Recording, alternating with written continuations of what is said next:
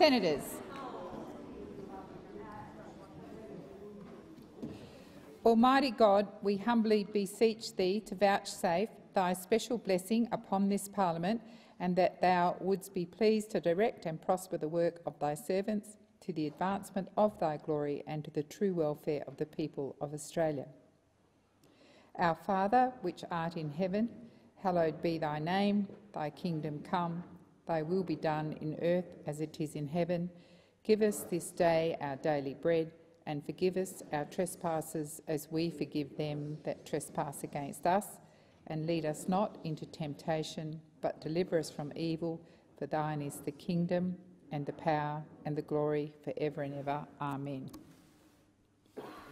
I acknowledge the Ngunnawal and Ngambri peoples who are the traditional custodians of the Canberra area and pay respects to elders past and present of all Australia's Indigenous peoples. Are there any documents to be tabled by the clerk? President, I, I table documents pursuant to statute and returns to order as listed on the dynamic red. Are there any proposals for committees to meet during the sittings of the Senate? I call the clerk. Yes, President. Committees have lodged proposals as shown at item 4 of today's order of business. Uh, Minister. Uh, thank you, President. I declare that the Climate Change Bill 2022 and the Climate Change Consequential Amendments Bill 2022 are urgent bills, and I move that these bills be considered urgent bills. I understand because this is an urgent motion, it needs to be put immediately, so it's my intention to move that. So the question is, um, Senator Birmingham. Pre President, can I just, uh, for the benefit of the chamber, um, just seek uh, the minister to provide an explanation of the consequences of what the motion means. Yes, I believe the minister can do that by leave if she so chooses.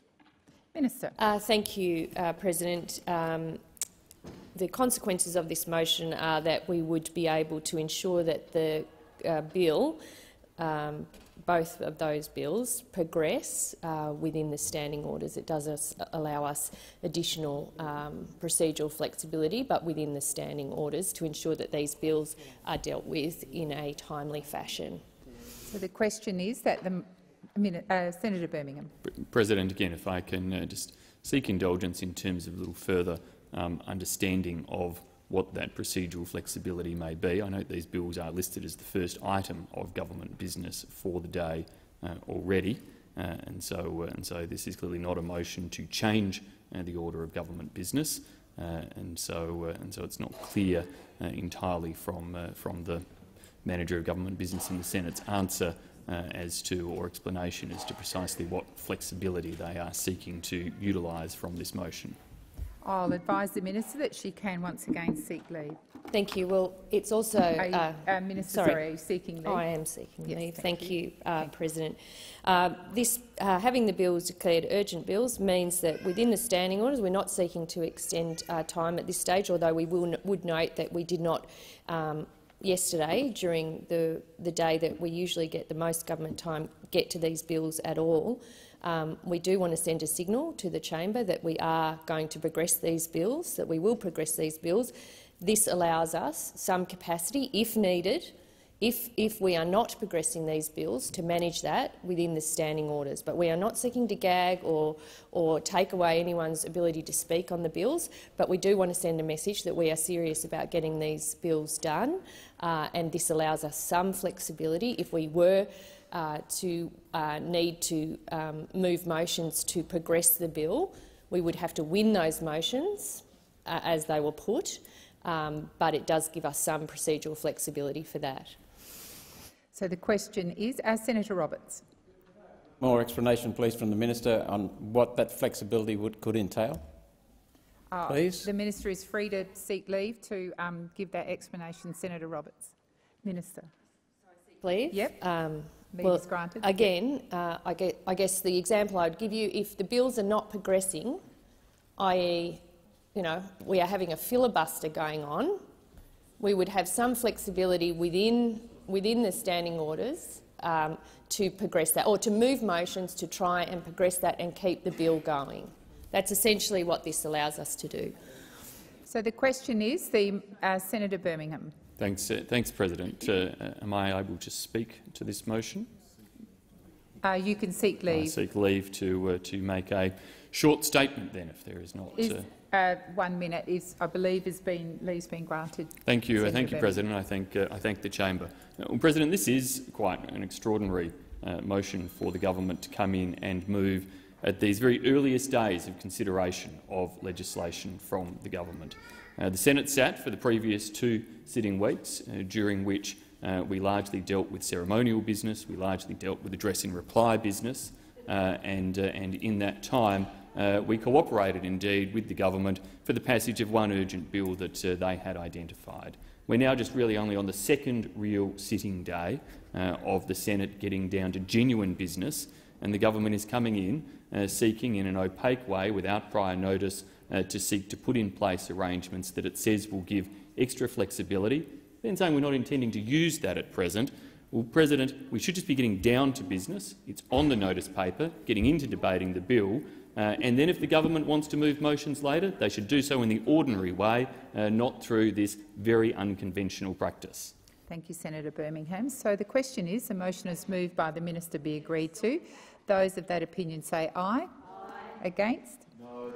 No. Uh, I believe the ayes have it. The ayes have it. Uh, I call the clerk. Government business order of the day number one, Climate Change Bill 2022 and an associated bill, resumption of second reading debate. Senator Duniam. Uh, President, um, and uh, following that, uh, which as the Leader of the Opposition in the Senate characterised, um, it's uh, you know my opportunity to put on record the Coalition's position on this bill, uh, but um, having, as has already been pointed out, the opportunity for two weeks to, uh, in the last sitting fortnight, to examine such matters instead of others, we now have this being considered an urgent piece of legislation. But uh, that is passing strange, given uh, what this legislation actually does. I think it's important to reiterate points that have been made in the other place by the Shadow Minister for Energy, Ted O'Brien, on this, and that is that this legislation is bad legislation and indeed reflects bad policy. Um, how this legislation is characterised by those opposite and those who've supported it is misleading to those in the community uh, calling for action on climate and indeed the actual impacts this legislation will have on the matter around climate change and uh, what uh, uh, the impact of carbon emissions and the amount there is in the atmosphere is also misleading in the debate.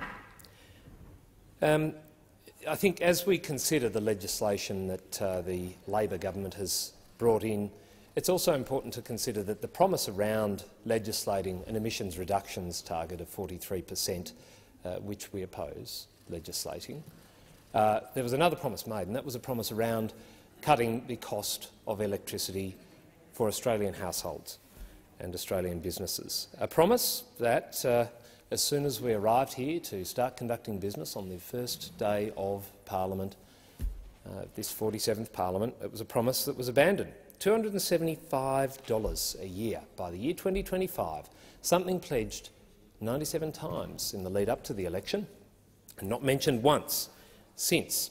So, two promises, one on emissions reduction being legislated, a target being legislated, and the government is delivering on that promise by legislating it. It is something we said we would not do and therefore oppose uh, for reasons I'll outline shortly, uh, enshrining in legislation. But another promise concurrently which has been abandoned, completely wiped off the books, as if no one will notice.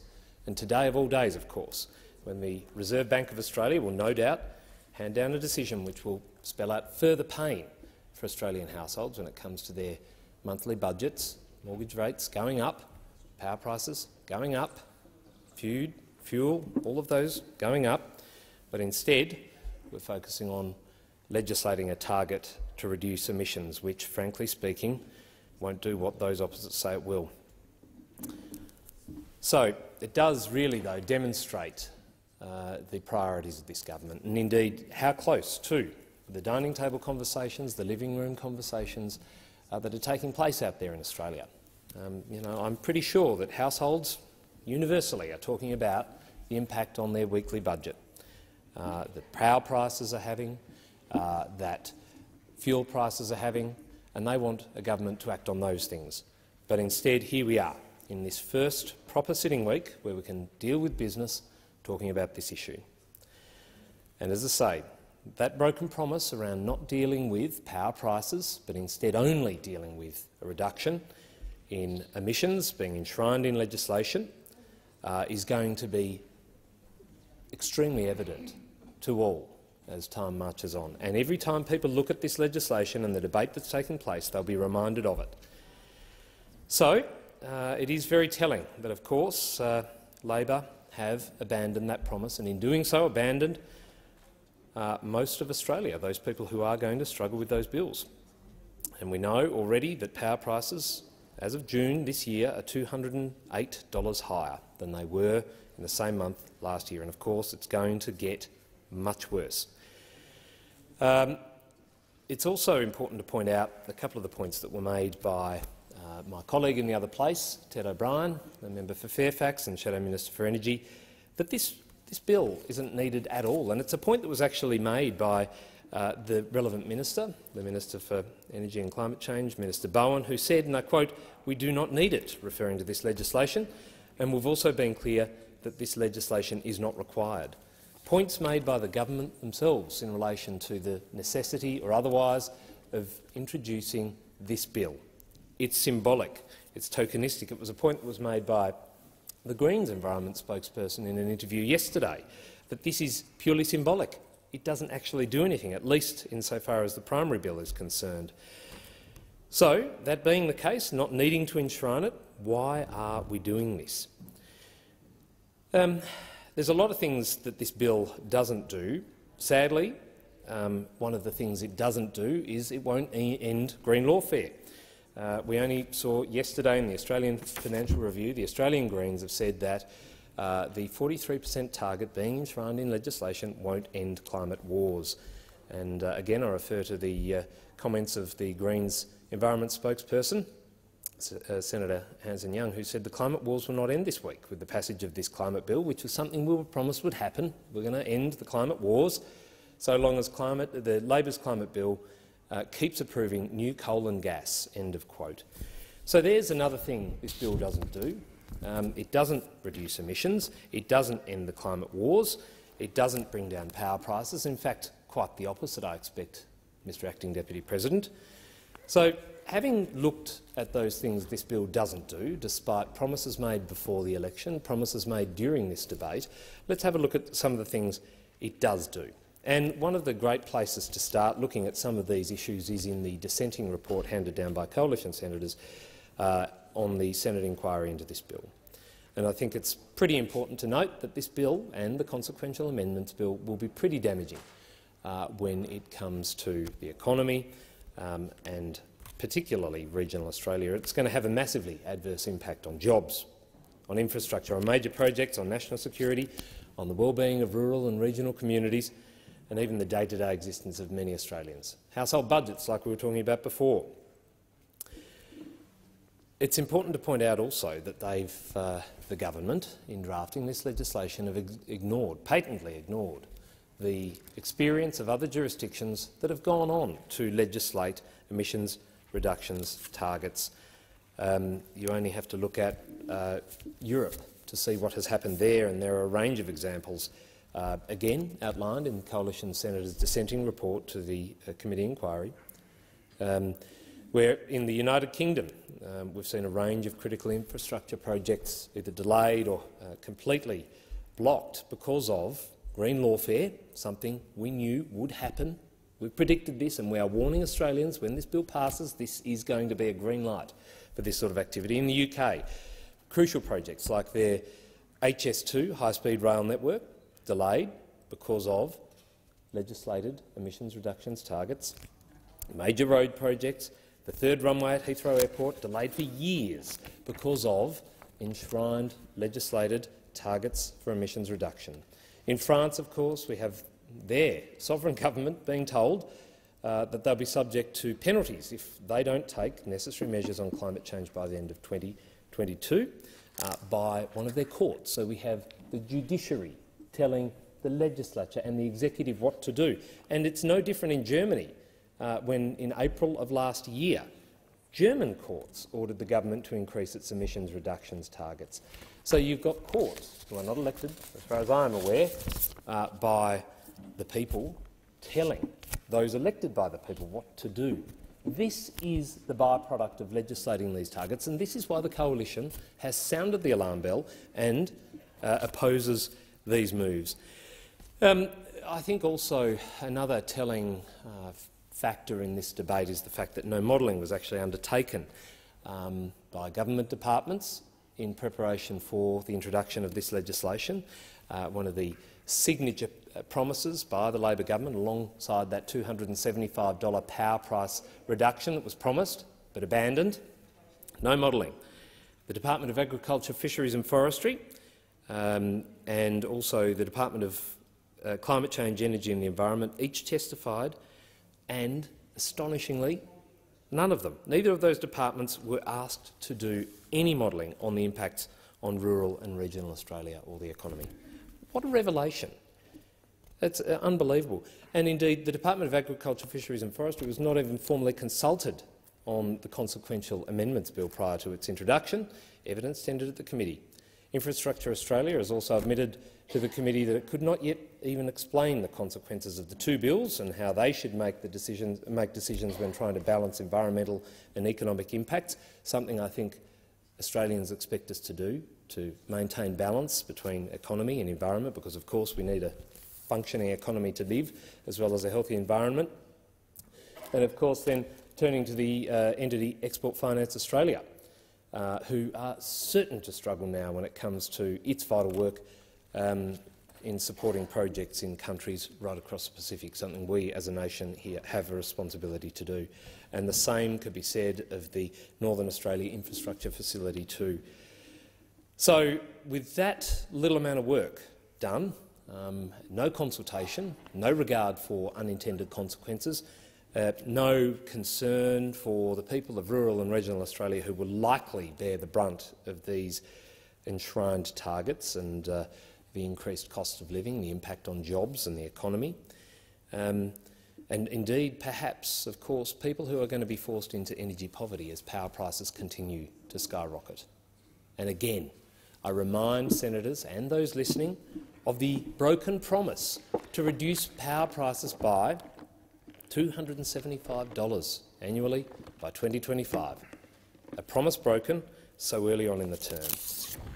And of course there are other considerations related to the government's response to managing the environment, be it the 30 per cent of land locked up by 2030, how are they going to do it, what are they going to do to assist in reaching these enshrined targets, what impact will that have on farmers and other land users, how are they going to manage these uh, uh, commitments they've made and the impacts that they will then have on Australians seeking to make an honest dollar to pay their bills, the bills that are going up. These things have not been considered at all. And the National Farmers Federation President Fiona Simson said in relation to this land lock-up proposal, locking up land is not the answer.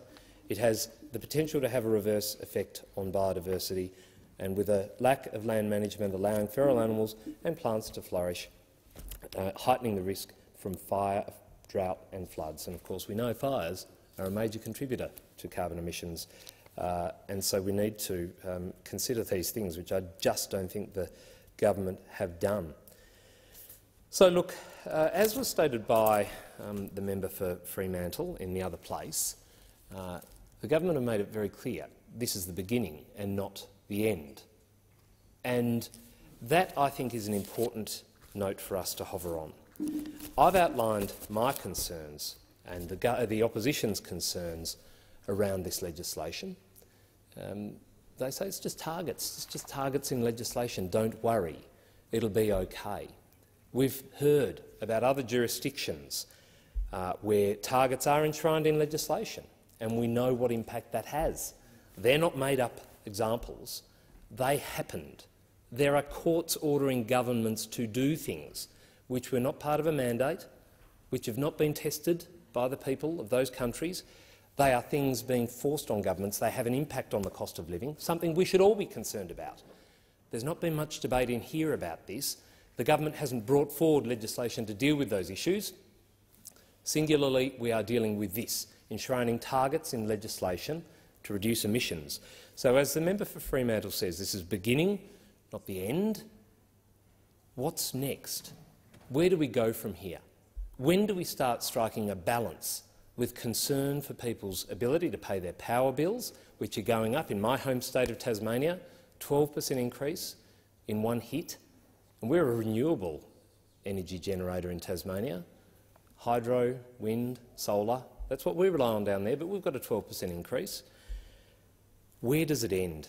Where do the targets end? You only have to have a look at other, other uh, policy proposals, uh, legislative proposals that are being considered at the moment around, say, the safeguards mechanism. I'd love to hear the government provide a guarantee that not one job will be lost in some of those uh, trade-exposed and emissions-intensive industries in some of those emitters across the country, particularly in rural and regional communities. In northern Tasmania, we have five or six of them that uh, cumulatively employ 2,000 people. I'd love a commitment that not one job will be lost. But instead, I don't think we will get that. I think we'll have a focus on bringing emissions down with no regard for the economy, with no regard for those jobs, and indeed, as I've outlined here, no regard for what impact this will have on Australian households, their ability to pay their bills, to keep the lights on, to keep warm in winter in places like Tasmania, to keep food on the table. This bill, sadly, is worse than it seems, both sets of bills, uh, and I warn senators to consider carefully before they cast their vote. We will oppose this bill. Senator Waters. Thanks very much, Deputy President. I rise to speak to the climate change bill, and I note the presence of school kids um, up in the gallery because uh, this is relevant for them as it is uh, for all of us and the species we share this world with. From the day that this climate change bill was released, the Greens have been warning what happens if the 43 per cent passes today and new coal and gas fields are opened up the next day. In the month between this bill passing the House of Representatives to this first day when it's now being debated in the Senate, the Minister for Resources, Madeleine King, has released 10 new oil and gas leases, covering 47,000 square kilometres of our oceans. And then, straight out of the Climate Change Deniers book, she described carbon dioxide as, quote, the bubbles in your soda water or out of your soda stream. So, you know, we've got to keep it in balance how we think about carbon dioxide, end quote. Secondly, the Minister for the Environment refused to block a gas-fired fertiliser plant in WA's sacred site of the Burrup Peninsula, whose chemicals would erode the 40,000-year-old rock art made by Murujuga ancestors and preserved until the present day. Now, of course, the Greens remain committed to the fact that we cannot have climate justice without First Nations justice. Thirdly, just last night, the Prime Minister told a Minerals Council dinner here in Parliament House that the government will deliver a predictable transition while giving a nodding reassurance to the fact that Australia will keep selling coal and gas to the world, well, it's predictable, all right, but it maintains the lie to workers that nothing is changing. And of course, he went to that dinner instead of the Clean Energy Council function, which was on at the same time. Fourthly, since this bill was introduced um, in the House of Representatives, the Queensland Labor government has approved the expansion of the New Acland thermal coal mine northwest of Toowoomba on some of, of Queensland's richest agricultural soil and farmlands. Now, that approval would increase the mine's operation by more than 60 per cent and would extend its lifespan to 2034, a thermal coal mine. Now, this is a destructive project that will trash some of our best cropping land would threaten farmers' groundwater supply and all the while contribute to dangerous climate change. The project has been fought by farmers like Sid and Merrill Plant, who I've personally visited several times. They've fought this uh, proposal for over a decade. Um, they and farmers like them who've seen their communities gutted, they've ridden the emotional and uh, economic roller coaster of watching their land first racked with drought and then their crops flooded. It's those farmers that should be supported by government. And instead, the Queensland Labor government continues to bend over backwards to appease the fossil fuel lobby. So how any of this squares with Labor's so-called commitment to net zero is an absolute mystery. The fact that the Queensland Resources Minister announced the decision late on a Friday with a two-line release shows that they know how shameful it is. But of course, you then remember that both the opposition and the government receive over $10 million in political donations from the fossil fuel industry over the past decade. And you recall how many former ministers and senior advisers go to work in grossly overpaid lobbying roles for fossil fuel companies. Maybe Labor approving more coal and gas mines and neutering their own climate ambition isn't such a mystery after all. Ban political donations from fossil fuel companies and we might get science-based decisions. Because remember that the International Energy Agency has said that Labor's net zero target by 2050 can't be met if just one new coal or gas infrastructure or mine is built. Not one. There are now 114 new coal and gas projects in the development pipeline. So the message is simple. No new coal and gas. Everyone from Twiggy Forrest to the Pope is saying it. You can't stop the climate crisis by opening up new coal and gas mines. The Labor Party's target of 43 per cent was set in consultation with political scientists instead of climate scientists, and it's at risk of failing because of new coal and gas. The committee into this bill heard evidence of how setting a 2030 target below what the science requires jeopardises that subsequent net zero target. And because this 43 per cent target aligns more with 2 degrees of global heating and is not consistent with the Paris Agreement, that pushes more work into later years. If we are wasting more of our very limited carbon budget now, 43 with a weak 43 per cent target, we will have to have faster, deeper emissions cuts later. Even for the risky 2-degree scenario, Australia would need to reach net zero a few years before 2045 according to ANU climate scientist Nerilie Abram, who gave, uh, professor who gave testimony to the committee.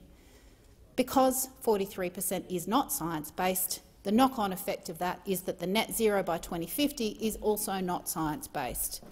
For that reason, I'll be moving committee of the whole amendments to the bill that will align Australia's targets with the science of what is needed to limit warming to one and a half degrees and this will eliminate the chance of runaway chain reactions on our climate system that we can no longer rein in. If we aim for 2 degrees, we're rolling the dice, and there is a very real risk that by releasing that much more heat-trapping energy into our oceans and atmosphere, that we could spark chain reactions beyond human control to rein in once they're unleashed. The bill that we're debating is set above that dangerous two-degree limit. So the Australian Greens amendments that will move in committee stage will change the national target to 75 per cent reduction by 2030 and net zero by 2035. That's what the science says we need to do. That's what this parliament should do. We will pass this bill, but we want to see targets increased within this term of parliament. We want to see Australia sign up to the Global Methane Pledge that will see this potent but short-lived greenhouse gas reduced by 30 per cent by 2030. That would be an important first step to prevent the early onset of dangerous planetary heating. Now, the Greens worked with the government to ensure that this bill, introduced into the parliament, included a no backsliding provision. We wanted to ensure that this legislation was Dutton-proof. And just like we worked with the Gillard government to make ARENA and the CEFC Abbott-proof, and that stood the test of time. We also secured agreement with the government that the Climate Change Authority's work had to be guided by the temperature goals of the Paris Agreement, not just a mere consideration which could be trumped like by politics like the 43 per cent. Importantly, we ensured that when funding agencies like the Export Finance Authority, Infrastructure Australia and the Northern Australia uh, uh, Infrastructure Facility, when they consider granting money to projects, that they will have to have regard to these targets. This makes it harder for public money to be used to further subsidise coal and gas. Next stop, we'll be tackling the $11.8 billion in public subsidies to fossil fuels that we've had in the budget uh, for at least a decade now. and we will be looking at the October budget with a fine-tooth comb to identify all of those fossil fuel subsidies. When the government said the country uh, is too poor to afford free childcare or to raise job seeker above the poverty line, it is criminal to be giving away more than $11 billion in free money to polluting companies every year, particularly when those fossil fuel companies often don't even pay their fair share of tax. We've also worked with the government to include in the committee report our shared commitment to working together on ending the use of burning native forests being counted as renewable energy. I'm sure my colleague Senator Rice um, will have more to say about that. Crucially, uh, in the committee report, which was chaired by my colleague uh, Senator Hanson-Young, we, we uh, exacted support to establish a legislated energy transition authority to make sure that we can look after coal and gas workers. As part of our negotiations on this bill, the government agreed to consider Greens' proposals to support coal and gas workers and communities, including creating publicly funded transition authorities to empower local communities to develop and finance plans to create new jobs and diversify their local industries. Coal workers haven't caused the climate crisis, and they should be looked after so that their communities and their kids can be assured a prosperous future, and they should have a say in what comes next. Coal workers know that coal won't stay in the system for decades. They know that they're going to get screwed over by coal corporations. They just want a clear pathway that will ensure their financial security and keep their communities in place. Now, we took to the election a job-for-job -job guarantee for coal workers, so that as we transition off fossil fuels, coal workers would get good jobs at the same pay by enabling their new employers to receive a wage subsidy of up to half the workers' former wage for up to 10 years. It's a very expensive policy, but the Greens are committed to ensuring that no worker is left behind as we transition to a clean energy economy. So through our negotiations, we've improved a weak climate bill. It's still weak, it's still nowhere near enough, but it is a small step in the right direction and the Greens will vote for it. But I will say that we are in solidarity with First Nations communities, with climate scientists, with the global community and with our neighbours in the Pacific that this is the critical decade, and we are resolute that there must be no new coal and gas and a transition off fossil fuels. This could be the climate parliament. We have the numbers to go much further and faster.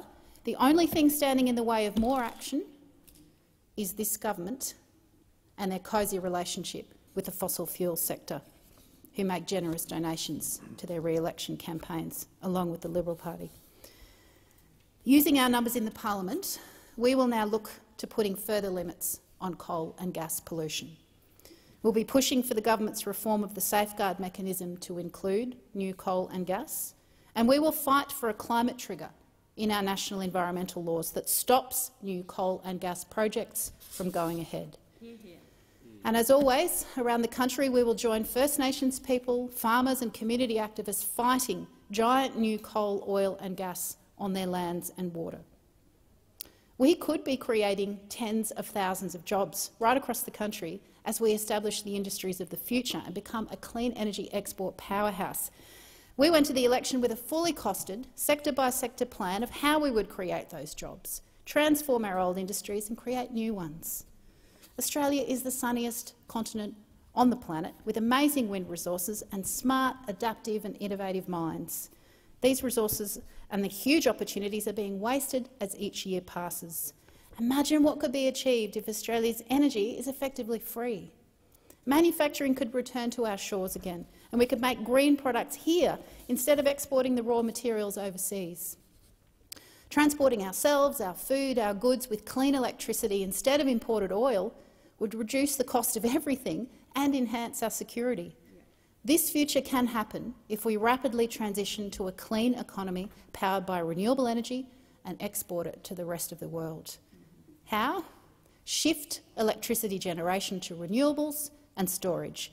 Increase electricity production to allow the electrification of all households, businesses, transport and industry. Soak up the remaining emissions and move to negative emissions by protecting our forests and landscapes and reform our agriculture to draw down carbon from the atmosphere so we can start to return to a safe climate.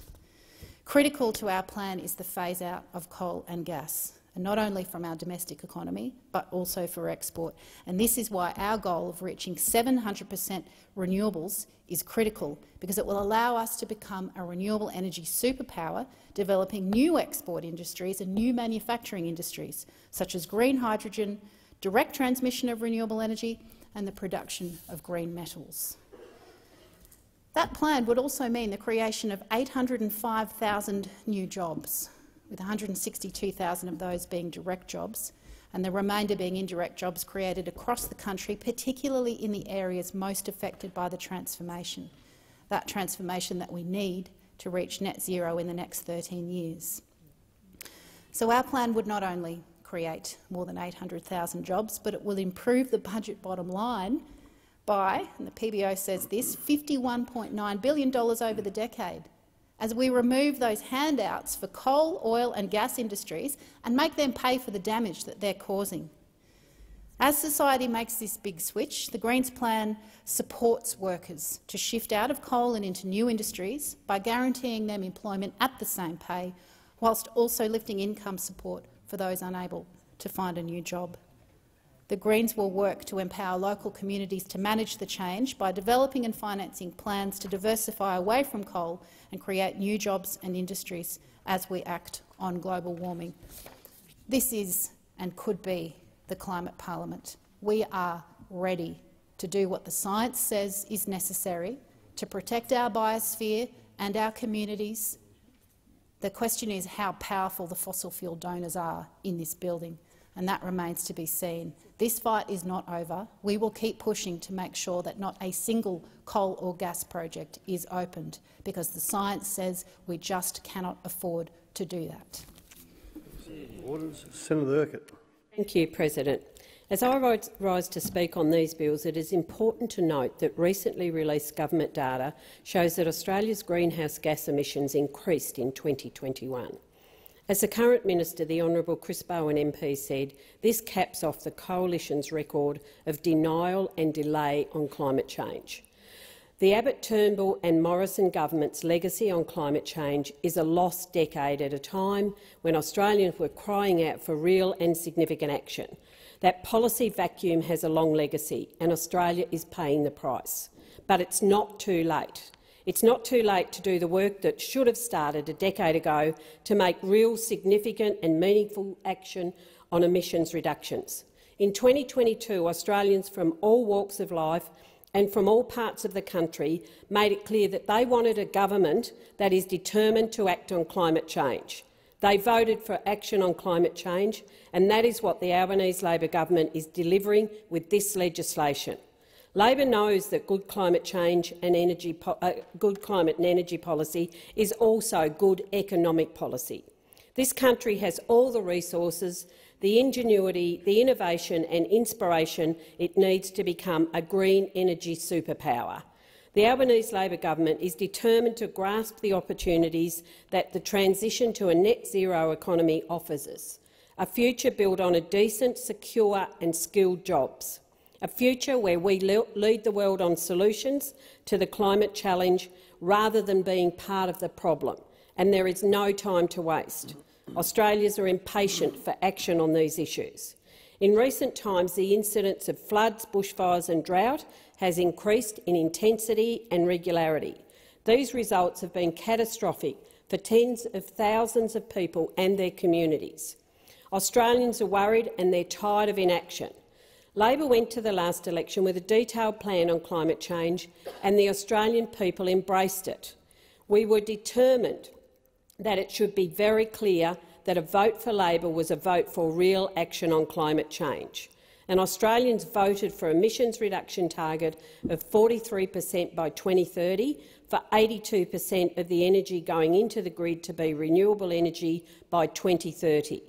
These bills today reflect Labor's Powering Australia plan and Paris Agreement's commitments, commitments that Australian people voted for, commitments that Australian people expect us to keep.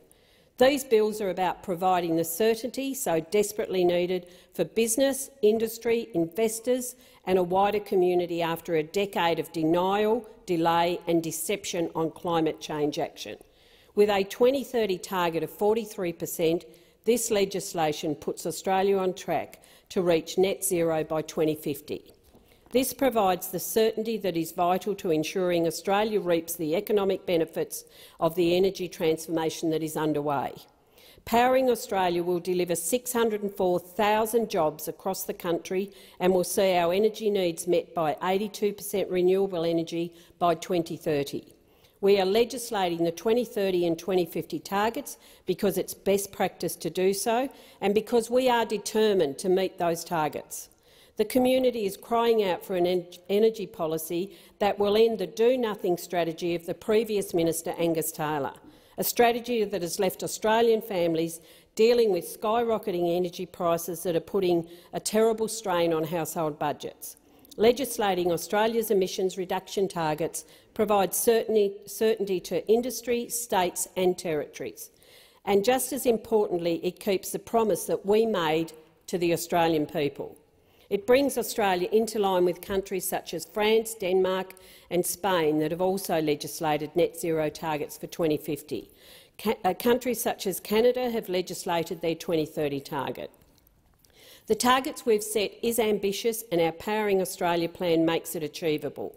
It is important to note that it sets a floor, not a ceiling, on Australia's emissions reduction ambition.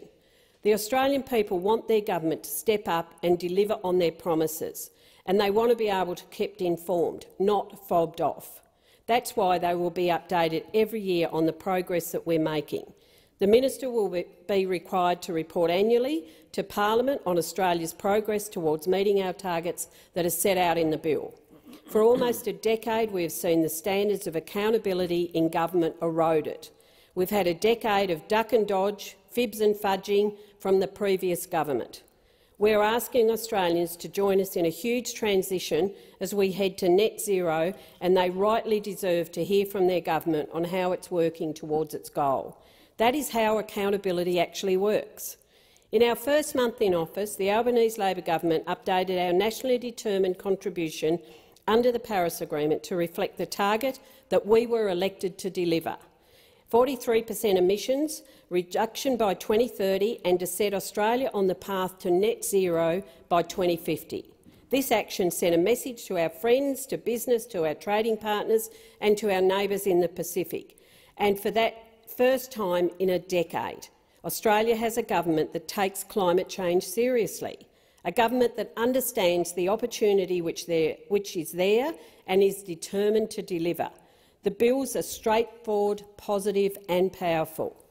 They, respect, they reflect Australia's obligations under the Paris Agreement, and so I urge the members of this chamber to pass this legislation and send a clear and positive message to the people of Australia and to the world that we are taking real action on climate change. That decade of inaction in fighting and denial is now over. How we manage that transformation will determine the future prosperity of this country, and we are determined to ensure that Australia emerges a stronger, more dynamic and self-reliant nation as we reach net zero. We learnt during the toughest periods of the pandemic uh, that as a country we need to be more self-sufficient. One of the things that cleaner, cheaper energy will do is to drive advanced manufacturing in this country. This transition offers us an opportunity for Australia to reignite the manufacturing sector, for Australians to make things once again right here in Australia. This is also about our national security, as we commit to making our sovereign manufacturing capacity a priority. I'm a great believer in science, and the science is in. We are determined to meet the challenge, Labor embraces the change that is required because we see it also as an opportunity, an opportunity to plan with certainty, to create new jobs and industries, a chance to embrace new technologies and build a new, bold, smart manufacturing industry. The Climate Change Bill 2022 and Climate Change Consequential Amendments Bill are a statement of intent by the Albanese Labor government. We believe in Australia's ability to meet the challenge of climate change, and we know that everyday Australians are up for it. This legislation will ensure that we can take that journey confident together and very confident in a better future. Thank you, Senator Urquhart. Senator Antic. Thank you. In 1956, South Australia experienced the Great Flood, an event described as the greatest catastrophe in the state's history. It was the highest flooding in the region since European settlement, but nobody asserted it was caused by humans because it was a natural disaster. There hasn't been a worse flood in Adelaide since.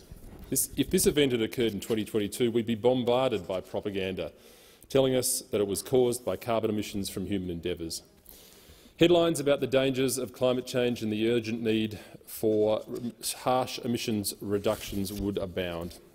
Now, the corporate and political classes have bought into this narrative to avoid uh, the imminent climate apocalypse, which the so-called experts have been predicting will occur in the next 10 years for the last 50 years, and to do that, that we must hastily transition to renewable energy, whatever the cost. Those apocalyptic claims come to us from the United Nations, and with the Climate Change Bill, Labor is pushing to reduce carbon emissions by 43 per cent by 2030, which marries up perfectly with the United Nations 2030 Agenda for Sustainable Development. This is, by the way, the same agenda that led to the Dutch government, the Dutch government to declare soil, of all things, as a threat to the environment and push farmers off their land and out of their profession.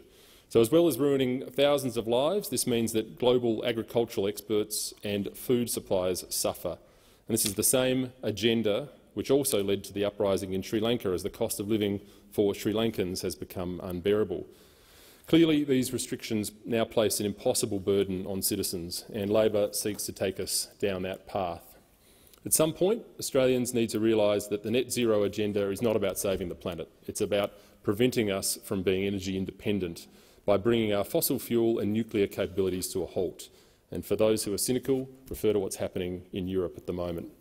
At what point do we start assuming that international bodies like the United Nations and the World Economic Forum, which also pushes the net zero agenda, have our best interests at heart? And what, what, what point do we start judging their ideas by what happens when they're implemented? We live in a time when political ideas are judged by what sounds good rather than what actually works. A post-truth era, perhaps better described the era of rainbows and unicorns, which is so pushed by our friends across the chamber. We can see what these ideas, from declaring a soil threat to the environment to rapidly shutting down coal power stations, leads to the disenfranchisement of ordinary citizens and to more wealth in the hands of the anointed elites. So let's see politicians and corporate elites and celebrities who moan about the so-called climate crisis lead by example uh, and cede their own international travel aboard private fuel-guzzling jets. Let's see them eating up a meal in favour of crickets and let's see them uh, giving up their, uh, their uh, champagne in the chairman's lounge, as I see them very often on a Thursday night heading home. None of them want to do that very quickly, Mr Acting Deputy Speaker. Those pushing this agenda lecture you about your so-called carbon footprint while making no adjustment to their own lives. And while you worry about the rising cost of food, fuel and bills, uh, they simply march on unabated. The hasty push for renewables doesn't make any sense other than in the light of an agenda to rob ordinary people of autonomy in energy and in food production. Coal and gas currently accounts for 79 per cent of Australia's electricity generation, uh, and uh, we are now apparently required to build solar and wind plants to cover that gap. It's an impossible, uh, impossible to quickly reduce this figure without jeopardising our capacity to generate electricity and increase its costs, which will be the um, net effect. What we know as so-called renewables, wind and solar, are inefficient, uh, expensive and dreadful for the natural environment. And for wind and solar power to generate electricity, the wind must be blowing and the sun must be shining, meaning you have stable power generation less than 40 per cent of the year. Renewables, given they are so inefficient, have such short lifespans, they rely on fossil fuels as backup sources, and wind turbines have a lifespan of about 20 years before they're buried in the earth. So we're not dealing with achievable outcomes here, but nothing but a utopian fantasy. The transition to renewables would need Australia to increase its mining operations to build the required solar panels and wind turbines. And the Greens members who are calling for Australia to ban the development of new mining projects are literally calling for the prevention of the means of building the renewables they argue for. You simply can't make this stuff up. Renewables require much more land than fossil fuels and nuclear counterparts, meaning vast stretches of beautiful Australian landscape are going to become wind and solar farms. The natural environment will get turned into an ugly landscape of metal and plastic. So much for environmentalism. True environmentalism actually means being good stewards of our natural environment while keeping the lights on, conserving our natural resources while using them appropriately. And if we were serious about reducing emissions, then, as we've said many times in this chamber before, nuclear energy is the answer. And if there was really a climate crisis, Australia's prohibition on nuclear power generation uh, would be considered irrational, irrational and inexcusable. In fact, over 70 per cent of France's nuclear en energy is generated through nuclear, and their natural environment is no worse for it, uh, as exhibited by our friends guzzling of French champagne. Uh, their carbon emissions are low, and they have some of the lowest electricity bills in Europe. Well, they used to. If we were truly facing a climate emergency, we would pursue nuclear energy, as it would address the emissions concerns and improve the cost of living for everyday Australians. It's such an obvious solution, but of course we know that it would interfere with the net zero agenda, so it is falsely presented as unsafe. And let's not forget that Australia contributes roughly 1.08 per cent of the world's carbon emissions compared with China's 29.34 and the US's 13.77 and even Russia's 4.76. If carbon emissions do cause climate change, then our emissions are actually negligible compared to those of other nations. And in fact, China is now building 43 new coal-fired power plants, despite being a signatory to the Paris Agreement, while Australia, which is the largest exporter of coal in the world, is gearing up to dismantle its largest export industry. So Labor's bill continues the trend of deferring to experts with conflicts of interest with the role of the Climate Change Authority on advising climate policy. And the Climate Change Authority is going to provide advice on reaching emissions targets to the Minister for Climate Change and Energy, and any deviation from this advice has got to be accounted for in a written statement by the Minister. If we look back, of course, it's pertinent to realise that none of the climate alarmist predictions a, from a new ice age all the way through to the melting of the ice caps have come to pass. But rather than admit these obvious errors, the climate propagandists simply changed the nature of the emergency and pushed the catastrophe back a few decades because their predictions have been wrong for so many decades, and that does beg the question, why are people still listening to them? We need to consider this, especially seeing that as the net zero agenda places us in a more vulnerable position regarding China, which is the greatest manufacturer of renewables technology, meaning our transition to renewables will ensure that we become reliant on the Chinese Communist Party's exports for our electricity. And since the invasion of Ukraine, Europe is learning the hard way that relying on a hostile foreign power for energy resources is a disastrous idea. Far from becoming a renewables superpower, as Labor claims we will be, net zero will simply mean greater economic dependence on the Chinese Communist Party of all organisations for our energy, placing them in a considerable position of leverage over us and ensure that we go down the path of becoming a tributary state. We don't need to become a renewables energy slave to China. We already have the resources here to become an energy superpower, and we should be leading the world in energy production, including nuclear, uh, and it would be if not for the unscientific and ideologically driven net zero agenda. So for those who have introduced and supported this bill, they need to understand they're dooming Australia to a high energy cost future, a future in which Australians must choose between heating and eating. Only need, one only needs to look at the bleak winter fast approaching in the Northern Hemisphere to see our future right there before us. Power bills will become five to 600 times the cost, energy shortages, businesses going under, and it's all on the watch of those who support this bill, and we won't let you forget. We've been blessed with a natural environment, bountiful resources that can allow us to reduce the cost of living, become less dependent on foreign powers. I hope that as a nation we can become alert to the urgency not of climate change but of pushing irrational energy policy it's time for those in this place to reject this bill. It's time for those in this place to put Australia first. Thank you, Senator Antic. Senator Cox. Thank you. I rise to make my contribution to this uh, climate change bill. It is absolutely no secret that climate change is upon us. We see the impacts of this every day, and we see it in the most extreme bushfires, flooding, and droughts that are becoming more frequent and more severe. But we're also seeing it in much more subtle ways. The delicate balance of our ecosystems have operated in for thousands of years are changing and they cannot adjust to the speed that is needed. If we do not act on these impacts, they will only get worse and they will impact on every single one, every single area of our lives, um, including to those opposite. It'll also affect the future that we are building for our children and their children, and it actually starts right here with us in the nation's parliament. The science is absolutely clear. We need to reduce our emissions by 75 per cent, not 43, and reach net zero by 2030, not 2050. I'm proud to be part of the only party who respects this science and also that I am the Greens spokesperson for the science and technology portfolio. We don't have time to play politics with this and we cannot let this government place our future um, at risk to appease their corporate donors. Because let's be real, the only, the only reason this target is so low is so that the Labor Party can keep raking in the money from their fossil fuel company mates. And if they tell you any different, that's a lie, and I saw that firsthand at the Minerals Council dinner last night. The latest IPCC report painted a very dire picture of what we're in store for if we do not take radical action. We had listened and take, uh, take, took action when the scientists first questioned this, then maybe all of our emissions might not have had some of the unintended consequences down the line, and we would be in a very, very different place right now. But of course we didn't, and we ignored the science. We ignored them for so long that we are at that point now where we need radical action to avoid further disaster. It sounds terrifying, and that's because it absolutely is. It sounds serious because it is. And 43 per cent is not enough, and I refuse to sugarcoat that.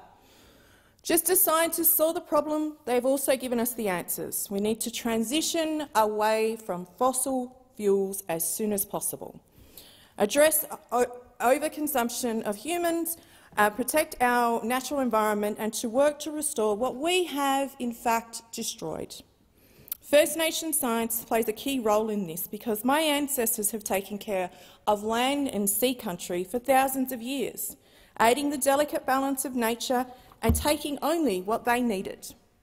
We don't subscribe to the Western idea that nature is something that needs to be in fact conquered. We are part of nature. We're not better than it. We are equal. We know the land and how it operates or works and what is needed to survive and also to thrive. We know the government, uh, we know the land, sorry, governments, mining companies and private landholders need to welcome this knowledge and allow us and support us to work, protect and heal this country. And that will be for the betterment of all of us. Now, Australia is known for its amazing produce, from wine, grain, cheese, beef, you name it, we make it, and we do a damn good job of it. As seasons shift and weather patterns become more unpredictable and unruly, the ability of our farmers continues to produce these products are and will continue to be impacted, both um, sorry, at a regional and remote le level across Australia that rely on this primary production to survive. The yields will decrease in both quality and quantity, making it harder for these communities to exist. We need to support our farmers in adopting more sustainable farming practices and to mitigate the impacts on their businesses to ensure our rural and regional communities are in fact not left behind. As well as our amazing produce, Australia is known for its amazing and diverse ecosystems that people travel from all over the world to come and see. From our deserts to our rainforests, our, uh, sorry, our native forests, our mountain ranges, our coastlines, our reefs, our arid lands and our river systems, all full with unique plants and even more unique animals. We have a lot to offer, and a lot of our tourism relies on these natural wonders, and again, many of these are in our rural and regional communities. The impacts of climate change will place these businesses at risk due to the destruction of these places, and we've already seen that with the wonderful and amazing Great Barrier Reef. If we lose these precious places, we lose our history, our culture, and we lose what makes Australia unique. So let's be frank. Fossil fuel companies are the reason we are in this mess, and the reason action has not been taken sooner. Both the major parties are captured by these companies and due to the millions of dollars that they have taken in their donations from them. Due to this, the major parties are too scared to in fact take any serious action to wind up fossil fuel production at the speed that we actually need it, because they might actually lose some money in their political donations. But there's clearly no concern about the primary producers or the small businesses who will lose their money as a direct result of climate change. These companies are getting a pretty good return on their investment too, since none of them actually pay any corporate tax and they receive billions of dollars in our public money as subsidies. Instead of holding up a dying industry or relying on carbon capture and storage, which in fact is unproven, to procrastinate in reducing emissions, the government should be focusing on investing in renewable energy projects. So let's use that money to build rail, to transport green hydrogen, just like Germany has done recently. Use that money to rehabilitate the land. Use that money to invest in solar panels, hydro, wind, literally any other, anything else than paving the way for these greedy companies to destroy our planet. Now, I want to be absolutely clear that the climate wars are not over. They have in fact reached a new frontier. And the Greens are begrudgingly supporting this bill, but we know that 43 per cent is nowhere near enough. And the fight continues for meaningful climate action, which also means preventing not one more fossil fuel project opening, expanding or continuing. And my call to action for the folks out there watching is to join us, come forward and fight for our children's future and for our climate. Thank you.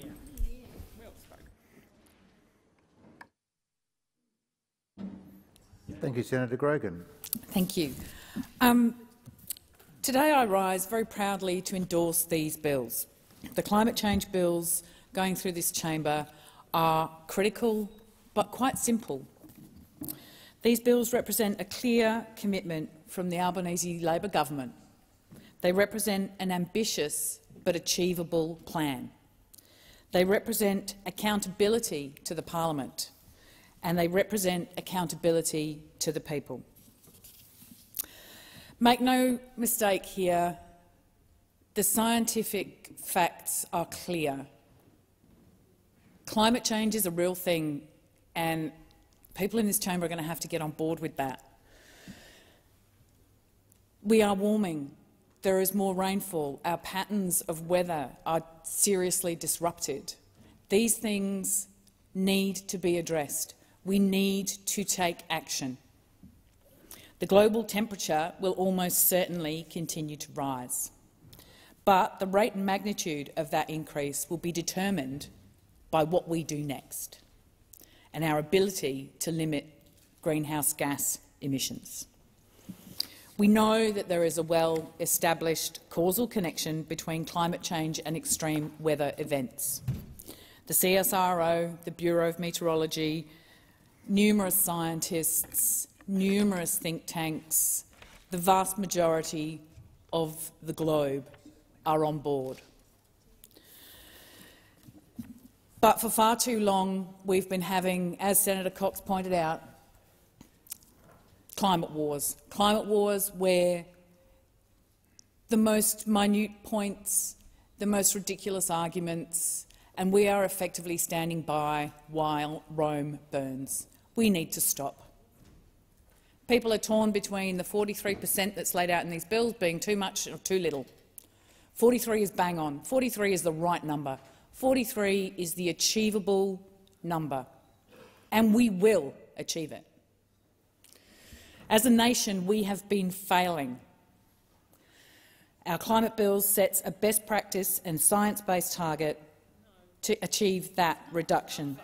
This is a floor, not a ceiling. This is a floor, not a ceiling. This is a start. Let us not go back to the place where we do nothing because we are so driven by the perfect. This is an excellent first step. This is a floor, not a ceiling. This is the certainty and the mature policy that we need. The bill is a solid foundation, setting clearly and firmly in Australian law our emissions reduction ambition. It holds the government of the day properly accountable to the Australian people and to the Australian parliament on how it measures up to those ambitions and how it is addressing this fundamental issue. It is the certainty and the mature policy that we need. Many issues were raised in the committee hearings uh, considering these bills, and some of those were issues of merit and issues that should be considered. But they are outside the scope and intent of these bills. Some issues will be captured in a range of other associated but concurrent issues that are being progressed. And I'll just give you a list of what they are. Consulting on, op on the options to reform the safeguard mechanism deals with a number of the issues that were raised in the committee hearings. Developing a national electricity electric vehicle strategy, which will be done in collaboration with the states and the territories. Working with the state and territory governments to increase the share of renewables in the national electricity market by 2030 investing $20 billion for urgent upgrades of the electricity grid, appointing an independent panel to review the integrity of the Australian carbon credit units, led by former Chief Scientist Professor Ian Chubb, and responding to Professor Samuel's review of the Environment Protection Biodiversity Conservation Act, and the impending release of a proposal for an independent federal Environment Protection Authority. Each of these things deals with the vast majority of the issues raised uh, through the committee hearings. And as I say, the vast majority of people supported the passage of these bills. As Minister Bowen outlined in his second reading speech in the other place, this bill is important for the message that it sends to the future generations of this country, for our economy, for business and investment for our nation and for our environment. Now, I'm proud to be the chair of the Senate Environment and Communications Committee, and we spent two days and waded through hundreds of submissions of people's perspective on these bills. And I'd speak now as an individual, not as the chair of that uh, committee. But the committee recommended that the Senate pass this bill, these, these two bills. There was widespread and near unanimous support for these bills from organisations and interest groups representing all facets of the Australian economy and society. In fact, more than 110 organisations and specialists declared their support for the bills. Specialists across business and industry, agriculture and forestry, unions, conservation groups, energy and resources, academics, the legal sector, they all support these bills. Overwhelmingly, submitters, witnesses expressed support for the objectives and the provisions of these bills. They support it because they know there are significant opportunities in decarbonisation. There are significant opportunities for Australia by taking action. The industries of the future are enabled by the investment that takes place when we have clear, clear and sensible policy, which is exactly what these bills provide. This is what a Labor government is all about, finding the solution. I'd like to uh, express my thanks to the members of um, the Greens party and to other senators including uh, Senator David Pocock, for engaging robustly and productively on these bills. But that's what a Labor government is all about. We care about workers, we care about business, we care about the environment. We consult, we listen and we take action. We care about the investment in the future and the opportunities that are available to us through decarbonisation. We have a clear plan to ensure that we drive our economy forwards as we decarbonise. I know that there will be those in this chamber who will just flatly oppose these bills without thinking about the future. without thinking about what that will do. I urge everyone in this chamber to support these bills. They are a simple, strong framework to start taking action. We cannot ignore or deny climate change. This is happening, and if we do not act on climate change, our wildlife, our planet, our industry, our citizens will all suffer. I urge everyone to support these bills. Thank you, Senator Bragg. Thank you very much, Mr uh, Acting Deputy President. Thank you very much for the opportunity to make a uh, statement about these bills today. And these are important issues, uh, very important issues, uh, and there is a lot to be said about this whole policy space. Now, this is a bill that is not a particularly large bill. It's only 10 or 12 pages long. It doesn't mean it's not important. Uh, certainly, it is a it is pretty pretty threadbare bill in what it does. Um, the minister himself, Mr. Bowen, uh, has described this bill as being not necessary, um, which is an interesting approach. Uh, I think about a piece of legislation you wanted to get through the parliament, but perhaps the reason it is unnecessary is because uh, the NDC, or the Nationally Determined Contribution of Australia, um, has been set in international law. Now, I'm not, I've never been convinced that international law uh, is particularly strong. Uh, I'm not sure how enforceable it is, but the reality is that the way that the system works under the climate accords, that the NDC is set uh, by international law, and that has been done. That's been done by the government. They've decided to go with 43. Uh, I mean, personally, um, I'm, I'm relaxed about it going higher. Um, and uh, I'd be relaxed about that happening uh, if there was uh, the work done to show how it could be done and how much it would cost. Uh, but the point is that um, Minister Bowen is uh, the minister for this area and he's described his own bill as being quite unquote not necessary. So that's, I think, an important starting point. But as I say, I don't want my contribution to be um, you know, a hyper-partisan uh, rant um, because they are important issues. Uh, but this particular bill, I think, by any assessment, is actually quite a threadbare uh, bill. Now, uh, the, the cost of this transition uh, to get to net zero is eye-watering. Uh, and you can see um, through the Senate inquiry that no one seems to know how much it is actually going to cost the country. Uh, but that, that doesn't mean that we shouldn't try and get the answer.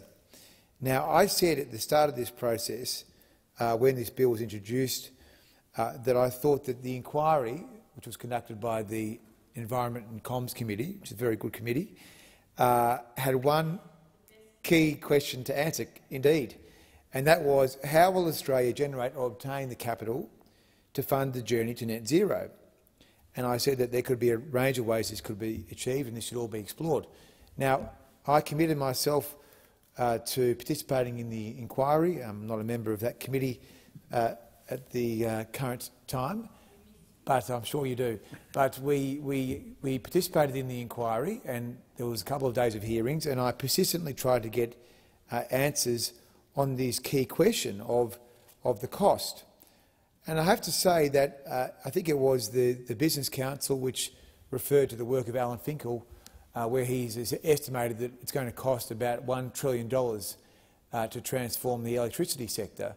Uh, but we don't have any good analysis uh, in the, in, certainly in the government or the private economy on the overall cost estimates over the, over the, the long term. Now, as a importer of capital, as Australia has been over the last 250 years. I would have thought that we should try and get those answers, and it's something that I think that we should try and pursue. Um, I was surprised that more work had not been done by the Treasury and by the line department on this matter of the cost. Uh, I think it means that the, the bill is genuinely uh, unsupported by a broad evidence base. And I have concluded that in the absence of being able to ascertain the cost, uh, the things that really matter here are going to be the signals that we send to the market, um, recognising that whatever the cost may be, I think we can all agree that this country is, does not have enough capital to be able to fund the transition ourselves. And for those, of, for those of us that have bandied around the idea of uh, using other pools of capital, like the superannuation scheme, uh, for example, for this purpose, I think are very wrong-headed. I mean, the day that that scheme starts to pursue non-financial objectives is the day that it will be on the road to ruin. Uh, so, setting aside uh, the major domestic pools of capital, we are going to have to seek funding from offshore uh, to fund these major investments, uh, these major capital investments uh, in this transition to net zero. And so the two things that I think that are really important in this debate on, on this bill, not in this bill, but they're about this issue, are what are the policies of the parties of government and what are the policies those parties of government will take to market. Now, I do think that uh, we have had some significant developments in, in the recent months, and I very much welcome, as a member of one of the parties of government, that the leader of my own party has said on the 11th of August in relation to the 2030 targets, which is uh, a large part of this debate. Now, Mr Dutton has said that it is likely that our target will come in well north of 35 per cent, maybe north of 40 per cent. We'll have a very credible policy, I promise you, by the end of this term, or by the end of by the time of the next election. Now, um, that is a, uh, a significant uh, statement, and it is a statement which, uh, from the coalition's point of view, puts an end to the 2015 targets that we have had uh, at 26 to 28 per cent reductions on carbon emissions uh, for too long, in my view. I think we've had those targets for too long, and they should have been updated uh, to reflect what is now possible. I mean, even our own modelling showed that it was possible to exceed 26 to 28 in the last parliament. Now, the Business Council of Australia uh, has said in relation to this uh, that they think that bipartisanship is very important uh, and that they were very supportive of both major parties coming to the net zero position. And the BCA said to the committee that they would be strongly supportive of a more ambitious coalition target. So I look forward to playing my role, because you've got to focus on what you can control in these jobs, uh, of uh, helping uh, my party, party of government, with the coalition, uh, having the best possible plan that we can have for 2030 and 2035. Um, and that is something that is within our preserve. And I think that is a, a, a significant change that's been achieved in the past few months, that we have put an end to the Abbott era 2030 targets. So I look forward to that process over the next couple of years. The second issue is about the policies. And again, I, like to say that it's important to focus on the outcomes, not on the embroidery. And there are many policies that could be deployed in this space to get emissions down. Now, you can look at the, uh, the fuel standards, you can look at the, your tax policies, you can look at uh, your corporate law, you can look at how you might require companies to disclose their emissions.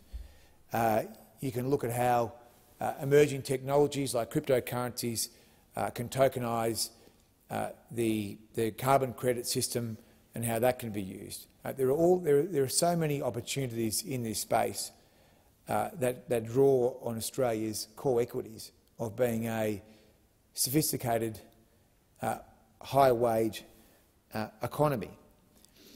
Um, one of the things we have done in the last few weeks is we have been able to examine another bill which has looked at the tax arrangements on electric vehicles, and there is no doubt uh, that that is a, a very much a, a, a, muddled approach in how that bill has been drafted. Um, that has been cherry-picked out of a, a national electric vehicle strategy, which prior speakers in this debate have referred to. Uh, and so it is important that we think carefully about these policies, that we cost them. We work out, OK, if we're going to have this particular measure, this is how much carbon abatement we're going to achieve. Um, so I think that is very important. In relation to corporate law, and again I think as a, as a safe and strong jurisdiction, and as a open democracy with the rule of law, and a member of the G20 group of nations, uh, we should be looking to be a leader on carbon disclosure. And we, sh we shouldn't be looking to do it through self-regulation. We shouldn't be asking the Corporate Governance Council to put out a, a note. Uh, we should be looking to pass laws in the, in the life of this parliament to ensure that Australia is going to have an, ag uh, an aggressive but measured approach on carbon disclosure. Because I believe that the countries that have the, the most transparency on these issues are more likely to be able to attract marginal capital. And if you are a investor, if you are, you are a international investor, whether you're BlackRock or you're a smaller investor, uh, if you can look into uh, an organisation and make a judgment about their risk profile by looking at their scope 1, 2 and 3 emissions, then I think you're more likely to invest into that nation than into another nation. And as a, as a, as a nation that has often exported corporate law, we should be looking to do that again. Um, I also want to make the point that I know that, that some in this place like to junk all fossil fuels in together, but I mean that, that ignores the statements of the, the scientists, whether it's Finkel or whether it's our own institutions or whether it's Larry Fink at BlackRock, right, which is the world's biggest investor. Um, everyone that is credible and serious identifies gas as a necessary transition fuel. So we should not be conceding on gas, and I'm pleased that the coalition uh, is pushing this government uh, on gas and building on our record in government where we did some important initiatives in this space. Um, of course, the same goes for nuclear. There's no reason that we would have an ideological uh, position that would preclude the country from using this particular form of technology, particularly when you consider the large deposits of uranium we have in this country. So I think we, we, we would be well served to be removing the obstacles for using nuclear. I mean, it seems to be a bizarre position that if the market wanted to use this particular formula of energy production, it would be prohibited because of an ideological position that was put in place some decades ago.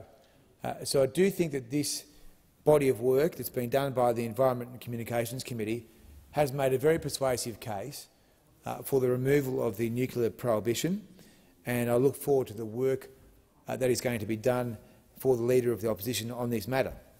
So, um, in, in, summary, um, look, it, it is not true that the, that the majority position of the G20 uh, countries is to legislate a target. Um, the Parliamentary Library itself has said that 12 of the 20 countries have not legislated the target.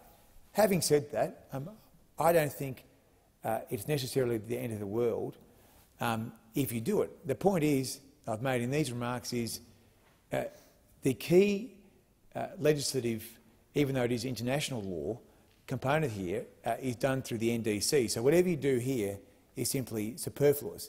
Now, if I was the Minister for Energy and Climate Change, or if I was a Minister for any portfolio, I would not be describing my own legislation as not, not necessary, because why would we as a parliament enact a bill that the Minister has said is un unnecessary? I don't think that's our job. Uh, so, finally, it is very important that we reflect on what we can control in these roles that we have been given, and I am very pleased that the coalition, as a party of government, uh, is committing itself to having a more ambitious agenda for 2030. Uh, it is true that it was our government that committed the country to net zero emissions at 2050, which was one of the signature achievements of the last government. Um, all that is left for us to do now as a party of government is to ensure that we have a credible position uh, which is more aggressive than the 2015 targets for 2030, 2035 and all the other interceding years. And that is something that I look forward to working with my coalition colleagues on. Um, if we achieve that, then we are sending a signal to the market that both of the parties of government uh, are committed to emissions reduction and are committed to getting Australia where we need to get in the medium and long term. And we should do that in a way which is technology agnostic. Uh, I don't believe we should be throwing uh, gas in with coal. I think it has fundamentally different characteristics uh, as referenced by the scientists and the major investors. And I also think that we should be very much open to this debate on nuclear energy for domestic purposes. It makes no sense that we would be uh, the greatest exporter of uranium but have no view about using it for our own domestic purposes. So uh, they are important issues, and I thank the Senate committee and their work on the bill. I think it was an important uh, inquiry, and I thank the Senate for the opportunity to speak to this bill this afternoon. Thank you, Senator Bragg. Senator Hanson-Young. Uh, thank you, uh, Mr Acting Deputy President. I rise today to speak in favour of this piece of legislation and uh, I want to put squarely on the record uh, right from the beginning that it is because the Greens have worked constructively that we have been able to improve and strengthen this piece of legislation so that it is uh, acceptable. 43 per cent is nowhere near uh, where we need to go if we are to reduce and cut pollution to save this fragile planet. It is nowhere near where we need to go if we're to give our children uh, a future of which they can uh, rely on, a safe climate, clean water, healthy air and clean, safe food. But it is, uh, now that we have strengthened this bill, a step forward in the right direction. But what we now need is to put in action the things that will drive pollution down, that will cut pollution. And I want to put squarely on the record, we often talk about carbon pollution during this debate, and of course that is true, but there is also a huge amount of urgent work to do to cut methane in this country and across the world. And it is why Australia must sign the methane pledge. The big gas companies are getting away with secretly polluting the atmosphere even more than is being recorded, and it needs to stop. The big gas companies and gas industry need to be held to account for their toxic contribution uh, to the climate uh, catastrophe because of leaking methane. The International Energy Agency, the UN, even the Pope has called on governments right around the world to stop funding the expansion of new fossil fuels. They have called on governments to stop subsidising fossil fuels and allowing the expansion. I want to acknowledge that even uh, as early as this week, one of Australia's leading businessmen, Twiggy Forrest, has called for a halt and a stop to the expansion of fossil fuels and fossil fuel subsidies. The rest of the world gets it, and they've been waiting for Australia to catch up. The climate has changed. It is climate change is here. The bushfires, the floods, the droughts, not just in our own country, but right around the world. All we need to look at is the 33 million people displaced and impacted by the terrible, deadly floods in Pakistan over recent weeks. Europe is, has been in the grips of a heatwave this summer, and we are already hearing state governments in our own country being briefed about the fire risk of the coming summer here. Our wildlife and our environment are suffering. And for years, the community has been waking up and demanding action from our government to take seriously the threats of this climate catastrophe and to do what is needed. The business community have been far ahead of the parliament in recent years, much further ahead in wanting to tackle the climate challenge than previous governments. Well, now we have an opportunity to pass through this place this week a commitment that not only do we acknowledge that climate change is happening, but that we have to do something about it, and that something means cutting pollution. What this bill doesn't include is the mechanisms by which we get there. We need a climate trigger in our environment laws to stop the expansion of big new projects that are going to continue to make climate change worse. We have a huge task in front of us to cut the amount of pollution that is currently being created. A huge task, but one that we must tackle.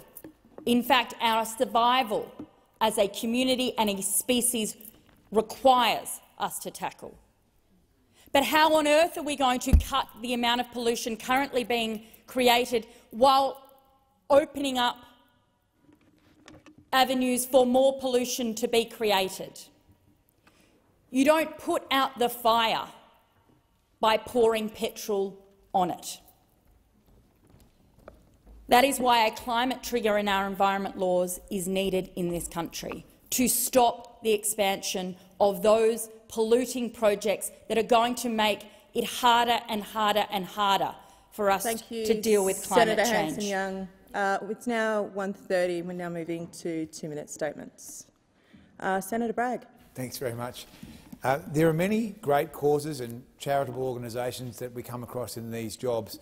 I do want to put on the record that uh, I think Mr Scott Maggs, who is a long-standing friend of mine, uh, has made a material difference to the lives of many by instituting a system of skin checks for people, which is something that they can easily control. Uh, Scott got onto this idea after a good friend of ours, Wes Bonney, uh, unfortunately passed away from melanoma in his early 20s. And one of the things that could have saved Wes's life was this idea of going and getting your skin checked proactively, perhaps once every six months or once a year. And Scott has done an incredible job uh, on his own steam of establishing this organisation called Skin Check Champions, where people can go and have their, have their skin checked. Uh, if you look at uh, his testimonials, uh, he has saved uh, dozens and dozens of people from having uh, very difficult health outcomes just by virtue of having gone and got the check. And as I say, we meet so many terrific people who do so many great things for the community in these roles. Um, I do think the brilliance of the Skin Check Champions idea and concept is that it is easy to understand, it is easy to do, and Scott has done a great job uh, by doing it. Now, he's also known, uh, strangely, as Jimmy Niggles. I've never understood uh, that alter ego, uh, but uh, it's good to have a few strange people uh, in your life. So, but well done, Scott. You've done a great job. You've changed a lot of people's lives for the better. Thank you, Senator Bragg. Senator White.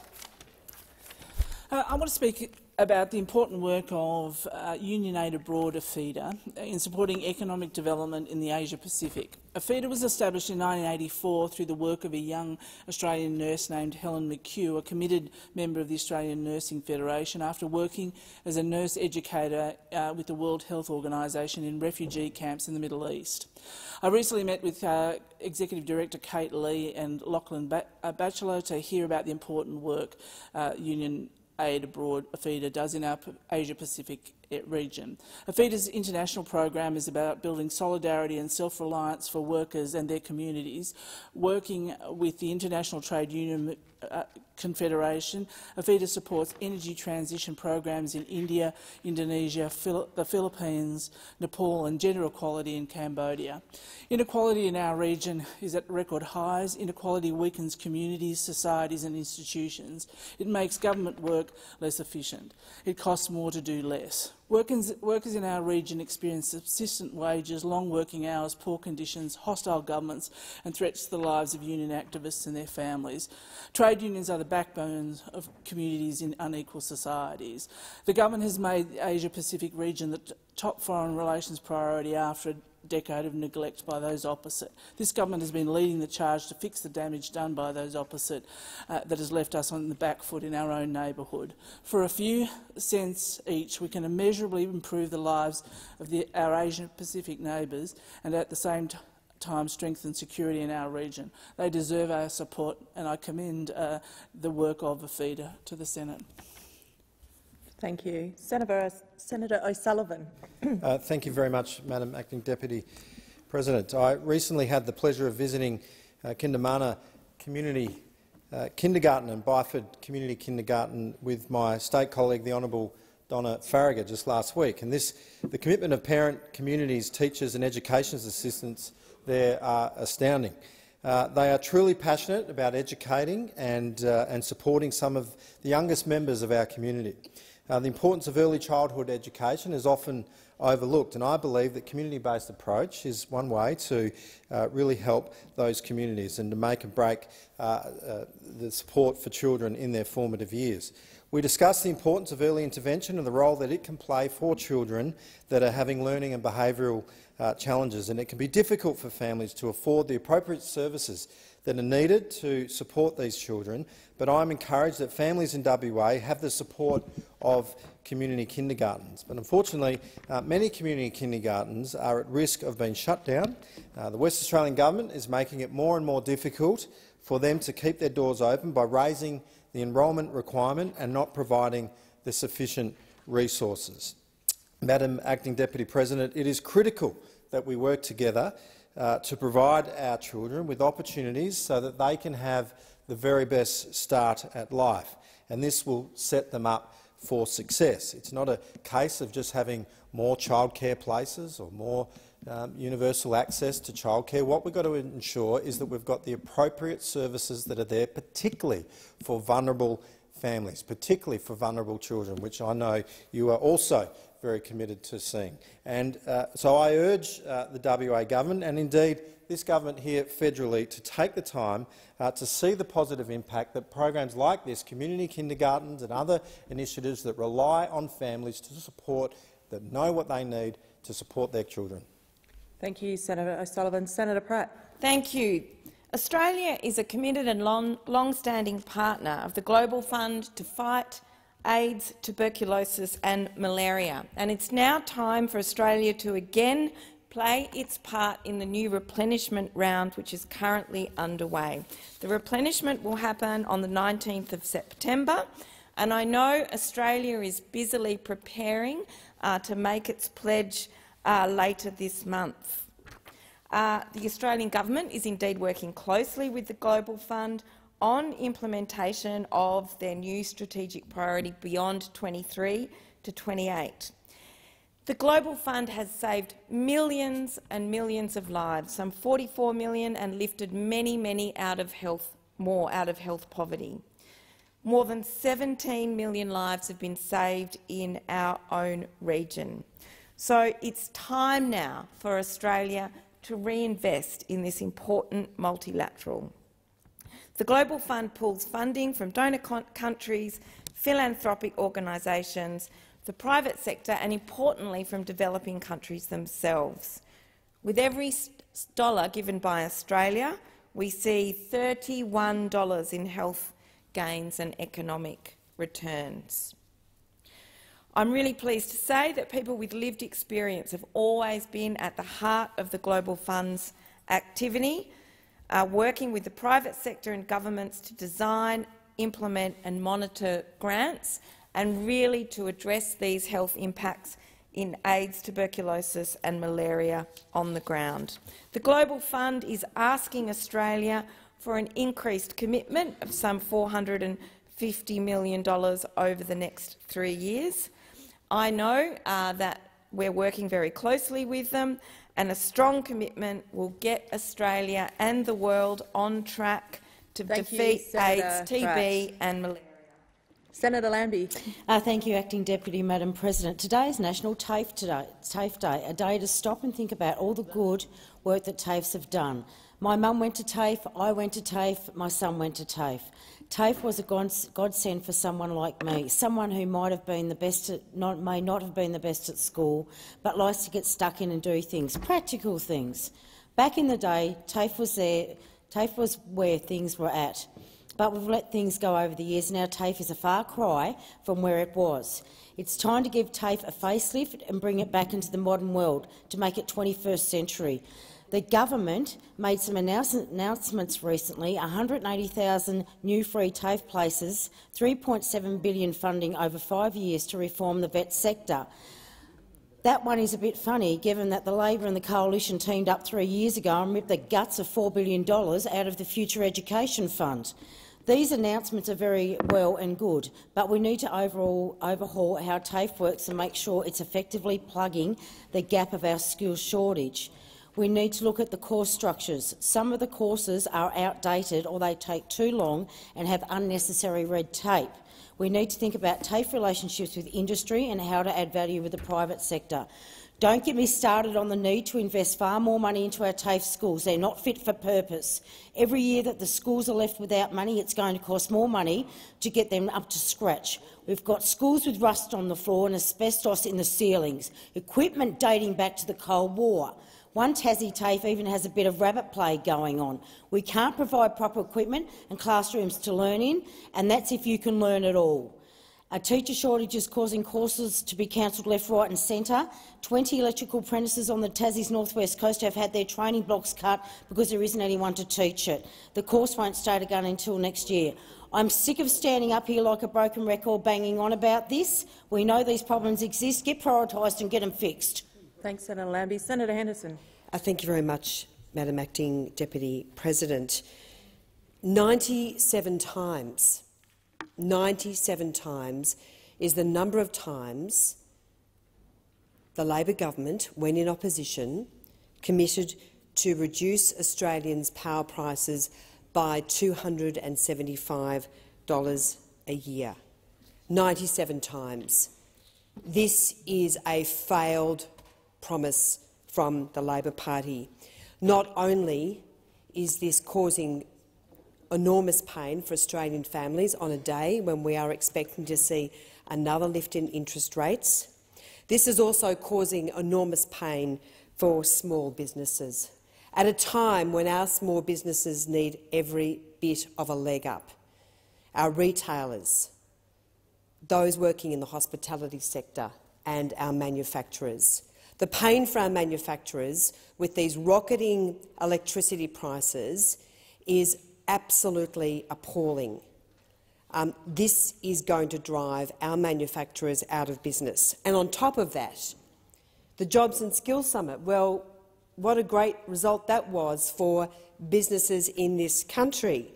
With the decision, and I say great and I'm being sanctimonious, um, the decision of industry-wide bargaining, which is taking us back to the dark ages.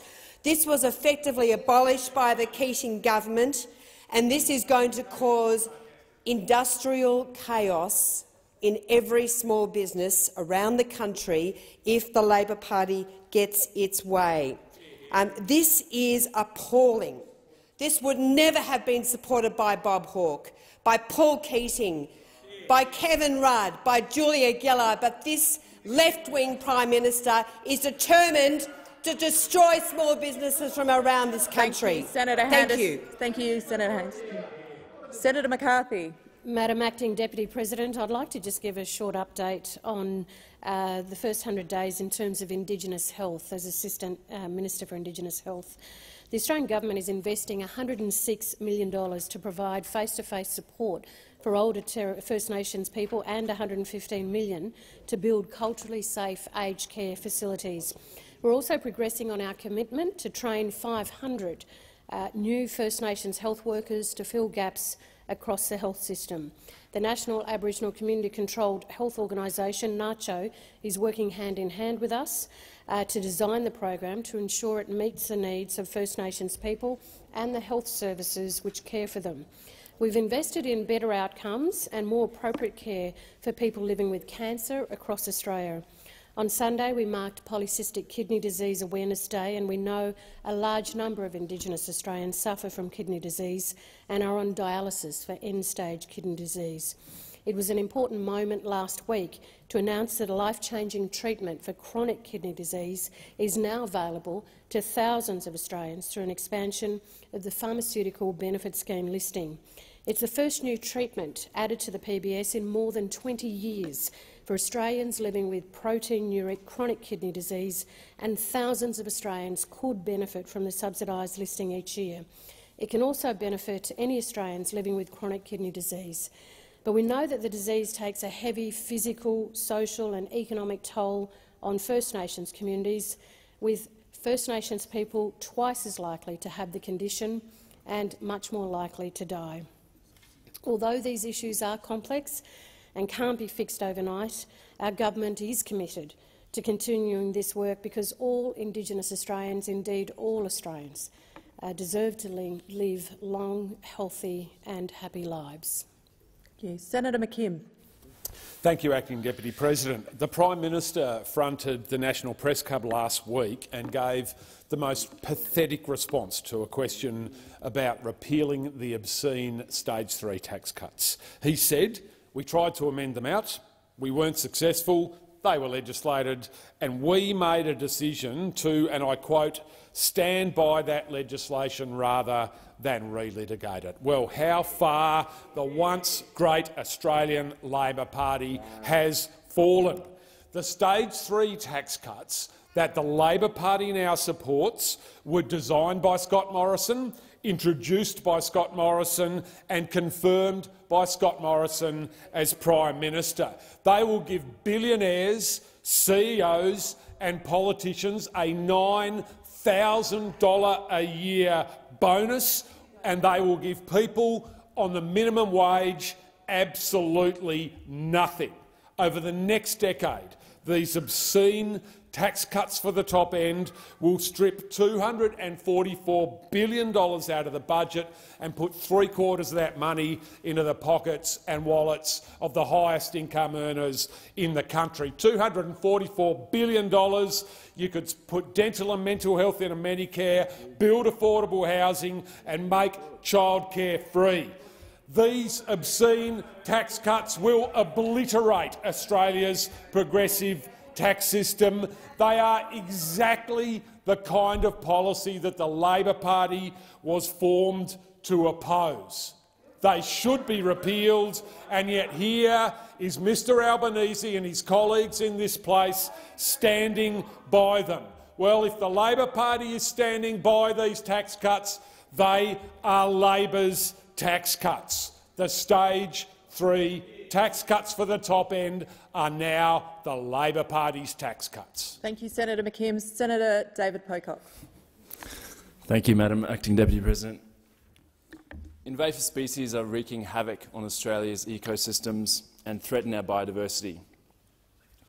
They are a huge cost not only to our biodiversity but to our farmers and our economy, costing at least $25 billion a year. We've let the destructive influence of invasive species into our country, and now we are dealing with the costs.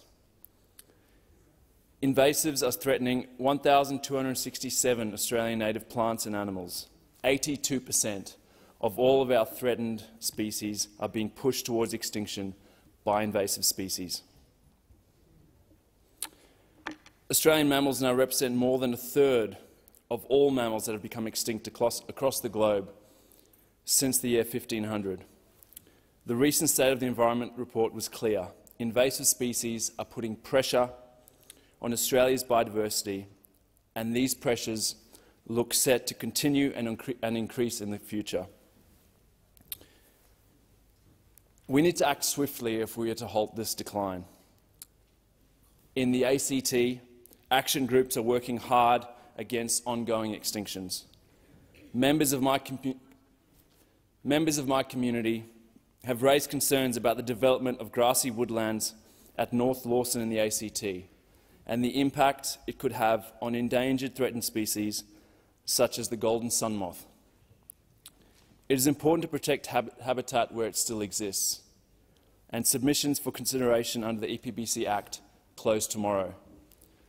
I look forward to helping ensure that our new environmental laws actually address the concerns of everyday Australians about the way that we are protecting and looking after our nat natural heritage. Thank you. Senator Hughes. Thank you, Madam Acting Deputy President. Well, last week I was fortunate enough to be in Israel, hosted by the wonderful organisation known as AIJAC. Uh, we spent time both in Jerusalem and in Tel Aviv. Uh, but what was potentially one of the most eye-opening parts of the trip that we did was a visit to Ramallah. And whilst in Ramallah, we met with the Palestinian Prime Minister, as well as being given a tour through what is referred to as a refugee camp, but is a settlement. These are permanent buildings.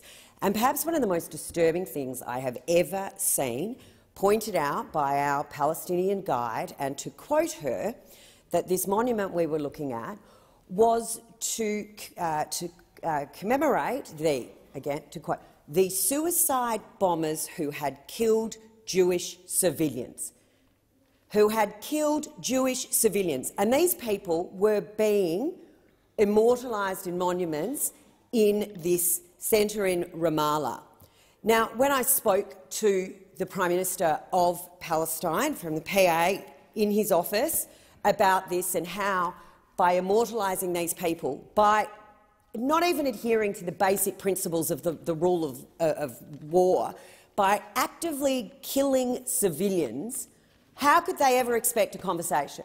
But the fact that the Palestinians have a policy that is colloquially known, and in fact even I think that's a bit more formal than that, as pay for slay. Pay for slay. If you kill a Jewish civilian and sent to jail, you receive circa 12,000 shekels per month. That is three to four times what the teacher, average teacher gets paid.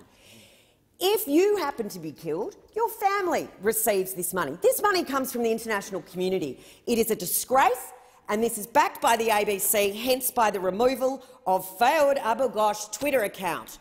Thank you, Senator Hughes. Senator Roberts. Yesterday, in questions without notice, I asked the minister representing the Minister for Health, excuse me, Senator Gallagher, about the availability of birth data. Her response included a statement to the effect that this information is available from the states. Senator Gallagher needs to be aware it used to be available.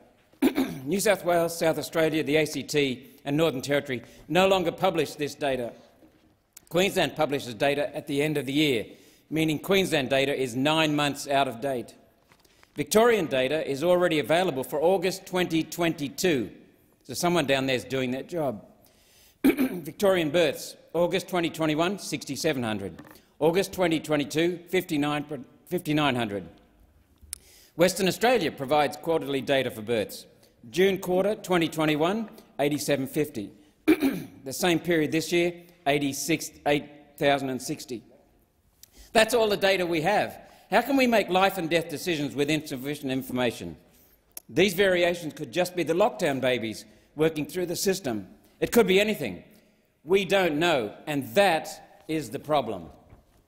When health policy has been as intrusive, expensive and controversial as LibLab's COVID response, wouldn't this data be compulsory viewing for decision makers? And yet the best the Commonwealth Bureau of Statistics can manage for births and cause of death is December 2020, 20 months behind. What are they hiding, as I asked? Provisional mortality is four months behind when Victoria can provide their data in five days. All the states use sophisticated reporting routines. The data delay is not with the states. I have submitted a document discovery for the latest data the ABS has on births, deaths and cause of mortality. As long as COVID is said to continue, this data should be provided monthly. One month behind, not two years and nine months behind. We have one flag, we are one community, we are one nation. Thank you. Thank you. Senator Steele-John. When the Albanese government granted the long-suffering Murugappan family from Biloela a permanent visa last month, I found myself cautiously hopeful that it might signal a shift in the way we treat refugees in this country. Well, how wrong I was. For many months, I have been advocating for the release of Ned Kelly, a 37-year-old Iranian refugee being held in detention in WA. Almost a decade ago, Ned sought our protection, fleeing Australia, um, uh, fleeing his home country of Iran uh, to Australia, uh, facing persecution and in great danger. Our response as a nation has been to lock him up and to throw away the key. Now, contrary to what the major parties might tell you, there is nothing illegal about Ned's actions. It is his right as a human being to seek asylum. It is our legal and moral obligation as a nation to provide it. In a letter in February, I wrote to former Home Affairs Minister Karen Andrews, pleading with her to provide the necessary supports to Ned, whose torture by our own hands have resulted in PTSD, in self-harm and in several suicide attempts. The minister did not respond to my letter, nor has the new government responded to my calls for Ned's release. Now, sadly, this is not a surprise. Despite their claims of compassion for asylum seekers, the Albanese government's uh, position is to support the deranged coalition uh, border policies that keep people like Ned uh, detained indefinitely. This is a national shame, and the Greens will push back against it until every single refugee in detention is free. Thank you, Senator Steele-John. Senator Reynolds. Uh, thank you very much, Madam Acting Deputy President. Uh, Western Australia is home to a vibrant and diverse African community, and every year we celebrate a year of all things African and Australian. Uh, this year, Africa Down Under, which is held annually in Perth, it was held, and it's the largest African mining event held outside of the African continent. Last week, the 21st conference was held after two years of COVID disruptions, and it was the best yet. I had the privilege of joining over 1,000 delegates uh, to hear from over 60 presenters and view 70 uh, exhibitions. In total, 355 international delegates participated from 14 African mining nations, including 15 government ministers as well as their heads of mission from Canberra. And as a Western Australian senator, I understand the strategic importance of the Indian Ocean Rim uh, nations, including, of course, those across Africa, not just in terms of their importance geostrategically, but also to the rich cultural uh, and social and economic uh, benefits we provide mutually. Pleasingly, this uh, year's program had a strong representation from companies developing projects in the battery and technology metals sector. And few here, and probably across Western Australia, know that there are more than 120 ASX-listed companies actively operating or developing over 222 projects across 32 African nations and 68% uh, of those are based in uh, Perth and more specifically in West Perth. These companies are involved in projects across 21 commodities and more than 40 of the projects are focused on gold, but there is considerable interest from Western Australian companies also investing in battery metals such as cobalt, copper, gra graphite, lithium and nickel. Congratulations to the amazing Bill Repard and the Paydirt Media team for another you, amazing Senator conference. Uh, Senator Sterle. Yes, thank you, uh, Deputy, Acting Deputy President. I, I, just want to rise and make a quick contribution. I don't know if anyone saw it last night, but the Four Corners show uh, on uh, Qantas. Now, I don't want to hear about all the bull dust and all the excuses about COVID. We know all that. The Qantas company is being driven into the ground by one of the worst boards, one of the worst CEOs, a person and led by people who were happy to illegally sack 2,000 under-the-wing workers to outsource their jobs. But it gets worse, uh, Madam, Deputy Madam Acting Deputy President. I have spoken with many Qantas cabin crew and as a lot of you interact with Qantas cabin crew, it's not hard to see how unhappy the workforce is. And they come to me because they know my background. And they know my background when Qantas tried to sue me for $94,000 for sticking up for transport workers. And they, man and woman to a T, can't wait to tell me of the shocking conditions that they face at Qantas. Because what a lot of you over there wouldn't know, that they're in, just in with the, uh, with the uh, cabin crew, there are no less than 10 industrial arrangements. 10. So talk about people mixing on the same planes on different agreements, labour hire, which is a scourge of the industrial arena scene, and there's no, if I had another three hours, I'll tell you what I really think about labour hire. But the undermining of conditions that were negotiated with unions, how do I know? Because I was on EBA Qantas EBA 3 and Qantas EBA 4 negotiating for the, for the uh, TW members in Perth. But they'd be standing alongside another man or a woman who can be working for some $60 less a shift. And then for some of the workers on some of those grubby labour hire agreements who do not even get paid, not, if they have to stay overnight, they'll get the transfer, they'll get their accommodation, they get nothing else. So I've got to tell you, you should watch Four Corners. It might uh, open your eyes. And Senator Alan Joyce is not time blind. has expired. Senator Rennick. Thank you, Madam President. I got into uh, politics to help people through good government, not judge them. However, there are some things that government should not be involved in, and that, that is especially so when it comes to parenting. If my children have issues with their sexual identity, my wife and I will deal that either by ourselves or with a properly trained psychologist outside of the classroom. The legal age of consent in this country is 16. There is no need to be discussing or promoting sexual orientation or identities in the classroom. I don't pay taxes for the government to fund the education system to be pushing indoctrination. And don't kid yourself, indoctrination does influence our children. Once you get to 18, you can do whatever you like. It's your business. But the government doesn't get to co-parent our children. That is solely the role of the parent. So I was surprised the other day when uh, you know I'm told that my son, who is is you know still uh, only just turned 10, can wear purple socks to school to show his support uh, for diversity. You know, and so as I had another constituent contact me who asked further questions about this, and he wants to to promote the point of this was to promote supportive, safe, empowering and inclusive environments for lesbian, gay, bisexual, trans and gender diverse, intersex, queer and questioning young Thank people. Thank you, Senator Rennick. The time for two-minute statements has expired. We're now going to move to question time. Senator McGrath.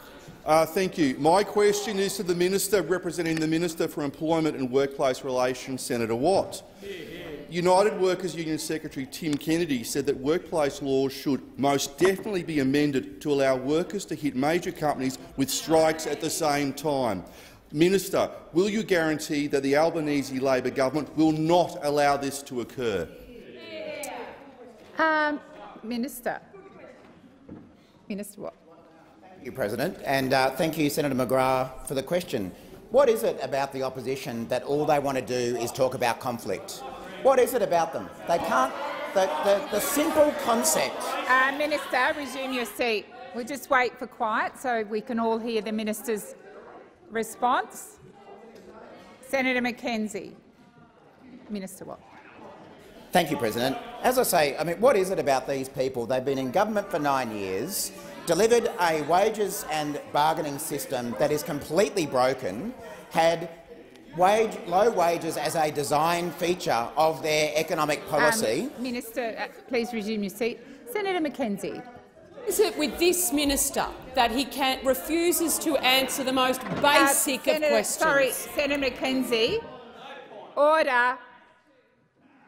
Order. May I remind senators, if you are seeking to make a point of order, you stand and you indicate to the Senate that you are making a point of order and that is not a point of order. Please continue. Minister Watt. Thank you, uh, President. It, it, really is a shame that after an election, after a Jobs and Skills Summit, which saw the country brought together by a new government, that the only group that doesn't want to accept that people want to cooperate is the opposition. I mean, we know what it's like to be in opposition. We were there for a few years. The approach we took was that you pick your fights. You actually look for constructive opportunities when you can. You pick your fights when you really have to. But this opposition, all they seem to do is whatever the idea, they're against it. They'd be against Order. the sun rising in the, in the east, they'd be against the sun setting in the west because they want to oppose everything that happens. Now, the opposition want to continue fighting, just like they did for nine years. They want to continue delivering lower productivity, lower wages through a conflict-driven IR system. But it's not just an IR system that they want to maintain the conflict. I was very interested uh, to see— Senator McGrath, please resume your seat. Uh, Senator Watt, sorry. Uh, Senator McGrath. Point of order, uh, mm -hmm. President, on, on relevance. The, the, question was, was very tightly uh, worded, and the, the minister has has come nowhere near answering the question. In fact, has gone anywhere near but answering the question. I'd ask you to get the minister to come back and answer the question, please. Uh, thank you, Senator McGrath. I would remind senators that uh, question time should be conducted in relative quiet. It has been very hard for me to hear Senator Watt, despite Senator Watt being able to project his voice. Um, but I'll remind Senator Watt of the question, and uh, you have 37 seconds left um, to answer the question. Thank you, Minister. Thank you, President. Uh, the government have made very clear that we will be consulting employers, unions and a range of other people as to how uh, this agreement will be implemented and deal with all of those issues. But again, I was very concerned to see some reports this morning in The Australian uh, that in response to COSBOA's comments about reaching an agreement on these matters, coalition backbenchers were, quote, out for blood on the issue. Now, we've heard a lot about thuggery and intimidation from the other side when it comes to industrial relations. Well, who are the thugs now? Who's doing the intimidating now? In fact, some coalition MPs argued that COSBOA had betrayed small business owners, likening Thank it you, to a Minister. snake. Your time That's has the kind of expired. behaviour. uh, Senator McGrath, first supplementary. Minister, can you guarantee that there will be no productivity losses caused by industry-wide bargaining and strike action? Uh, Minister. Thank, thank you, President. Senator McGrath, I don't know who's feeding you your questions, but you really should have a read of them before you ask them. I mean, you want to talk about lower productivity in this country. Who was responsible for lower productivity over the last nine years? You. It was the opposition that was responsible for that through a conflict-driven uh, IR system. Minister Watt, please resume your seat. Senator Payne, I would ask the Senate to listen quietly so that we can all hear the response from the minister. Order. Uh, minister. Thank you, President. It's, it's, actually good to know Senator Payne's still here. I hadn't heard much from her since the election, so it's good to good to hear from her. The, um, but we want to talk Um, about lower productivity. Minister, oh, you're back. You're back. You're back. Order.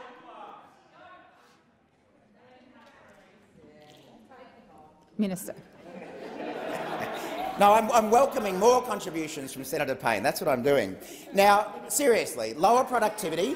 You want to talk about an IR system that delivers lower productivity? Have a look in the mirror. You had nine years of delivering lower productivity through an IR system that was all about conflict and not about agreement. That's what we're trying to fix. We're trying to fix an IR system that is riven by conflict, and you want to drag us back to a system with lower productivity and lower wages. That's why the Australian people voted against you, because they want Thank more you, agreement Minister. and less Your conflict. time has expired. Senator McGrath, second supplementary.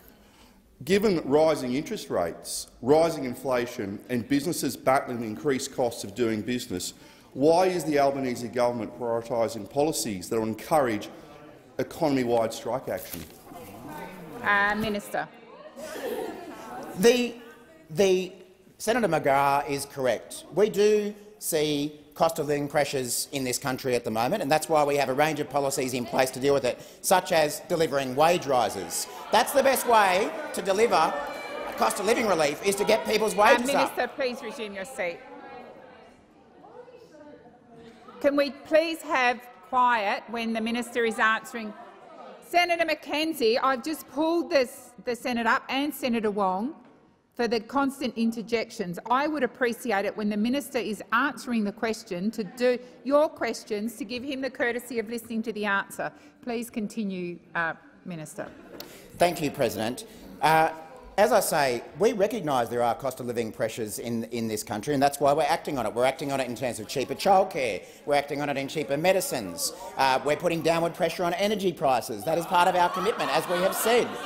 And more importantly, and more importantly, we are lifting wages at the same time. Which government supported a minimum wage rise? The Albanese Labor government. Who opposed it? The opposition. Which government supported a wage rise for aged care workers? The Albanese Labor government. Who opposed it? The opposition. That is how we're going to fix cost of living pressures, Order. not by dragging our IR system back to the past and then accusing people who have to, the right to stand up for it for Um, being out for blood. Minister, please resume your seat. Senator McGrath, these were your questions, and uh, don't answer back, thank you.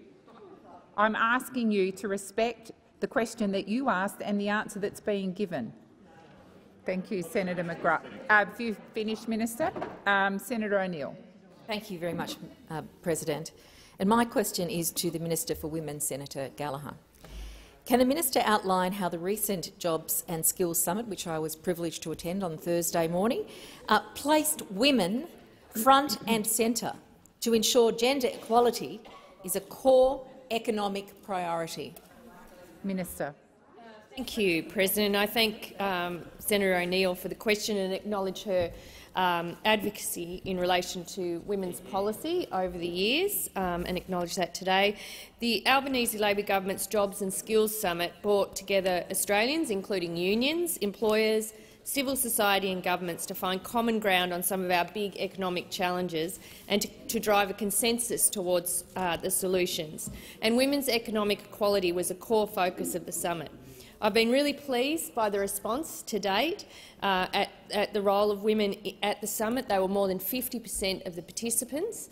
Uh, they led the panels, they led the debate. There were some amazing uh, speakers uh, that attended the summit, um, full of talent and, and, just amazing to witness uh, their contributions and the fact that they were centre stage and a key focus of it.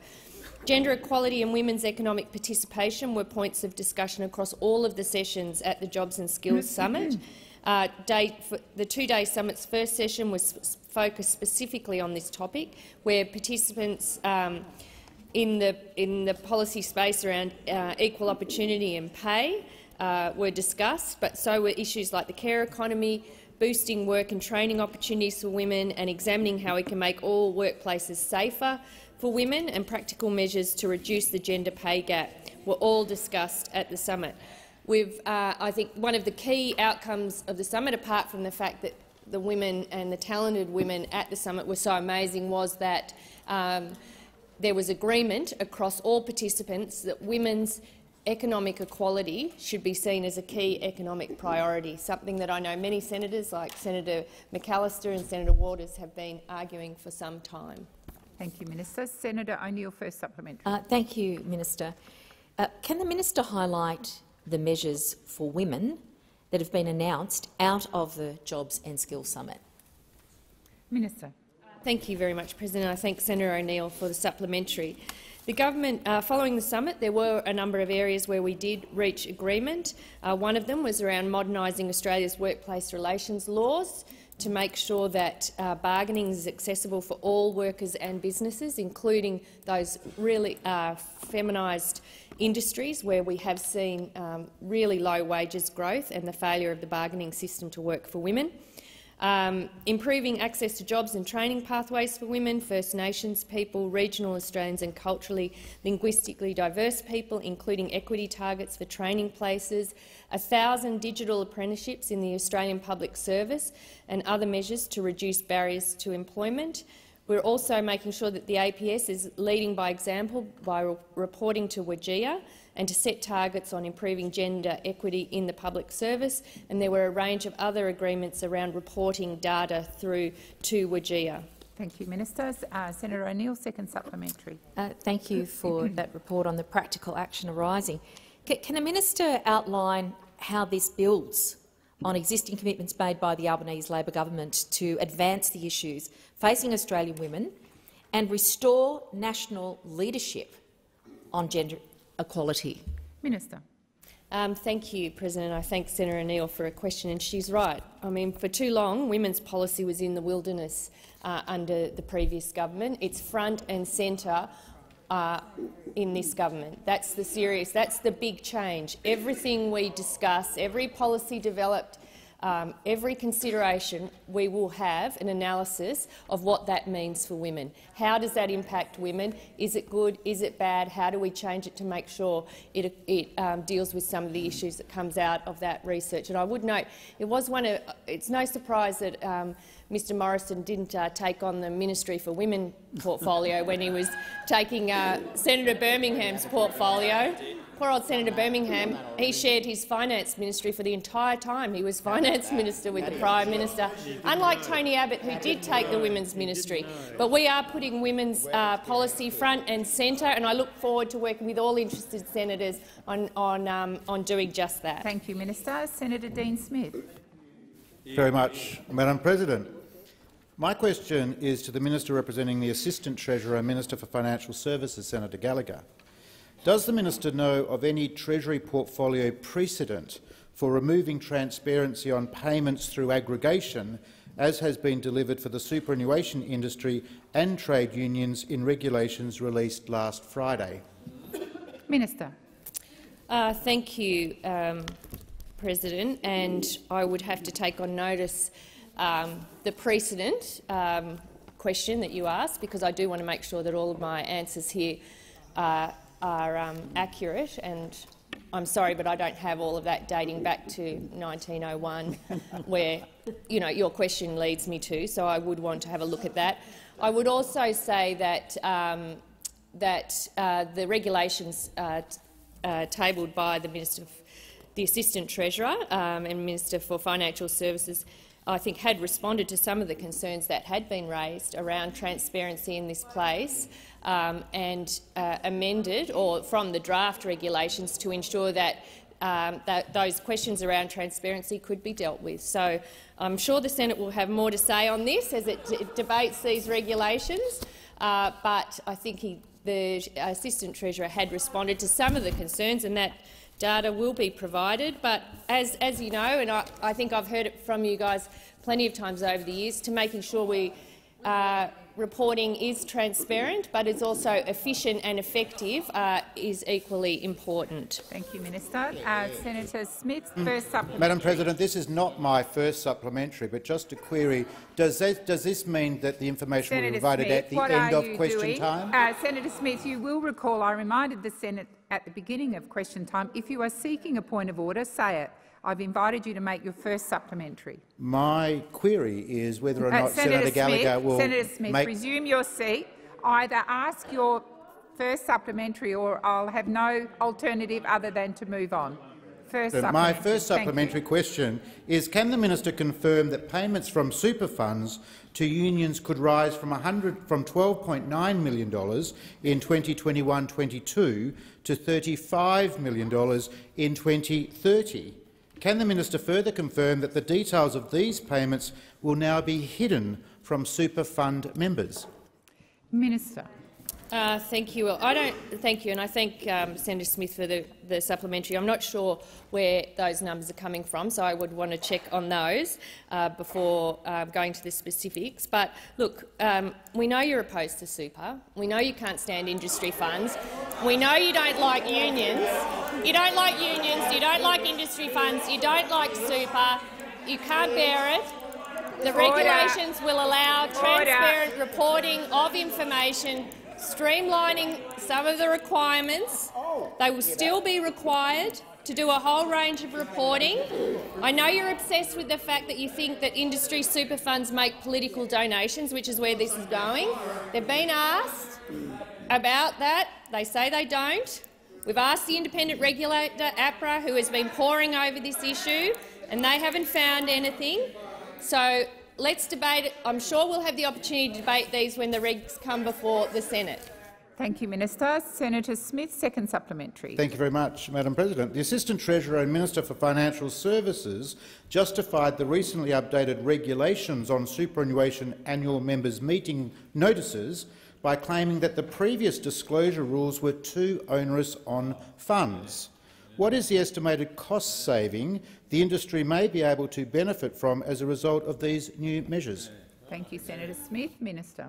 Thank you, Madam President. I will take that part of the question on notice as well, and I'll come back to the chamber uh, if I can find, provide further information.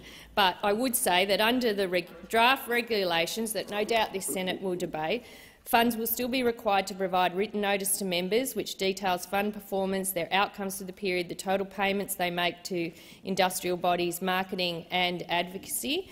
Um, and um, uh, if I can provide further information around this, notwithstanding the fact that we acknowledge the opposition are opposed to superannuation, really. If you were able to say it, you would. Senator Rennick just said it was evil. You just said it was evil. We know what you're on about. You're obsessed with industry funds. Minister, you're obsessed with super. Gallagher, you're obsessed Minister, with working people Minister, actually having a decent retirement. Um, Senator Scarr and Senator McGrath, I believe you were directing those comments directly at the minister, and I'd asked them to be withdrawn without repeating the offence. I withdraw. Thank you. Thank you. Uh, minister, have you finished? Uh, Senator Cox. Two, two weeks ago, the government opened up 47,000 square kilometres of Australia's oceans for gas and oil exploration. The science is overwhelmingly Sorry, clear. Senator Cox, I don't want to interrupt you, but the question is directed oh, to the question minister? is to Minister Farrell. Thank you. Please continue. yeah, can't help that one. Sorry, can't Order. help that one. Order. Um, to Minister Farrell, representing the Minister for Resources. Um, in order for us to avoid this climate disaster, we simply can't open up any new fossil fuel uh, or gas fields. What formula did the Minister for Resources apply in making the decision to ensure that the recent announcement didn't contravene the government's own 43 per cent emissions reduction target and Australia's commitments under the Paris Agreement? Thank you, Senator Cox. Minister Farrell. Uh, thank you, um, thank you, uh, Madam President, uh, and thank uh, the senator for the um, uh, the question. And uh, I'd start by prefacing my comments that um, Senator King has been doing a sorry, Minister King has been doing a terrific job in this space since she she came into the into the portfolio. Um, very fine, very fine job. the Albanese, if you if you let me, with with respect, uh, Senator, if you'd let me uh, finish uh, my uh, my answer. Um, the order, as, as, distinct from the now opposition, the uh, Albanese government went to the last election uh, with a commitment that we would introduce. Um, um, Minister, please resume your seat. Sorry? Uh, Senator Cox. question was quite direct. What formula did the minister apply in her decision-making um, in this recent amount, announcement about ocean acreage? And you're raising a point of order? Yes. Senator On relevance, Cox. yes. Yeah. Um, Senator Cox, I'll just draw your uh, sorry, Minister, I'll just draw your um, attention back to the question um, put by Senator Cox. Thank you. Thank you. Um, the no, that'll be later. Senator. Um, the, uh, the Albanese government went to the last election with a commitment to uh, uh, reduce um, emissions by 43 per cent uh, uh, by 2030, Order. and that's that's what we're going to do. That's that's the commitment we made to the Australian people. Uh, that's the commitment we will deliver on, and in a very short space of time, you're going to get a chance to vote on that very commitment. Now, in the meantime, in the meantime, uh, in the meantime, um, we need to transition from the current position that uh, we find ourselves in to that 43 per cent reduction. Uh, and the way in which we're going to do that um, Thank you, Minister. The oh. time has expired. Senator Cox, first supplementary. Considering order. Senator Cox. Considering we didn't get an answer to that one, uh, can the minister provide a time frame in which the government will sign and implement the global methane pledge for a transition out of fossil fuels into a cleaner, greener energy future? Minister Farrell. Um, thank you, uh, uh, Madam uh, President, and uh, thank the senator for her uh, her, her, question. Um, the, uh, the, the, the minister, Senator Minister King, has of course been dealing with with all of these issues. Um, they are important issues. They're they're difficult issues. Um, they are issues. Well, we we took we took a series of commitments. We took a series. We took. We took. Order. We, Order. Senator Wong. Minister, please continue. Thank you, uh, uh, Madam President. We took a series of commitments to the last election, and we were elected as the government of this uh, of this country. Uh, one of those commitments was the 43 uh, per cent uh, emission reduction target by 2030 and the zero emission target by— Thank you, Minister. Your time has expired. Senator Cox, second supplementary. Let's try a different tack, shall we? I don't know, Deb, are you asking the question? Order. When will Minister Stavaro, when will this government listen to the voices of First Nations people who have not provided free, prior and informed consent to the destruction of their cultural heritage and continue to see disrespect for their self-governance and determination of economic development relating to resources projects on their country? Go on. Uh, Minister Farrell. Uh, thank you, uh, President, and thank uh, the uh, senator for her, uh, her question. Um, there is no government in this uh, country's history that's got a greater commitment uh, to dealing with the uh, issue of Indigenous uh, disadvantage than the Albanese uh, Labor government. Uh, we, we, intend, we intend to deliver on all of the promises that we made to Indigenous, Indigenous Australians in the lead up to the last election, and that, of course, includes a referendum on the uh, on the voice for the, Um, for the first. uh, Minister, please resume your seat. Uh, Senator Thorpe. Point of order, President. Relevance. The question was on free, prior and informed consent. We don't want to hear about Uh, their thank you, flag Senator- waving for black uh, we want to know how they got Senator consent. Senator Thorpe, resume your seat, and I do remind you and other senators when you put a point of order, it is about the question. It is short and sharp, and it does not include any additional comments such as those that you made. The minister is being relevant. Please continue, Minister Farrell.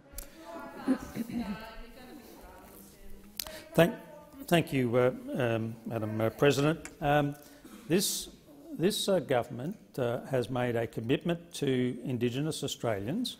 Uh, that commitment uh, includes, includes, amongst other things, uh, a referendum uh, on the voice, giving Indigenous Australians a voice uh, in, the, uh, in, this, uh, in this parliament. Uh, that is what we Thank you. Minister. The time has expired. Uh, Senator Grogan. Uh, my question is to the Minister representing the Minister for Climate Change and Energy, Senator Wong. Uh, can the minister outline to the Senate the importance of ending the climate wars and legislating a target on climate change? Minister. Thank you, uh, President, and thank you to Senator Grogan and for your advocacy as well on climate and other progressive issues over many years. And those on this side of the chamber understand that action on climate change isn't just good for the future of the country, it isn't just necessary uh, because of the situation we see around the globe, it's also good for our economy. It's good for Australian jobs. That's what it's good for. I know this is difficult for those opposite to understand. After nine years of uh, the climate wars being a centrepiece of your political project, it is hard for you to understand that there is actually a way forward that is about jobs and about uh, dealing with, the, with, with climate. Uh, the Senator- legislation. Minister, please resume your seat. Uh, Senator Ruston. Ma Madam President, I was just seeking some advice from you as to whether this question was in order. Is this a point of order? No, I'm actually seeking some advice from you uh, in relation to whether this uh, question is in order given the matter that is currently before debate in this chamber in government business. Oh, thank you, Senator Ruston. I'll seek some advice.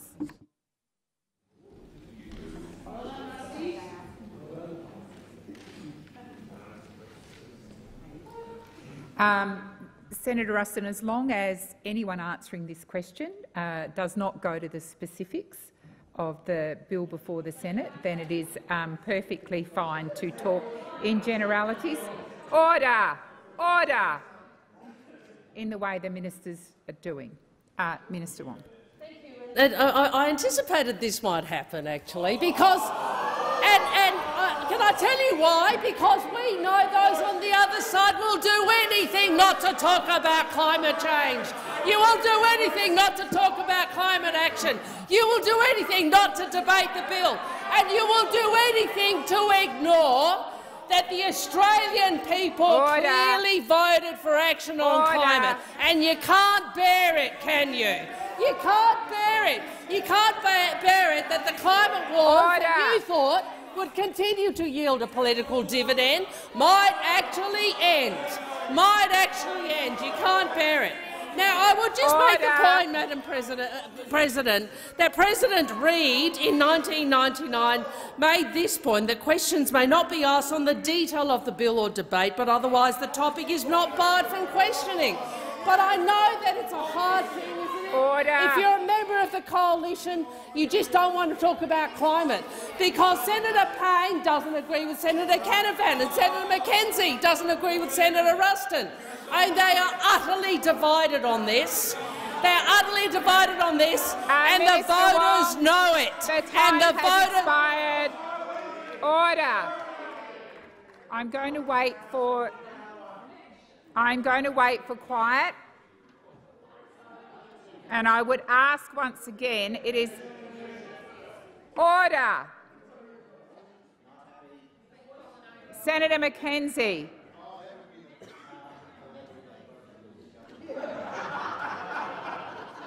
Uh, Senator Grogan, first supplementary.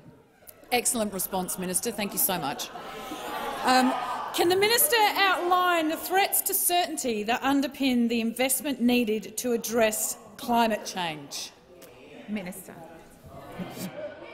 I thank the senator for a question. And, you know, it's really interesting, isn't it, that the party that believes they're the party of business, yeah, right. the party that believes they're the party of investment, well, they're actually more like the old Soviet Union.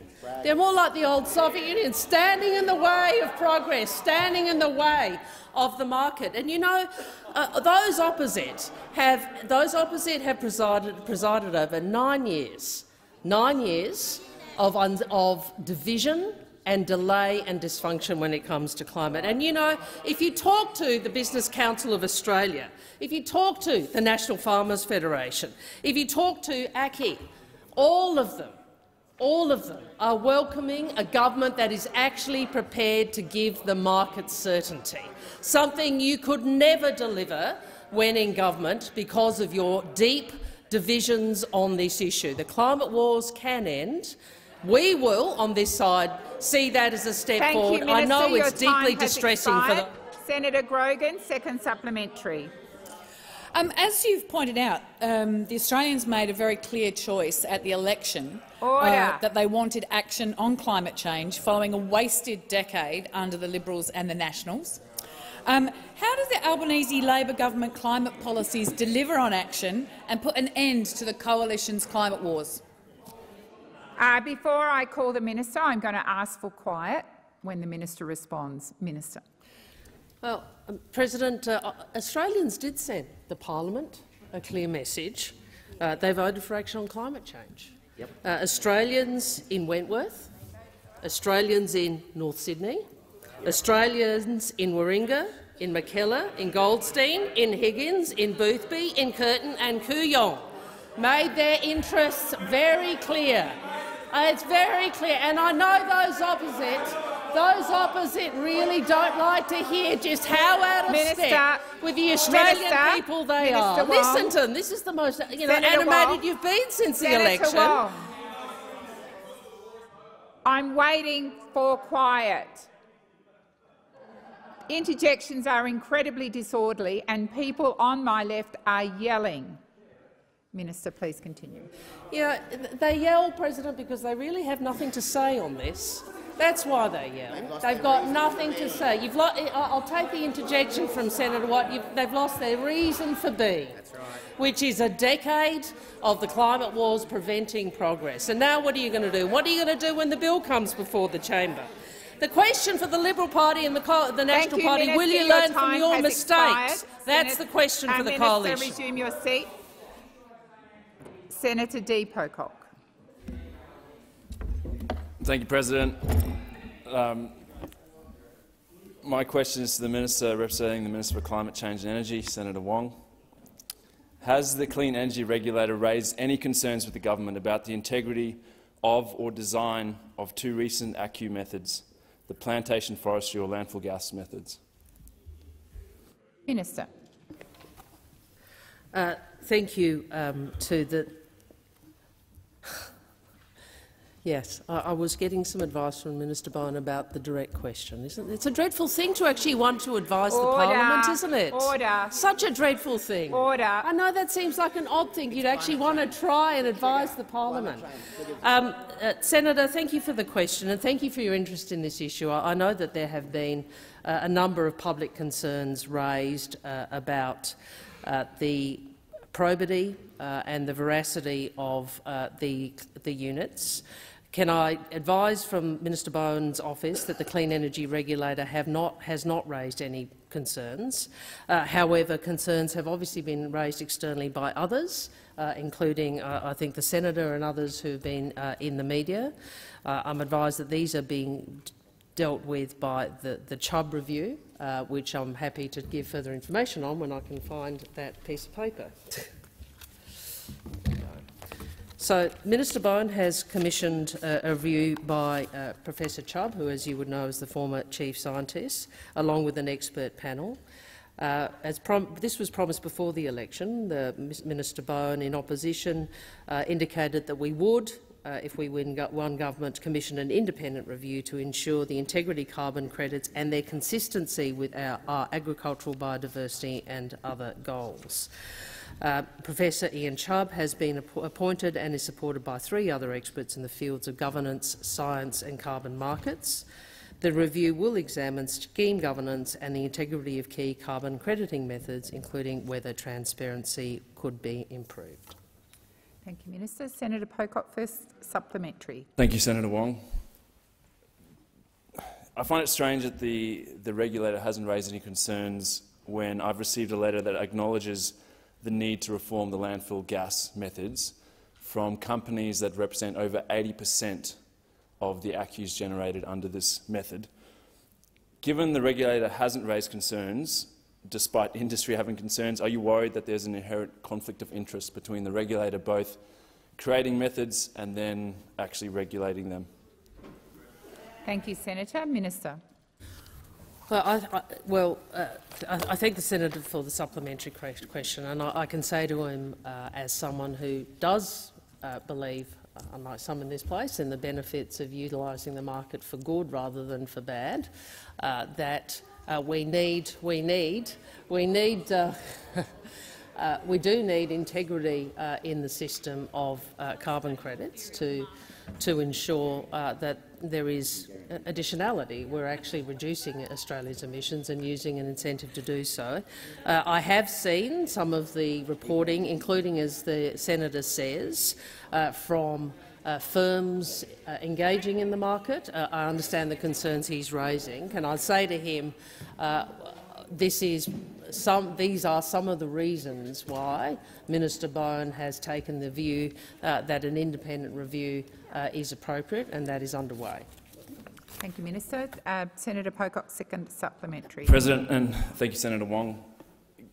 As you pointed out, given the need for transparency and accountability and ultimately integrity in our carbon markets, will the government commit to including a review of the regulator as a function of the Chubb review? Minister.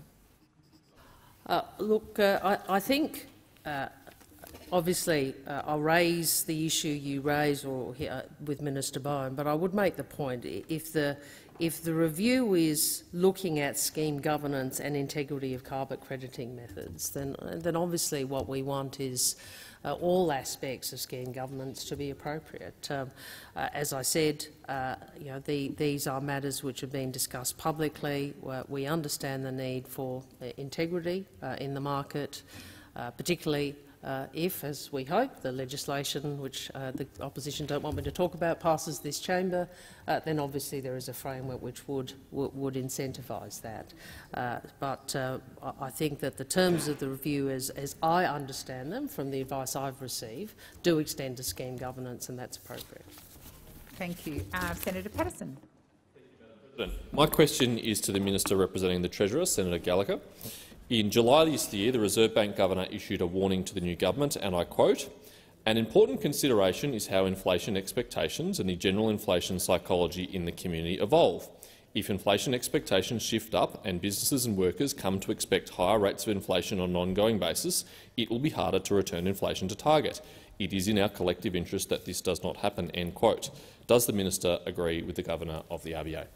Thank you, Senator Paterson. Minister Gallagher. Uh, thank you. And yes, I do agree with the governor um, on those comments, but I also would draw Senator Paterson's attention uh, to the comments that the governor has been making for some time about wages growth essentially being a handbrake on the economy and, and advocating for sustainable and sensible wages growth, which we haven't seen now for a decade uh, and that is a problem in the economy. So, yes, uh, the governor is right to, to raise the concerns around having wages rise exponentially, you know, and out of control. But that is not what we're seeing in this country. We're not seeing inflation, and the problems with inflation are not being driven by wages because wages haven't been moving anywhere because they were a deliberate design feature of those opposite to keep them suppressed and at best stagnant.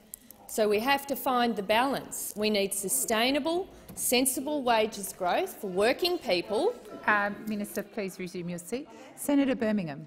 President, point, point of order on, uh, on direct relevance. The, uh, the quote from the RBA governor that Senator Paterson read order. had no reference to wages growth, which has been the dominant feature of everything the minister's been going on about for close to a minute now in, uh, in her time uh, that, uh, that uh, the question and the quote relate specifically to broader inflationary impacts and expectations across the economy. Uh, thank you, Senator Birmingham. I, like you, have been listening closely to the minister, and I believe that she is being directly relevant to the question, and I invite her to continue. Uh, thank you, Madam Pres uh, President. Sorry, drop the madam. Um, I, I, believed I answered the question. Sorry, I, am happy to deal with it in the supplementary, but I think I have been directly relevant, and I think that goes to some of the challenges facing the economy at the moment, which the the RBA uh, bank is dealing with on the monetary side, and we are dealing with uh, on the fiscal side, is getting that balance right, making sure that we're um, not adding to inflationary pressures, but also making sure that working people are getting a bit of a crack at it and getting some suitable compensation to deal with those increasing costs of living that they're experiencing from uh, um, in rising inflation. And I would say the announcement that been uh, made by the RBA today will add to some of those pressures on households and the challenges for the, the bank and for the government to work hand in hand to make sure we're doing what we can to ease those pressures on people. Thank you, Minister. Uh, Senator Paterson, first supplementary. Thank you, Madam President. I thank the Minister for her answer to my primary question and her agreement with the RBA Governor that we should not add to inflation expectations. But only eight days after the Governor issued this warning, the Assistant Treasurer said prices for goods could go up, quote, 10, 15 or 20 per cent, and went on to predict hyperinflation and strikes. He later predicted a very rocky 12 months for the Australian economy. Given the Assistant Treasurer's language and his position adds significantly to the market's inflationary expectations, has the Treasurer, the Minister for Finance, the Prime Minister counselled the Assistant Treasurer on the impact of his comments on inflation expectations? Thank you, Senator Paterson. Uh, Minister Gallagher. Oh, well, I'm going to I'm, I'm going to take a bit of a punt on the fact that um, that um, Senator Paterson is quoting selectively and has crafted um, that question himself. Um, the government's expectations for um, inflation are outlined in the Treasurer's statement that he made in July. Um, that is that we would see inflation peak at seven and three quarter per cent in uh, the December quarter. Uh, that is the government's position on inflation, and I think it aligns with the RBA's. Uh, Senator Paterson, second supplementary. Uh, thank you, Madam President, and I welcome the uh, Finance Minister clarifying the Assistant Treasurer doesn't speak for the government on inflation. Uh, today, the Reserve Bank has raised interest rates uh, by 50 basis points, again the fourth rate rise now under this government. The RBA is having to lift interest rates to address skyrocketing inflation. Why is the Treasurer and his colleagues continuing to ignore the RBA Governor's warning, the Assistant Treasurer, and predicting hyperinflation and economic tumult? Thank you, Senator Paterson. Minister Gallagher. Thank you. Well, honestly, the nerve of these uh, questions, it really is staggering. We inherited an economy with rising inflation and rising interest rates. Just let's not forget this. As a result of nine years of you guys with wasted opportunities and wrong or failed priorities, 22 Order. energy policies, a gas and energy crisis that we also inherited, a skills crisis that we also inherited, terminating measures that just drop off into the ether, a budget in a mess we also inherited. We are dealing with the realities of what happens when you have a Prime Minister with 10 portfolios or more because he didn't trust any of you. Um, Minister, he didn't trust any of you. Minister, Minister. And we're dealing with a mess. Resume your seat. Uh, Senator Birmingham, I've got a senator from your team on his feet. Presumably with the point of order, Senator Paterson. You have correctly anticipated, uh, Madam President, on relevance. Uh, the question was about the Assistant Treasurer disregarding the advice of the RBA Governor about inflation expectations, not the other matters Senator Gallagher was going to. Uh, thank you, Senator, Senator Paterson. The question was in part about that, but it was also about um, the Reserve Bank increasing interest rates today, skyrocketing inflation and a number of other things. So I do believe that the minister is being relevant. Minister, please continue. Thank you. Um, thank you, President. And uh, yes, you're, you're right. In your ruling, the, the preamble was accusatory and ignored the fact that nine years of this mob had left the economy and the budget in a complete shambles, and nobody you, in the Minister. government Your is disagreeing has with the. Senator Tyrrell. Uh, Senator Tyrrell. Oh, apologies. We were having a meeting. I apologise, President. Thank you. Um, my question is for the Minister representing the Prime Minister, Senator Wong. Minister, let's talk about the Australian Future Leaders Foundation. It's a foundation with no website. It appears to have no office, no staff and no previous record. When the grant was approved, there was no competitive process. A merits review wasn't done. Despite all that, the previous government promised the foundation $18 million to set it up and 4 million a year to run it. The Governor-General might think it's a great idea, but with all due respect, Minister, there's no detail, let alone transparency. Where does your government stand on continuing the support for the foundation? Thank you, Senator Tyrrell. Minister Wong.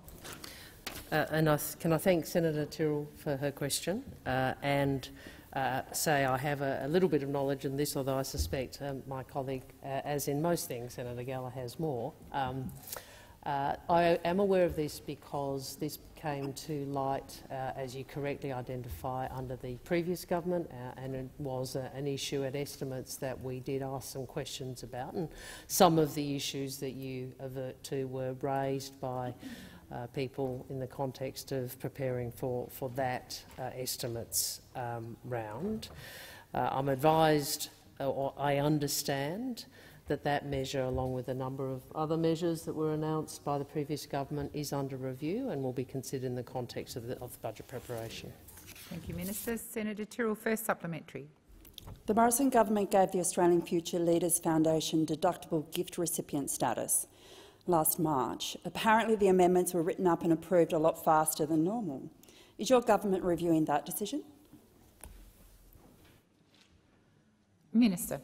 I can seek further advice on that, Senator Tyrrell, but I would anticipate that that would uh, you know, uh, be relevant to the review in the context of the budget, as I've described.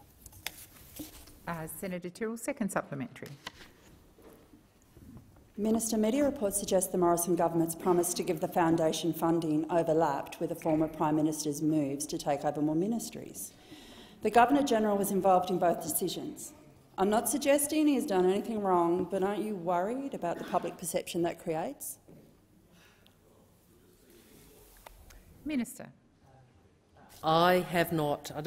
I am not advised, nor am I aware of how the, those decisions correlate or don't correlate with some of the media reporting of the uh, swearing in of Mr Morrison to a number of other portfolios, which has subsequently come to light. So I'm not in a position to sort of give you an answer on that.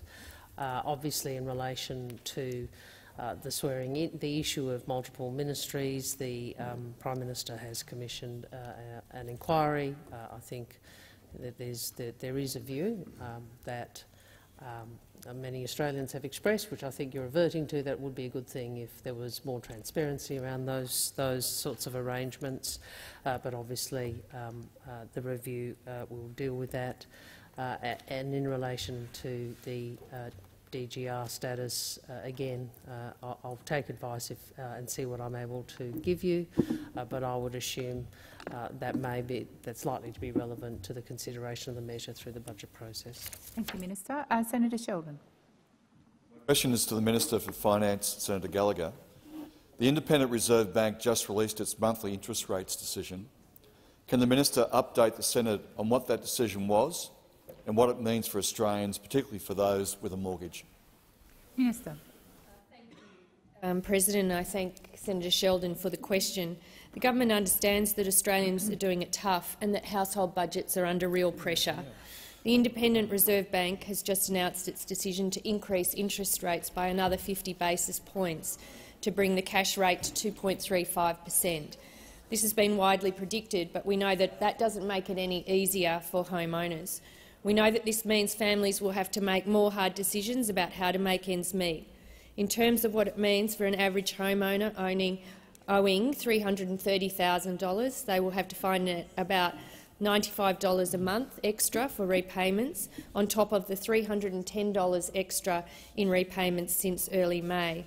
For Australians with a typical $500,000 mortgage, it's about an extra $145 a month, in addition to the extra $475 they've had to find since early May. We know that interest rate rises means families have to make those hard decisions about how to make ends meet.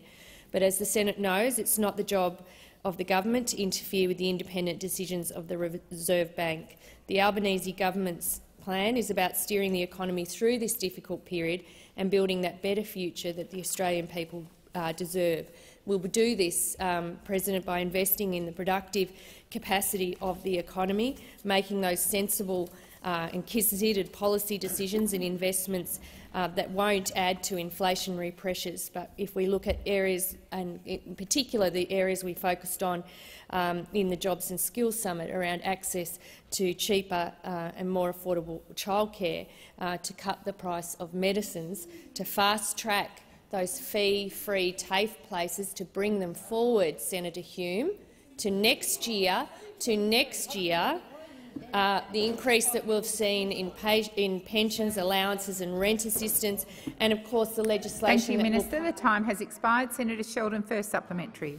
Can the minister explain what the government is doing to assist Australians with current cost of living pressures that have built up over a number of many years? Minister um, President, and since we formed government, we've hit the ground running, yeah, yeah. implementing our policies that were um, we outlined in the election campaign to respond to the cost of living crisis that we inherited from you lot, those opposite. We can't solve 10 years of neglect and wasted opportunities overnight. We have to start by acknowledging that, but it is our job to do what we responsibly can to help Australians deal with these pressures in the short term and build a more resilient economy that is better able to withstand future shocks. That's why we're making childcare cheaper through our $5 billion investment in the October budget. It's why we're making medicines cheaper. It's why we argued for a minimum wage increase and why we're starting to get the work going on, get mo wages moving again. It's why we're lifting the speed limit on the economy with more investment in TAFE, more investment in cheaper and cleaner energy. Do you like that? Cl cheaper and cleaner Thank energy. You, Minister. Your time has expired. Senator Sheldon, second supplementary. Uh, sorry, Senator. Yes, Order. Order. Thank you, Senator Sheldon. Second supplementary. Can the minister outline the importance of having a clear plan that will grow the economy and how that will help Australians through these challenging times? Thank you. Minister.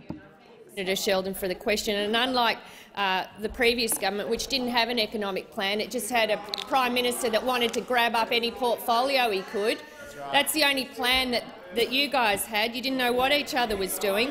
Our economic plan is a deliberate and direct response to the economic circumstances that were Minister, left by those Minister, opposite. You hate hearing Minister, about it, don't you? Because you know it's true. Order. Order. The minister needs to be heard in silence. Thank you. Minister, please continue. Thank you, President. We inherited an economy characterised with high and rising inflation, flat and falling real wages and a productivity paralysis. That is your record.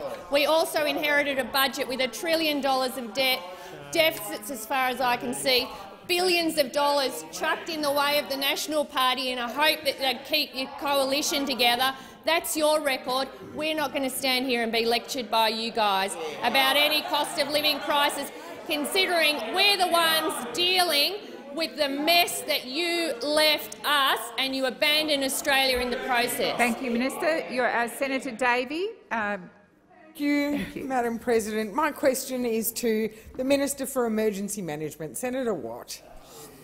Minister, uh, as you're very well aware, the Liberals and Nationals in government made a commitment to the residents of Lismore uh, that the entire 150 million allocation from the 22 to 23 Emergency Response Fund would be directed to Lismore for its rebuilding and flood mitigation efforts.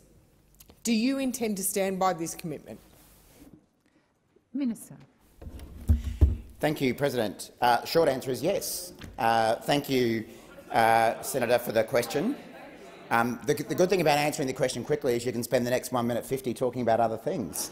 Um, well, relate, related things. Related things. Order. Um, but Senator Davey, I know that you have a genuine interest in um, the people of Lismore and the Northern Rivers. I think you've been there since your appointment as the shadow minister, as have I, uh, and, and most recently Senator Sheldon, the new uh, special envoy for disaster recovery appointed by the, uh, the Prime Minister uh, to ensure that uh, communities who are experiencing disasters uh, recovery are getting the support that they need. In fact, Senator Sheldon was in Lismore just last week, on Friday I believe it was, announcing additional support for the Northern Rivers in the form of around $50 million to support commercial landlords uh, uh, with grants the importance of that, as Senator Sheldon so eloquently put in the press conference that he, he undertook in Lismore, uh, is that there are many small businesses who are located in commercial premises who, and those small businesses are not able to reopen yet because the commercial landlords have not been able to afford to repair their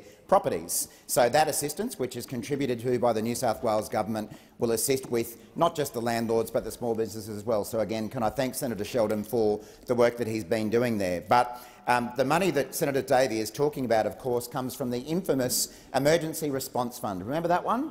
The Emergency Response Fund that the government set up over three years ago with $4 billion in it uh, that accrued the, the former government over $800 million in interest, did not build a single disaster mitigation project, did not spend a cent on disaster recovery. It took the devastating floods we saw in the Northern Rivers and Queensland for any announcements to be made. And which government is going to deliver on them? The Albanese Labor government. Uh, Senator Davey, first supplementary. Yes, well, thank you, Minister. Um, the uh, and I'm, I'm, i always appreciate a, a, quick answer, and I appreciate you being so succinct. So yes, Lismore, you get $150 million in this financial year. So the Prime Minister recently announced $75 million of funding from the Emergency Response Fund to be spread across 62 local government areas in New South Wales. Can you confirm that this money is from the 2021 to 22 pool? Uh, Minister. Nice short answer. Yes, I can. Um, the, so just to, just to assist Senator Davey, the previous question was about the allocation of $150 million from the unused emergency response fund for 22-23, and that money will be used for the Northern Rivers, not just Lismore, but for the Northern Rivers. Uh, the money that you're talking about there, uh, the $75 million, came from the 2021-22 allocation from the Emergency Response Fund. And as Senator McKenzie would know, because I think she was involved in making the announcement as the then minister, um, the remaining $75 million from the 21-22 allocation uh, will be spent in Queensland, assisting them recover from their floods. So it's $150 million for each of those two financial years. The first of those two years is being split between Queensland and New South Wales, and that will be spent in New South Wales across the whole state because, of course, there were other areas that experienced floods too. Thank you, Minister. Senator Davey, second supplementary. So, thank you very much. As I now understand it, you have just confirmed that the amount announcement made by the Prime Minister um, at the Bush Summit claiming 75 million was new money for the people of Lismore was in fact the same money as announced by the Liberals and Nationals in government in March this year, re-announced by yourself in June this year, and now announced for a third time by the Prime Minister.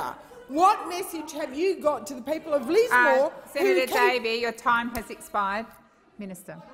The Order. message. Thank you. Order. Thank you, President. Thank you, President. Minister, The, please resume your seat. Uh, let's just give the minister a chance to answer before we start the disorderly interjections. Minister. The message, Senator Davey, that I have for the people of Lismore is that they finally have a federal government who will actually deliver to them. They will have it. They have a government that shows up. Unlike the former government, certain people from our opposition, as it was at the time, were in Lismore shortly after the floods, uh, and we will deliver. Now, the, I, I, I, do need to just correct one thing I said before. This, the funding that Senator Sheldon announced was $30 million for commercial landlords as opposed to 50 so just to correct the record there. Uh, there's so much support that we're putting in, and it's sometimes hard to remember exactly how much. There's so much money being put in, which, which is very much deserved. The, the announcement the Prime Minister made in Griffith the other day uh, was to announce how the money would be spent. So we have worked with the New South Wales government collaboratively, something that the previous Liberal and National federal government was unable to do with the Liberal and National government, and we're now getting you, on Minister with delivering White, the money. Your time has expired. Senator White. Uh, my question is to the Minister for Agriculture, Fisheries and Forestry, Senator Watt. What are the latest figures from ABARES on the value of uh, Australia's agricultural production and exports? Minister. Thank you, Senator White, and I'm really looking forward to seeing your sterling performances on the uh, Rural and Regional Affairs and Transport Committee, which I know you will do so well.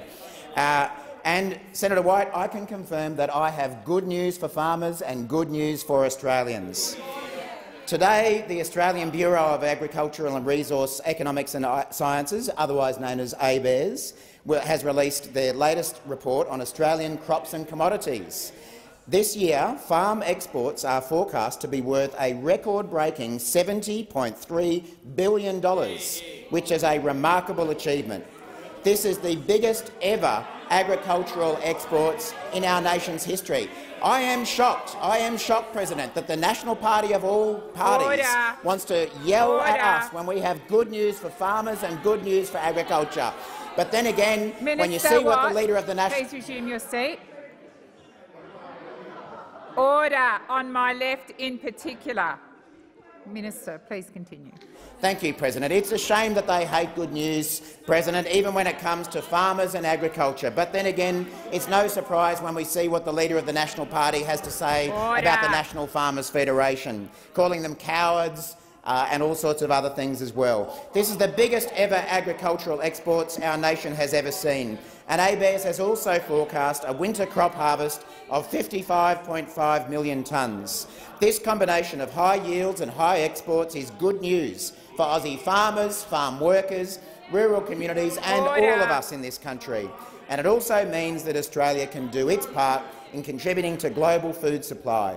Over this side of the chamber, we like good news, especially when it comes to agriculture and our farmers. It's unfortunate that we're not joined on the other side. We know that trade and exports make all the difference in times of stress and food scarcity, and I couldn't be prouder to see Australia more than pulling its weight. And I congratulate all the farmers and all the farm workers who've worked so hard to deliver these fantastic results. It's happening in all sorts of sectors. Uh, we know Thank the you, industry Minister. has its challenges. Uh, Senator White, first supplementary. What fantastic news, Senator Watt. What is the uh, Albanese lo- government uh, doing to support the agriculture industry reach its goal of $100 billion by 2030? Minister.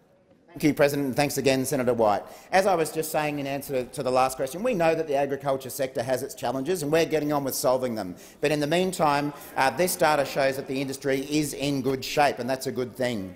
In terms of the, the supplementary question, we are in lockstep with the agriculture sector's ambition to become a $100 billion industry by 2030. And we're not doing that uh, we are doing this uh, by working with all players in the industry, not dividing them and not fighting against them.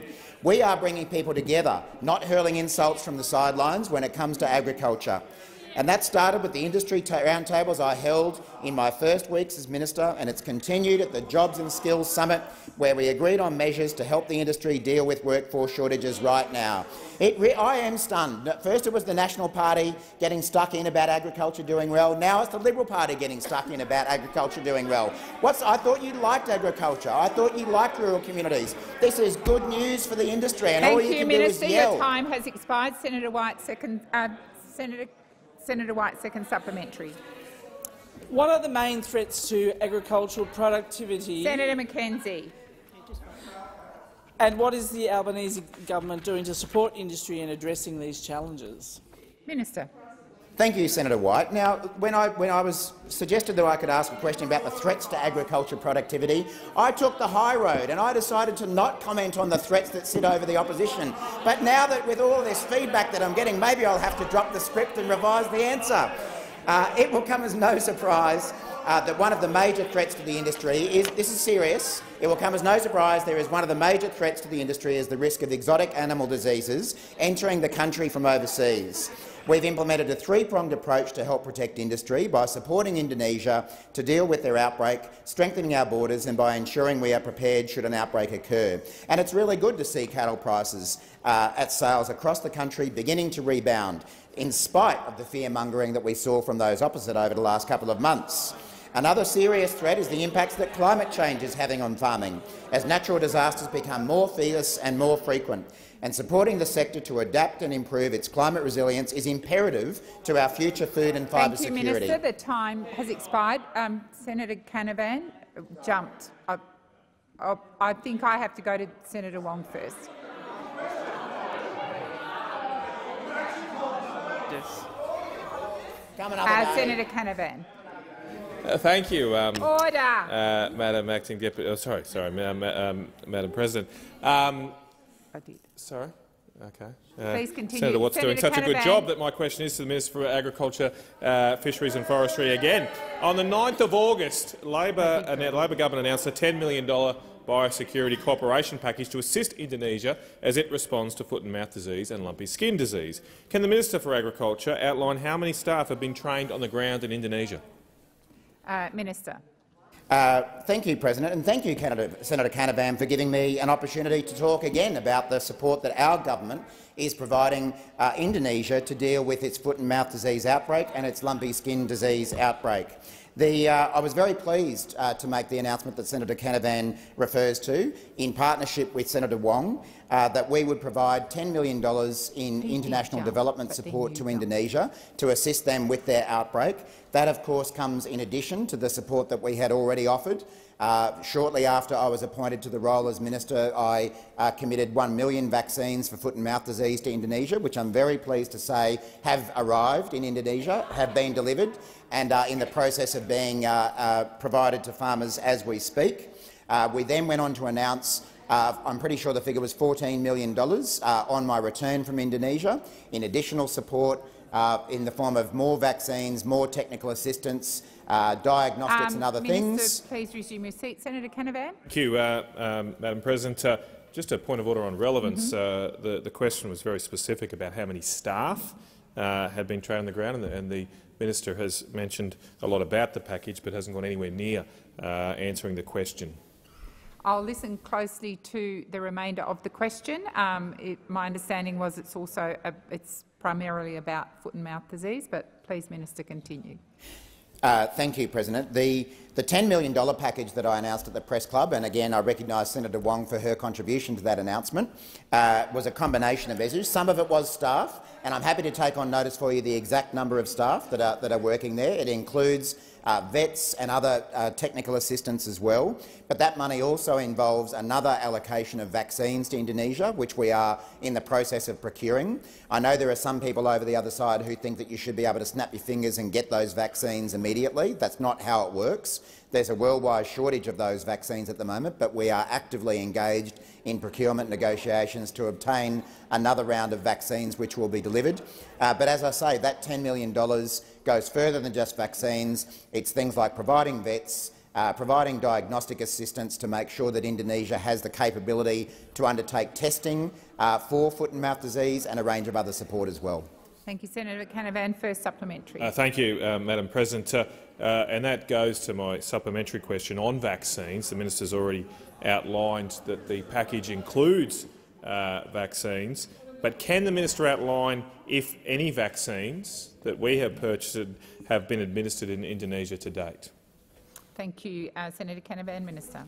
Uh, thank you, President, thank you, Senator Canavan. Just before answering the supplementary question, uh, I should also point out that the support that we're providing to Indonesia in the sense of personnel is also provided remotely. Um, so there will be and, uh, and will be additional Australian staff on the ground in Indonesia, but some of that support is already being provided remotely back here from Australia as well.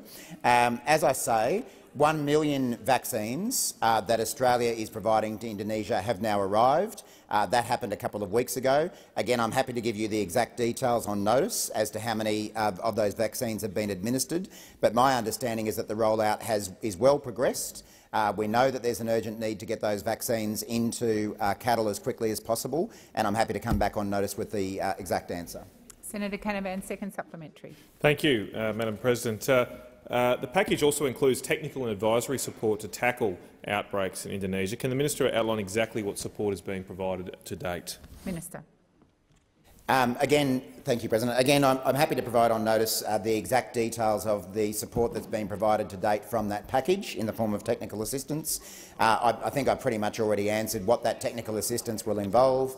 It's a mixture of veterinary assistance, um, diagnostics assistance to help with testing capability, uh, the manufacturing of vaccines, because of course Indonesia have said that they want to manufacture their, their vaccines domestically. But again, I'll come back with the exact details on notice.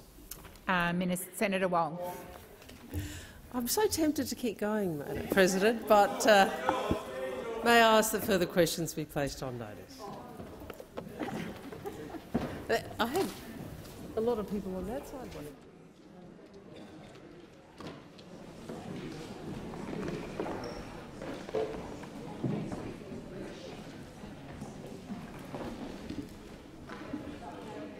Senator Chandler. The Senate take note of the uh, answer provided by Senator Gallagher to the question asked by Senator Paterson during question time. Thank you, Mr Deputy President.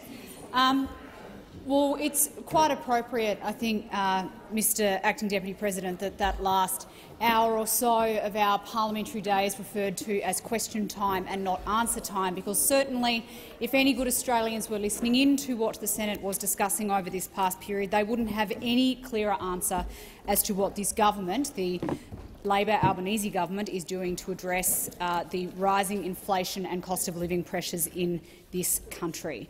We know that Australian households are feeling the pinch when it comes to the spiralling cost of living expenses and record high inflation. And I note, uh, Mr Deputy President, that inflation under the Albanese government is running at 6.1 per cent as of uh, the June 2022 quarter. This is the highest rate of inflation in almost uh, 32 years since the December quarter in 1990. Uh, I was about six months old when inflation was last that high, Mr, Acting, uh, Mr Deputy President. Uh, and I certainly uh, expect that many people um, of my age and in my generation will uh, not have really understood or, or uh, experienced the pressures uh, resulting out of inflation this high in their lifetime. Over the last few months, we've also seen the price of household goods skyrocket, uh, increased cost of services and rising building costs.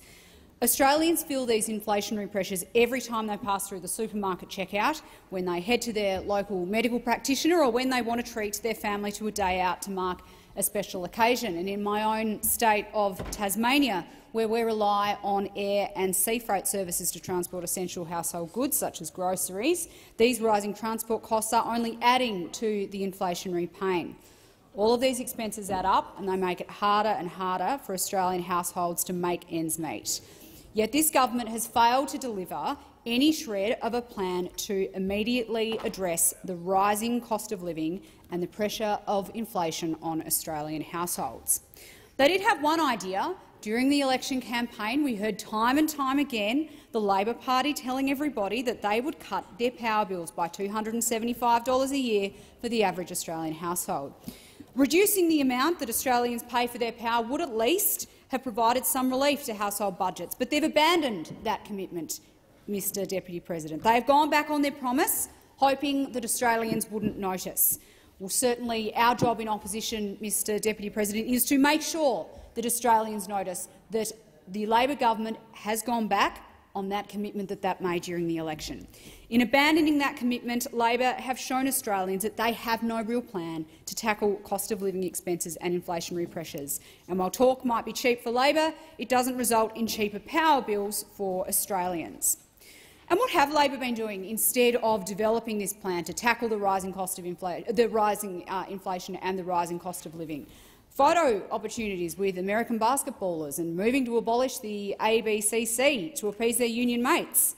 The Prime Minister was asked by reporters only this morning what he would do to address the cost of living, and he responded with some sort of uh, vague uh, response about introducing legislation uh, aimed at medicine prices and childcare at some point in the future. I don't think that response is going to in any way address the immediate pressure of cost of living and inflation that is being felt by Australians, Mr Deputy President.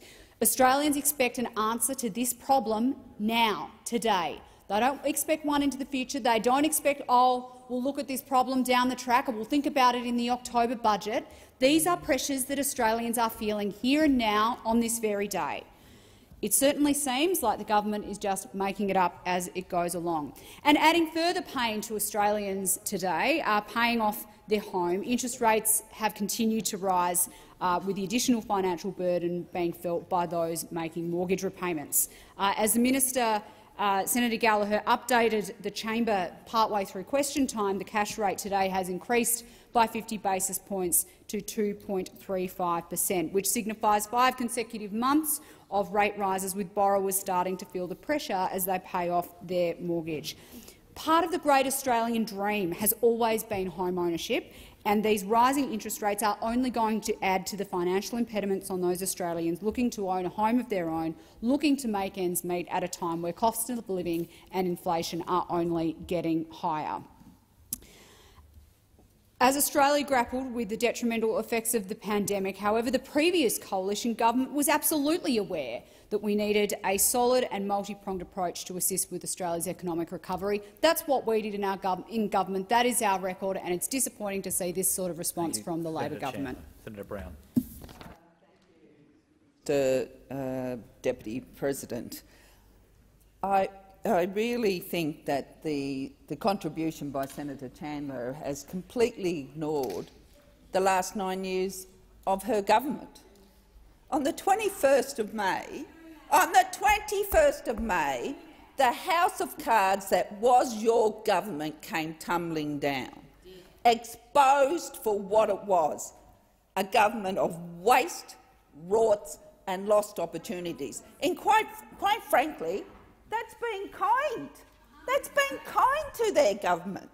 That's been kind to nine years of a Liberal coalition government because we had sport, don't forget we had sports rorts, we had cuts to aged care spending, and we, of course we had cuts to real wages. Boasted about, boasted about by the um, government of the day, boasted about the fact that it was a deliberate design in their economic plan. They didn't have a plan. They didn't have a plan. What they had was uh, a, a, a prime minister that was focused on delivering for their mates, focused on rorting public monies to go into areas where they thought it would be best for a political return, not an economic plan to put um, this country on the right path. Now, this government, the Albanese government, understands the, that um, people are doing it tough. And we have, uh, and they also understand that we have inherited, as Senator Gallagher said in her uh, response to the question today, that we've inherited from the Liberal opposition a cost of living crisis. You can't ignore that that is the fact.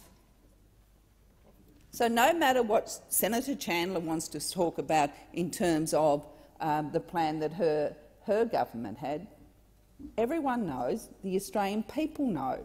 That's why they punted them on the 21st of May. That's why they're on that side, because they got the Australian people got sick of their money being wasted with no plan, just wait, waste, rorts and lost opportunities. So yes, we have inherited a cost of living crisis from those opposite, an economic and budget in complete shambles. That's what we inherited. But the Albanese government does understand that Australians are doing it tough, tough and the current cost of living pressures that have been built up over many years. But we have acted quickly, and Senator Gallagher, in her, response, did um, mention some of those, um, some of the initiatives that the um, Labor government is putting in place.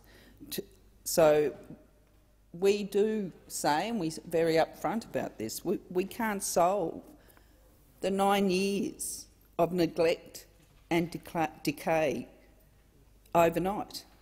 But it's, it's our task to do what we can do responsibly to help Australians deal with these pressures in the short term and build a more resilient economy that is better able to withstand future shocks. That's why we are making childcare cheaper through our $5 billion investment in the October budget, and that's why we're making medicines cheaper. And that's why we successfully, successfully argued for a minimum wage increase and, and why we're starting to work to get wages moving again, unlike, unlike the now opposition that boasts about keeping wages low. I mean, the very issue that goes to the heart of the family household budget. And then they come in here and try to say that it's all our fault. Trillion dollars of debt, a shambles of an economy and a budget, a, a cost of living crisis that we inherited from them. The goal. So we have argued successfully, as I've said, uh, and, our, and our job is to start to get wages moving again. Senator Canavan.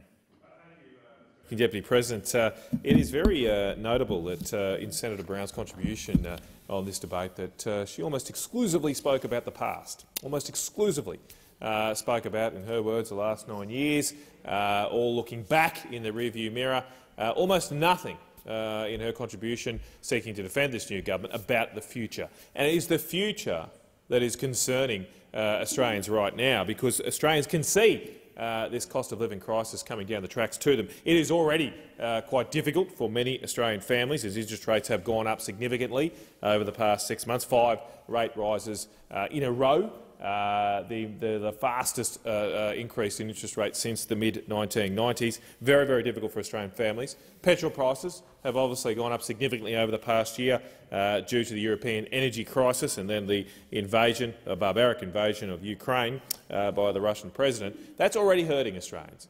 But unfortunately, unfortunately, we can all see and know that perhaps perhaps the worst is yet to come. Later this month, uh, uh, uh, petrol prices are set, set, to rise by 22 cents a litre when the former government's excise relief comes off, and that's something I think that we have to do. We cannot uh, afford to neglect our roads, and uh, fuel excises do pay for that.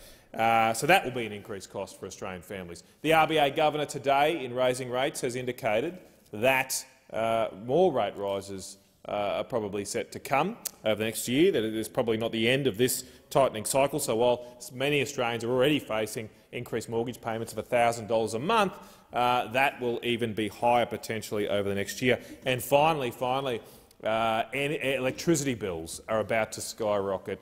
Uh, we have not got enough reliable energy uh, in our market, and, and uh, the increase in wholesale power costs we've seen this year have gone up four or five times have not yet flown through to retail bills. That will happen later this year. So in that context, you'd think you'd have this government focused almost exclusively on this living cost crisis, but instead they're distracted. They're distracted. I kind of miss, I kind of miss Mr. Bill Shorten. You remember uh, Mr. Shorten used to talk about the top end of town. Well, this government is one that's constantly hobnobbing with the top end of town. Last week, last week, Jobs and Skills Summit here that we had here, almost everybody here was either from big business or big unions, and certainly themselves had no issue with paying their mortgages, no issue with paying even skyrocketing energy bills later this year, and there was almost zero talk from the participants at that conference about the major issue that Australians are concerned about today.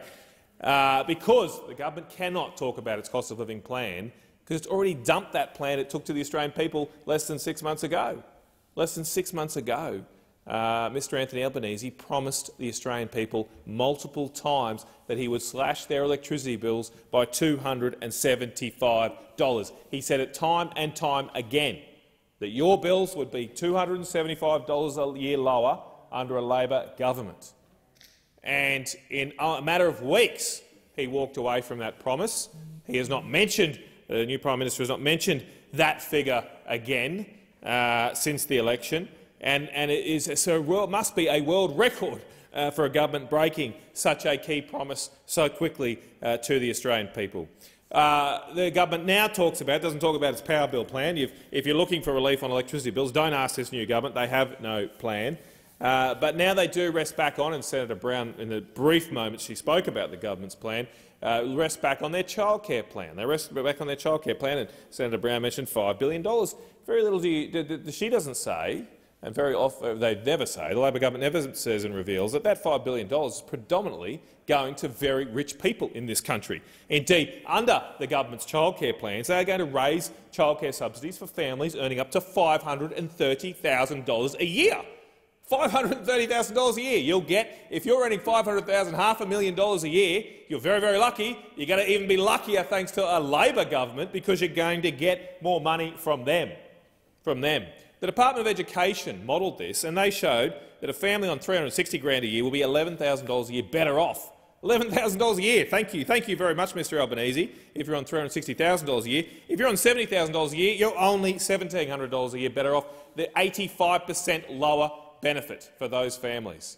That is the priorities of this new government. The Labor Party are no longer the party of the working class. They are no longer the party that look after the downtrodden in this society. They are wholly and exclusively focused on the Business Council of Australia, on the large unions that get big kickbacks from Big Super. They are focused on those interests, and those interests alone. They do not listen to and do not represent those Australians who struggle in this country and are struggling more because of this ignored cost of living crisis from this government. Senator Cox.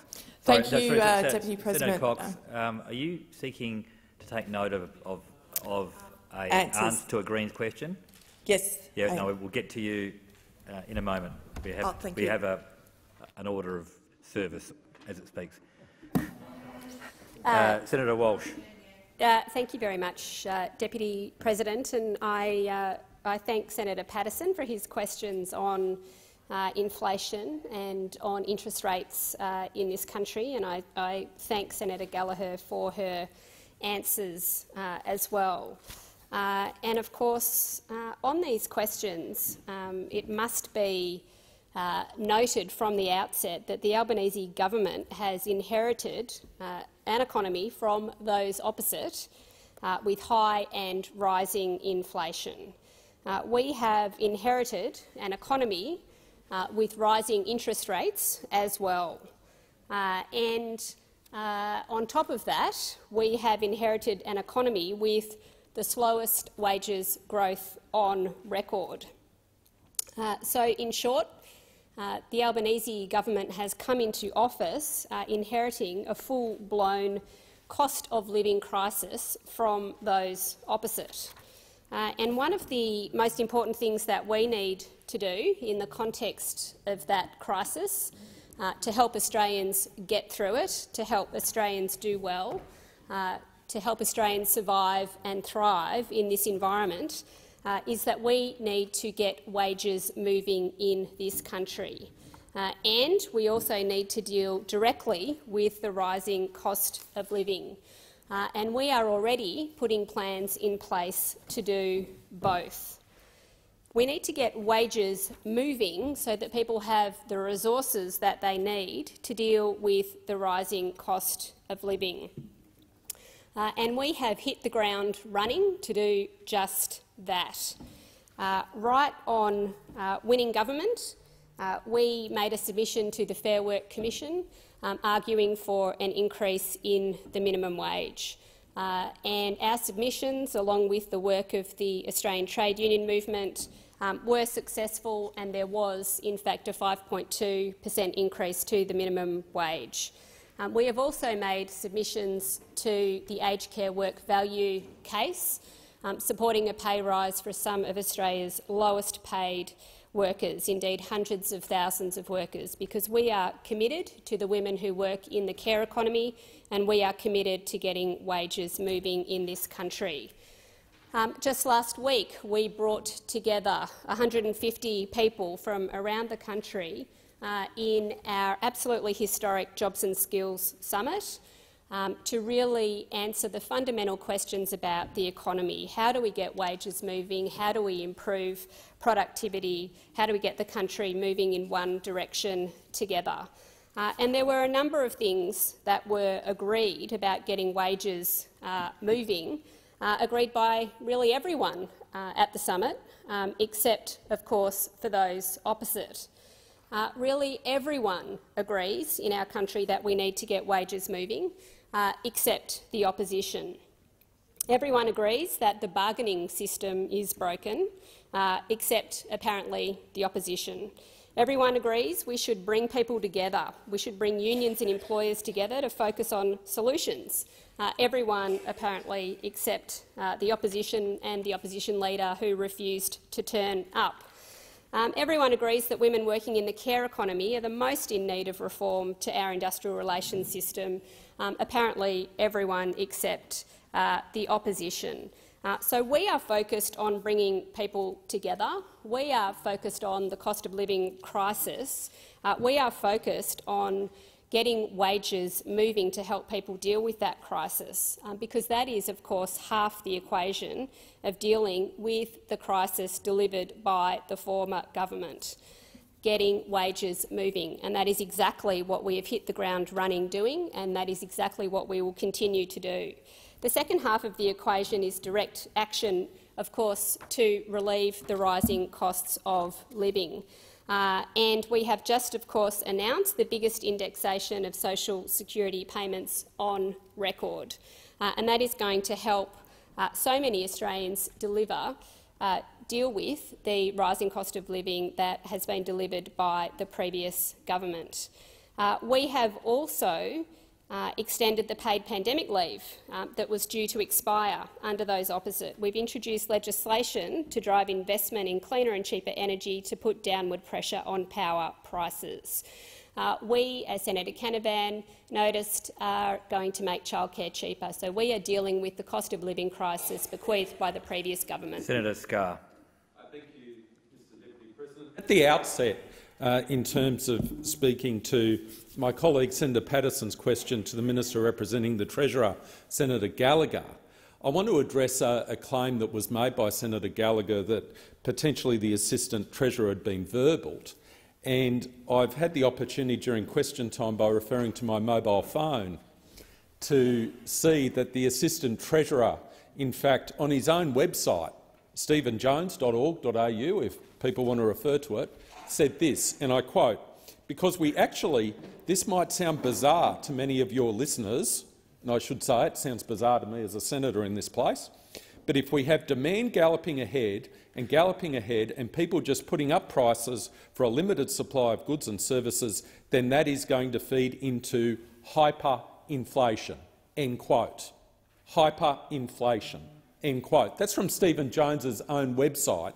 And we were accused, or my colleague Senator Paterson was accused, of not quoting the Assistant Treasurer appropriately in terms of the context of this question. This is important. This is important. Language is, is, is important because it feeds into the confidence or lack thereof in the market.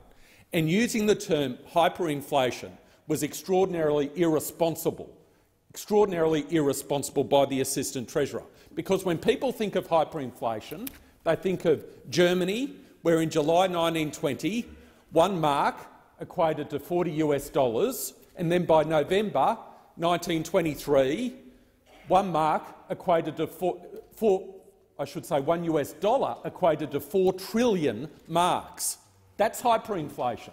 That's hyperinflation, and it is grossly irresponsible, grossly irresponsible for the treasurer to, assistant treasurer to use that term hyperinflation in the current market. We are nowhere near hyperinflation, and I don't expect we'll come anywhere near hyperinflation. The RBA certainly doesn't think so. Treasury doesn't think so. So why do we have an assistant treasurer who doesn't know such a fundamental term of economics in terms of hyperinflation? The textbook, the textbook definition of hyperinflation is at least inflation of 50 per cent per month. Per month. We're nowhere near that, but we have an assistant treasurer who doesn't know the actual definition of hyperinflation. Maybe they should keep him away from radio interviews so he doesn't scare the horses of the Australian economy so much. We also have a government. We also have a government that doesn't want to live up to the $275 power cut process. It will cut. This is from the Labor Party's own policy. The Labor Party's own policy, up currently on their on their website. On their website called Powering Australia. It's still there. And this is what it says, I quote, it will cut power bills for families and businesses by $275 a year for homes by 2025 compared to today. End quote. That's what it says. The policy. It's still on the Labor Party's website. And as my colleagues in this place have referred to consistently, it has been referred to over 90 times during the course of the election campaign that $275 cut in Australians' power prices.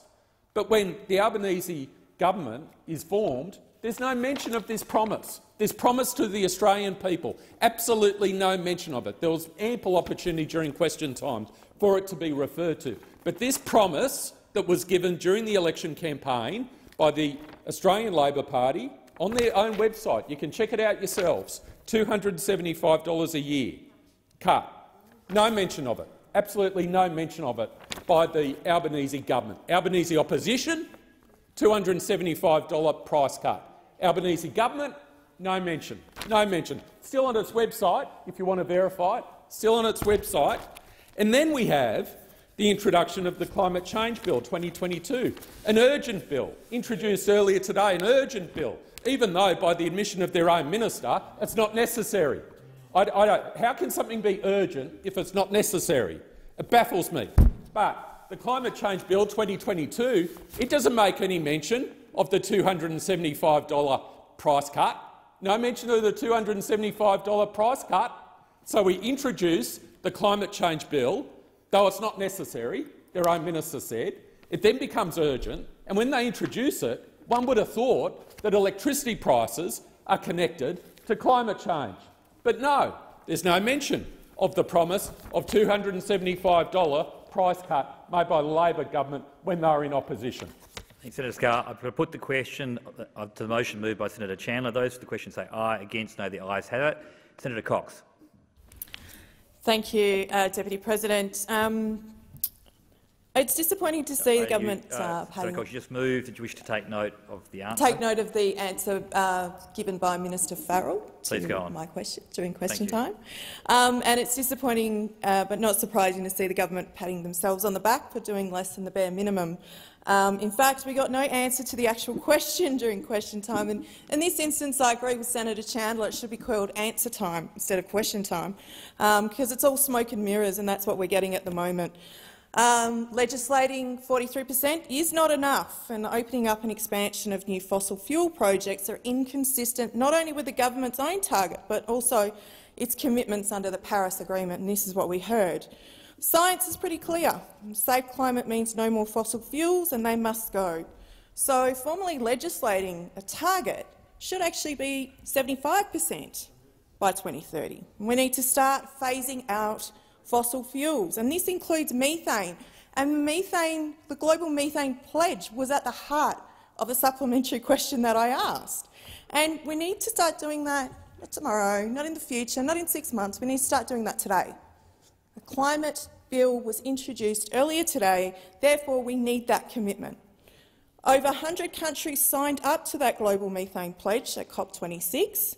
Uh, everyone except Australia. That's because Australia skipped along to COP26 in Scotland, hand in hand with Santos, and, and talked about carbon capture and storage, which is completely unproven to work. So addressing methane emissions is paramount to us actually reducing our emissions, and we need a robust plan. We cannot afford to have a minister sitting across in the other House doing policy on the run in this place. So we needed sufficient investment to make sure that this occurs.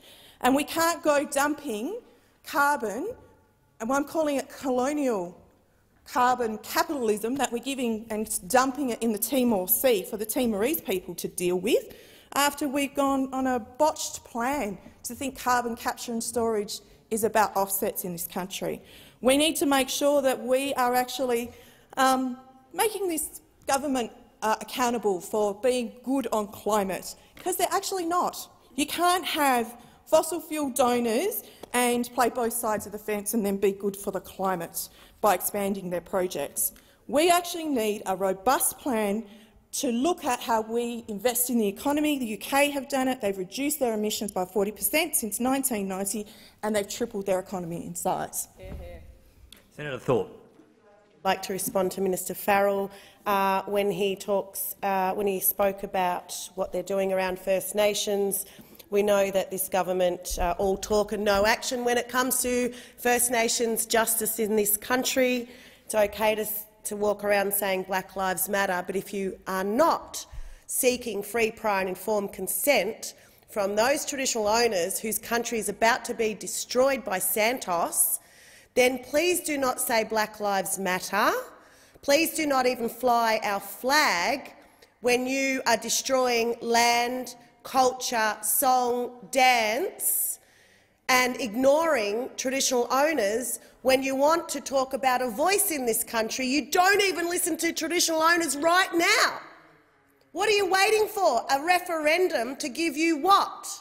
A group of people who you're then going to deny again? We are sick of the rhetoric of this Labor government. It's been going on too long. We hear from a judge who is hearing from the Tiwi Island people who says that their rights need to be listened to. Now, I am pleading with this government to also listen to the rights of those traditional owners instead of some of the do dodgy corporations and organisations that you go to to manufacture consent. That's what Labor does. They manufacture consent. They pick a few of their buddies to sign off on dirty deals that destroy country. They are dirty deals supported by industries that donate money to you to ensure that you give them the favours that they want and need, and that does not uh, give any rights to Indigenous people or First Nations people in this country. You won't even agree to fast-tracking the United Nations Declaration on the Rights of Indigenous People, you won't even have a reporting date on that because you're scared of the rights that it will give us to stop you destroying us and our people. We are a wake-up to this government. No, you're not our friends because you continue to destroy country and ignore the real people that want to have a say. I'm going to put the question as moved by Senator Cox. Those for the question say aye. Against no. The ayes have it.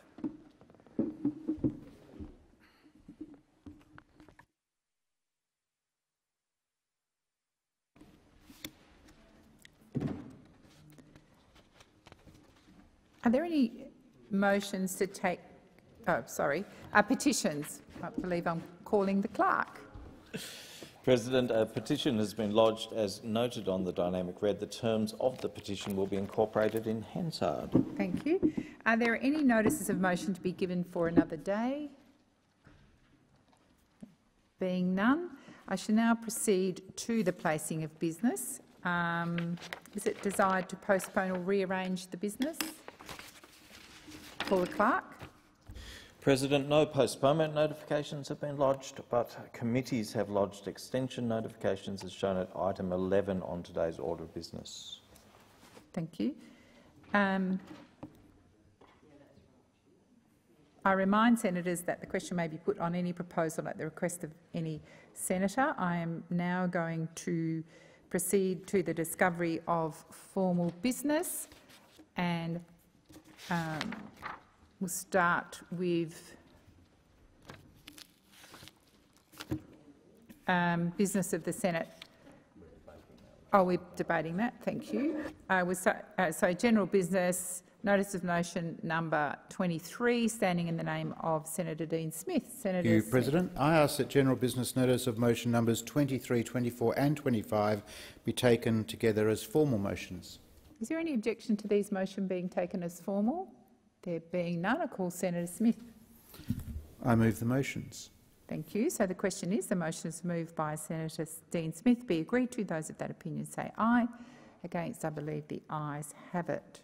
So we'll now move to general business notice of motion number 26, standing in the name of Senator Faruqi. Senator Faruqi. Thank you, President. I ask that general business notice of motion number 26 be taken as a formal motion. Is there any objection to that being taken as formal? There being none, I call Senator Faruqi. Thank you, President. I move the motion.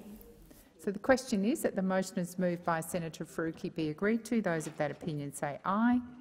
Against, uh, I believe the ayes have it. And that concludes formal business. Oh, beg your pardon, Senator Askew. Your attention to the, the state of the chamber. Ah, yes, I uh, we'll just check. I believe uh, we need to ring the bells. Uh, ring the bells for quorum, thanks.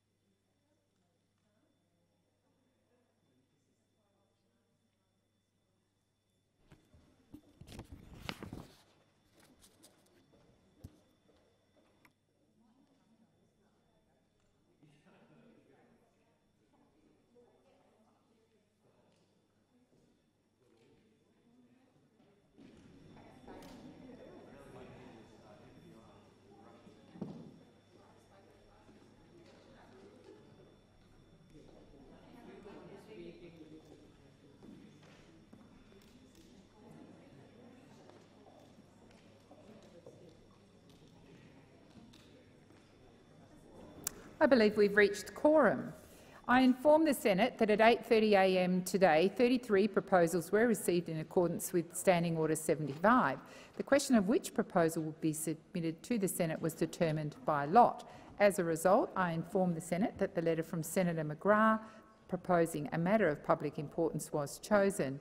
It is shown at item 13 on today's order of business. Is the proposal supported? Yes, I believe it is. Thank you. I understand that informal arrangements have been made to allocate specific times to each of the speakers for today's discussions. With the concurrence of the Senate, I shall ask the clerks to set the clocks accordingly, and I call Senator Hume. Thank you very much, Madam President. And I rise to speak today on the failure of the Albanese government to have a plan that addresses the rising cost of living facing all Australians. And it is indeed a matter of great public importance. Now, before the election, before the election, the members of the government were talking a very big game around the cost of living. In fact, the leader of the opposition was unequivocal. He said, and he said this very, very straightforward, I, I'll say this very clearly, Australians will be better off. They will be better off under a Labor government. And that was backed in by the Shadow Treasurer, then Shadow Treasurer, who was equally clear. He said, under Labor, you will have a government which cares about the cost of living and has a plan to deal with it. But it has been more than three months since the election, and it's patently clear, it's patently clear that Labor has done what Labor always does, and that is break its promises. In fact, the Australians are no better off now, no better off now compared to, with before, to the time before the election. The cost of living continues to skyrocket, and Labor still hasn't shown any plan to address it. Power prices are higher. Grocery bills are higher.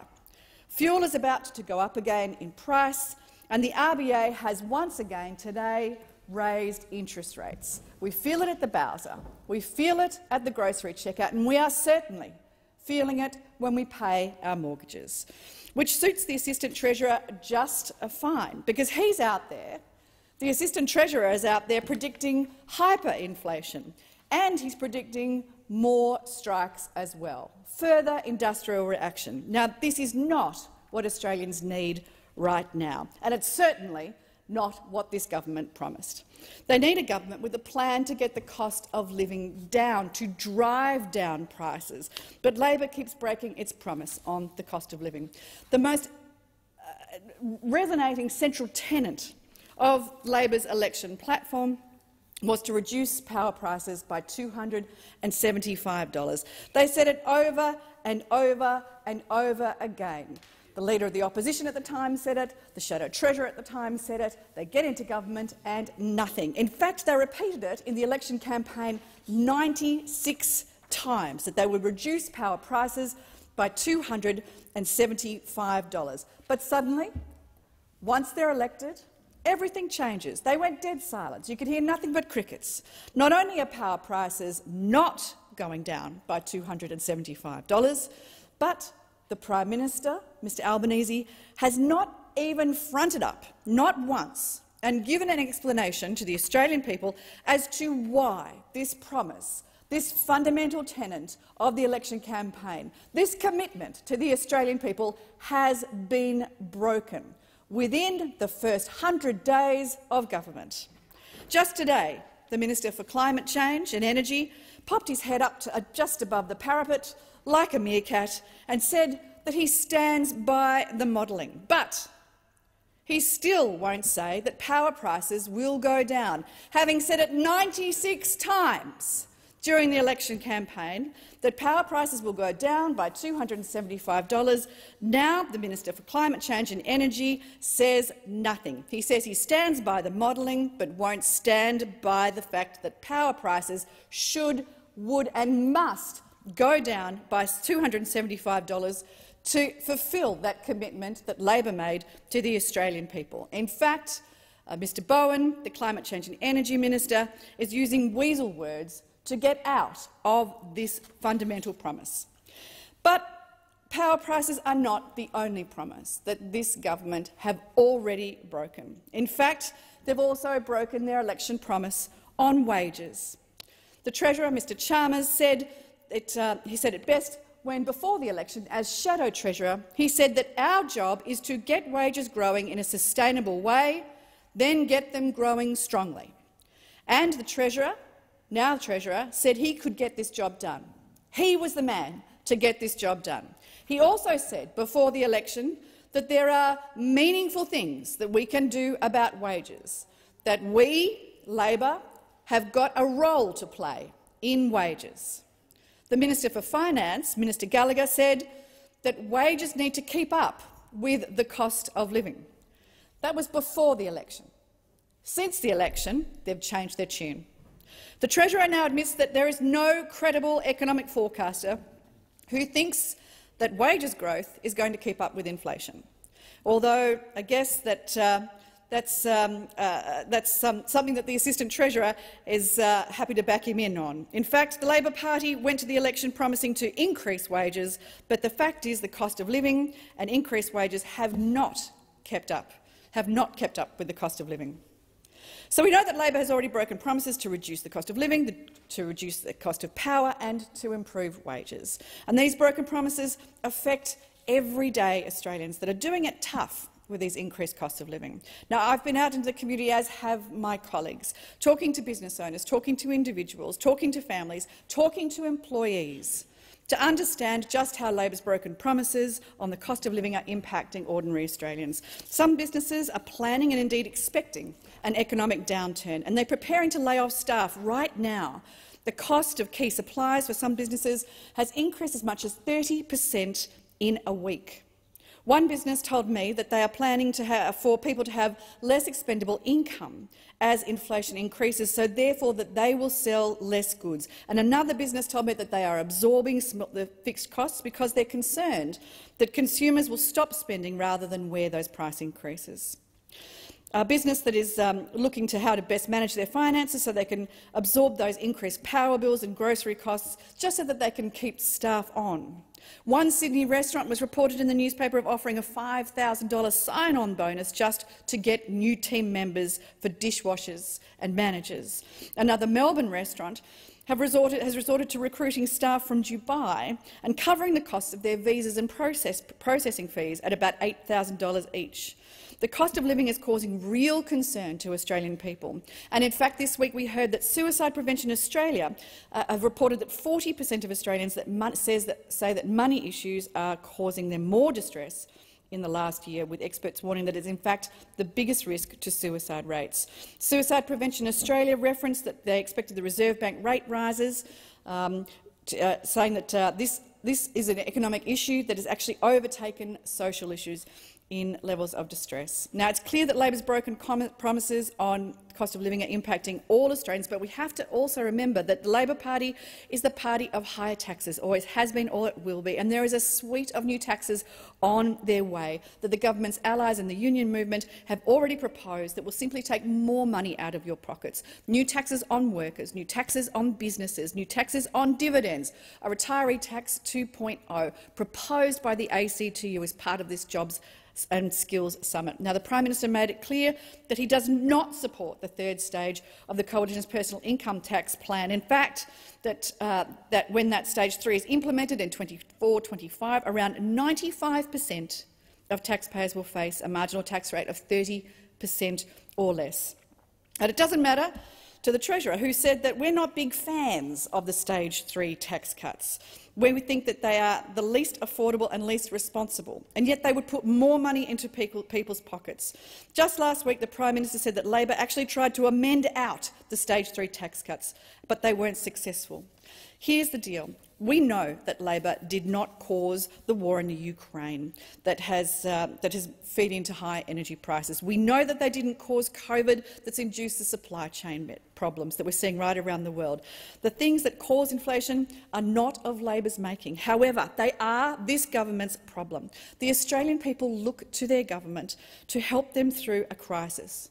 Now, the previous government's challenge was COVID, and our response to that crisis resulted in the best health and economic outcomes that any country in the world achieved.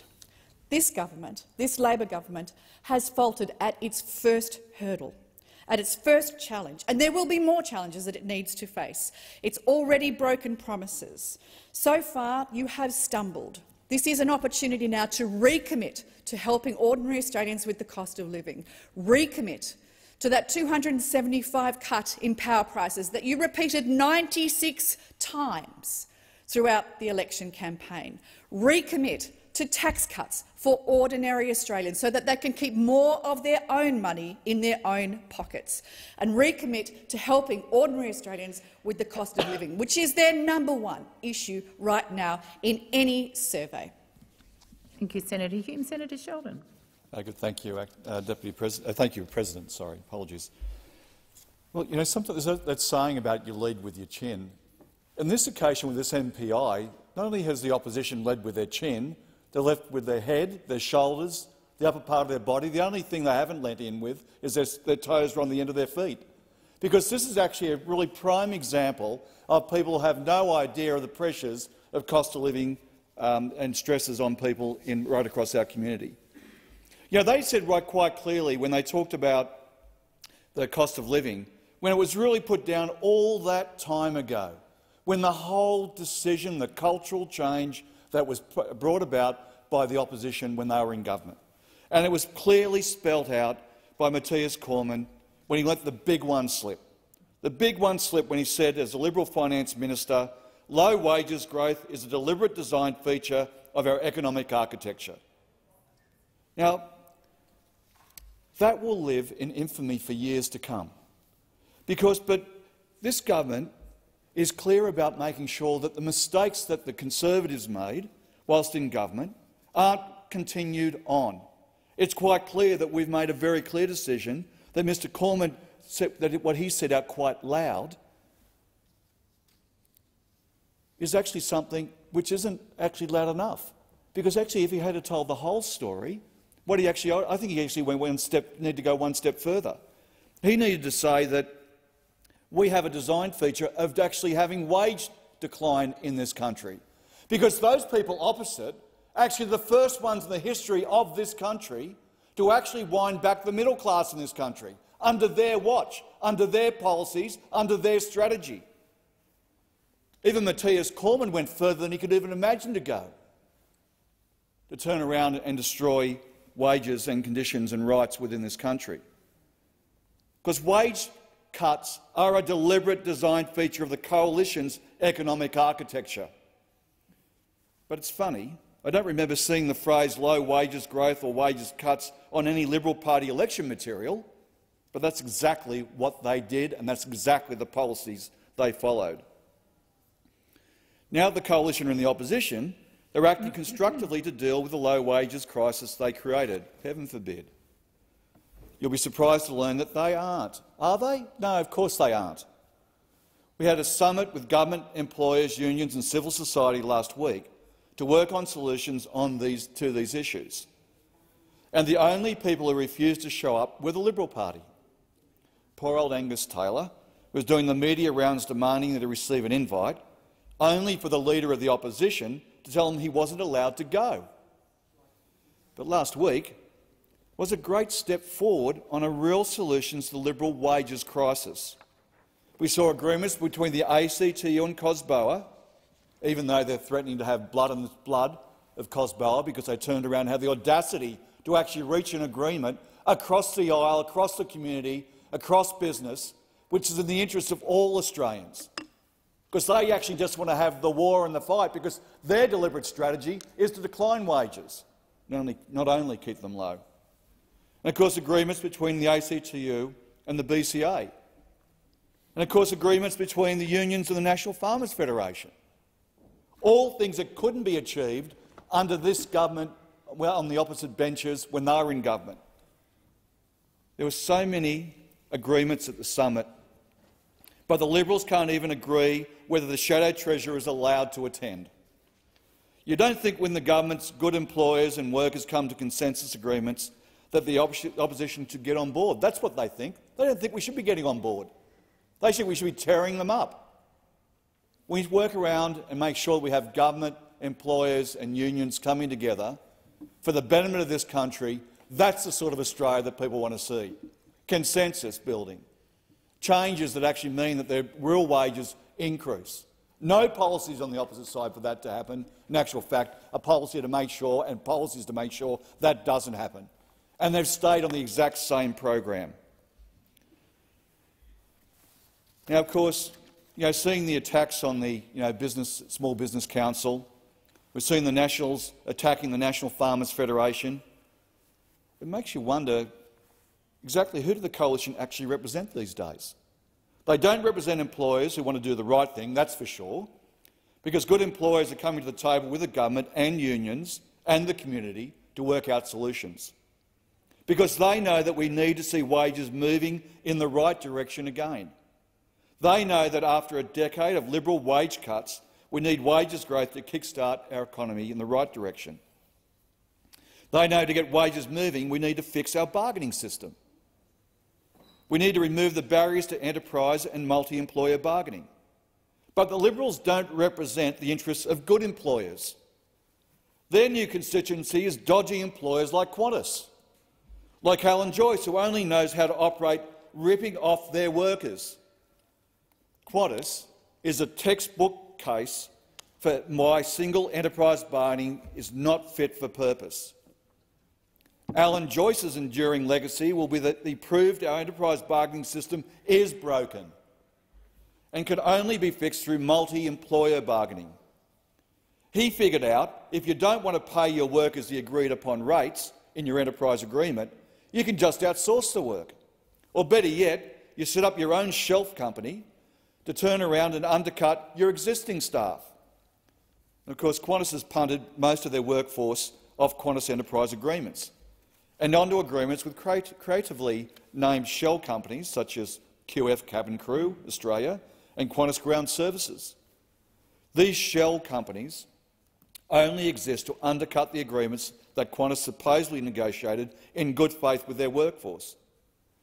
And on one route, you can now have flight attendants employed by five different entities, each one on a worse deal than the last. One of the few cohorts still mostly employed directly by Qantas is their pilots. But just this year, Qantas threatened their short-haul pilots with outsourcing if they didn't accept a multi-year wage freeze.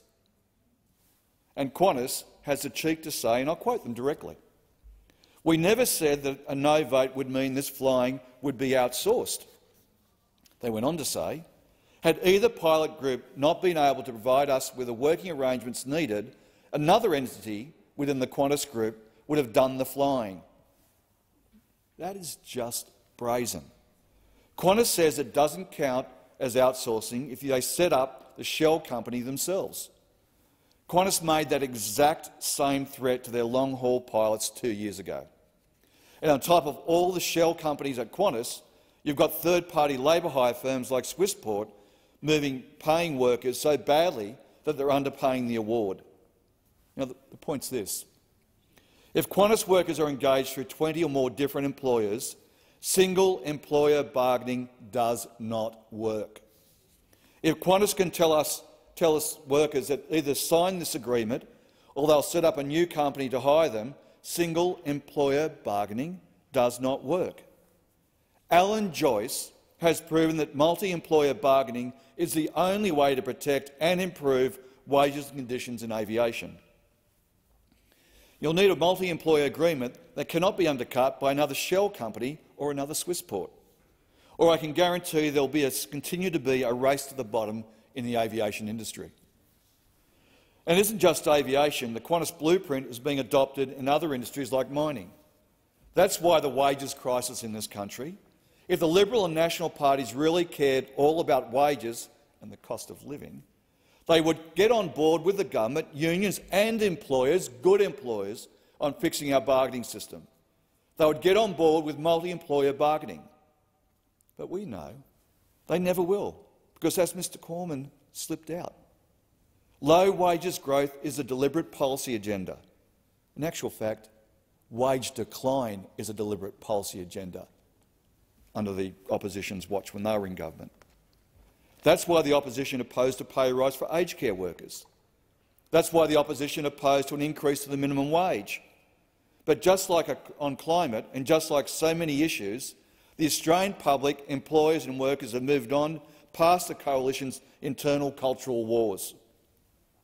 We saw just last week at a road transport industry roundtable convened by Minister Burke, where they had the Transport Workers Union, employer groups such as the Australian Road Transport Industry Organisation, the National Road Freighters Association and the National Road Transport Organisation, employers like Linfox, Tolls, FBT and ACFS, major clients Coles and Woolworths, truck drivers and, and uh, employee uh, owner-drivers, as well as owner-drivers, and even gig platforms like Uber and DoorDash, come to a settlement and a suggestion about what needs to happen in the future. That's the sort of future for Australia. Thank you, Senator. Senator Cox. Thank you. Right across Australia, everyday Australians are struggling to make ends meet in the most basic ways – rent, food, bills and healthcare. Too often, the people are the most impacted by these pressures are, in fact, First Nations people. My electorate office in Perth, we have had a constituent contact us who was a victim of domestic violence. She left her abuser but could not find appropriate, safe and affordable accommodation in a timely manner. She was in fact advised that she would need to wait years for public housing, even if she was priority listed, and this in itself is extremely traumatising. Poverty is a vicious cycle, and we know that once someone is experiencing poverty, it's unnecessarily hard for them to break out. we also know that poverty is a political choice. It is extremely bold of the opposition to suddenly come out strongly advocating for cost of living relief after 10 years of squandering opportunities by previous governments. The government of today needs a bold plan to undo the impacts of the last year, 10 years of inaction, which we unfortunately still haven't seen. So if the current government wants to prove that they are actually taking this issue seriously, axing stage three tax cuts are step number one. It is unconscionable that the government is continuing with this when we know that $243.5 billion that will benefit the most wealthy people in this country can be used to make real change for those who need it the most. In fact, the Prime Minister showed just how out of touch he was yesterday in response to my colleague uh, Max Chandler-Mather's question yesterday in the House, jokingly comparing the lavish housing he gets whilst being one of the highest paid officials in the world to the public housing system that has people sleeping in tanks because they can't access it. In the recent election, uh, the Greens took a comprehensive policy platform that wasn't just about one policy, and that will help to address the cost of living pressures. The Greens know that a better future is possible, and currently the only thing that's standing in the way of that is the lack of political will from this current government. Thank you. Senator McGrath. Uh, thank you.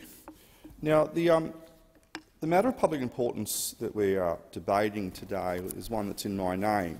And I think it's important for those who are, are, listening at home, because there's nothing else on the wireless, to make sure that they are fully aware of, of, of the words of it. And it is the failure of the Albanese government to have a plan that addresses the rising cost of living facing all Australians. And the most important part about that is, is uh, plan, because it is pretty clear that this Labor government doesn't have a plan. It's abundantly clear that, that the Labor government they, uh, won the election uh, in May of this year, and my, my mob lost, and obviously I'm, I'm workshopping my pain about that still, but that side are in power. And what is interesting is how the new government, who have been in since May, so it's you know, almost six months they've been in power, are failing to understand that they're the government, that they have the responsibility to, to look after Australians, and they can't keep acting uh, like, like a bunch of wannabe student politicians. And, and when they go around uh, continuing to blame the previous government for everything from, from you know, their bad haircuts to, to lost socks in the washing machine, that in fact they're the government. They're the decision makers. And, and what is abundantly clear is that there is no plan. Uh, it, it, reminds me a bit of, of that Monty Python skit in terms of, of, the, of the dead parrot, in, the, in, that there is no plan. It is a, it's a dead plan. It was dead on arrival, and we've got a government who go around doing a lot of, a lot of talking, and, and they get a gold medal for, for talking. And we witnessed that in question time today, where both Senator Wong and, and Senator Watt were just in the, the hubris, the hubris, the, the arrogance, the ego, the, the, the, the self-confidence, the, the, the self-congratulation sort of, I won't say orgy, but the self-congratulation sort of party that they are having in terms of how brilliant they are, but not delivering. But also they regard a series of, of press conferences as a strategy or a plan. They regard sending some tweets out as, as a plan. And, and, and the, the, former British uh, Prime Minister David Cameron once famously said that, that too, too, many tweets make a, well, it's a word that members of the CFMEU would use to, um, when they're abusing females on, a work site. So you can imagine what the word is. Uh, so there's no plan. There's a lot of tweets, a lot of press conferences, a lot of media releases being, being issued.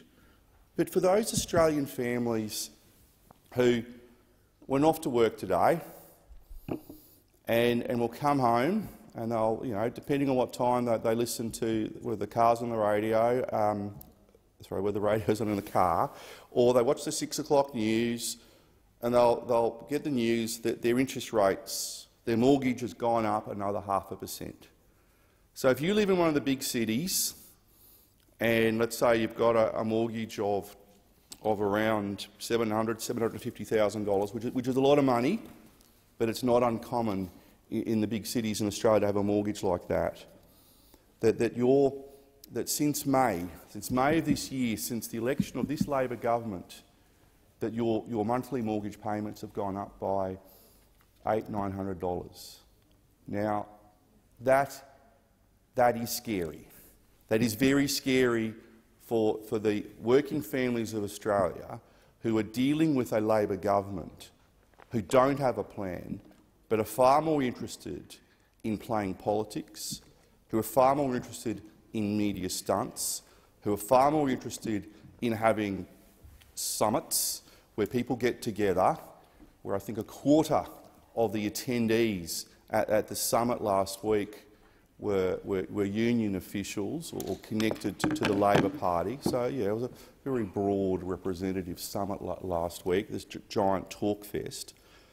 But in terms of those Australians who, whose mortgages have now gone up today by another half a, half a percent, what is the message from this Albanese Labor government?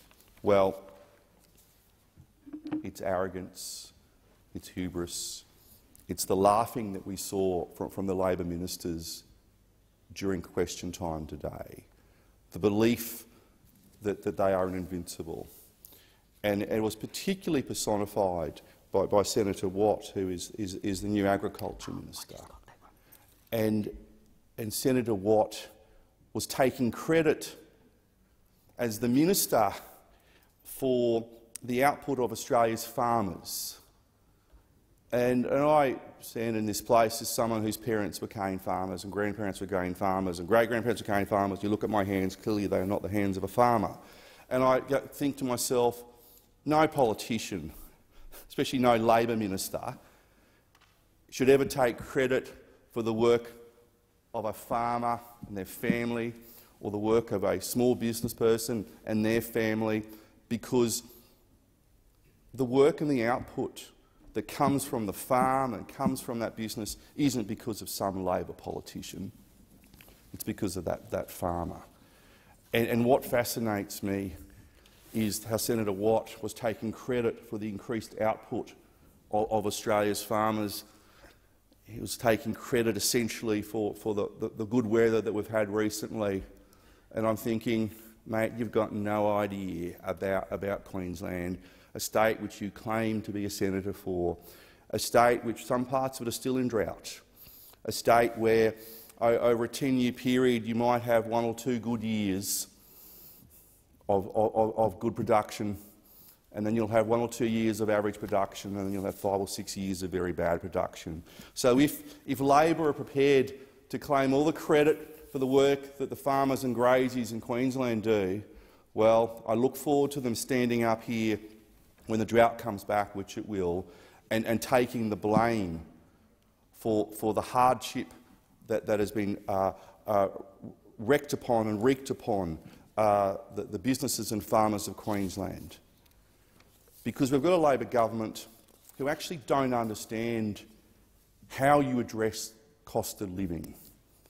And it's not about a series, to quote one of their former leaders, um, who's now with my colleague Senator Hanson's party, you know, using the, the great line, conga line. It's not a conga line of, of press conferences it's sitting down and doing the real hard work of government.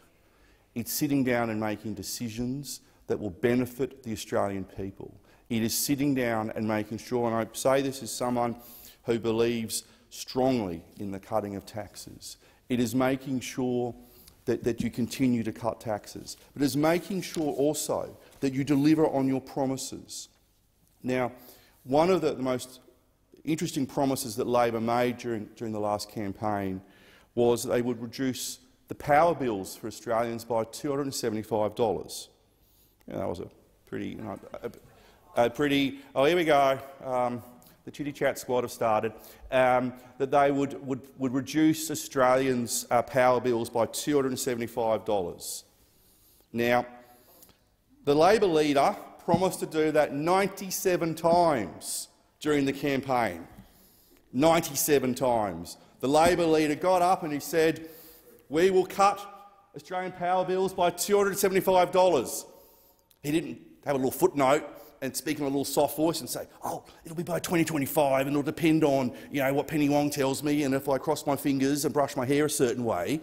He promised the Australian people 97 times that he would cut their power bills by $275. Now, how many times do you think that Labor, the Labor Prime Minister, the Labor government have, have mentioned that particular promise since polling day? How many times? Zero. None. Zip. Niet. No, if you're French. They haven't mentioned it at all because they lied to the Australian people. The Labor Party lied to the Australian people. So not only do they do not have a plan to reduce the cost of living pressures on Australians, but during the election campaign, they lied, and they knew they were lying.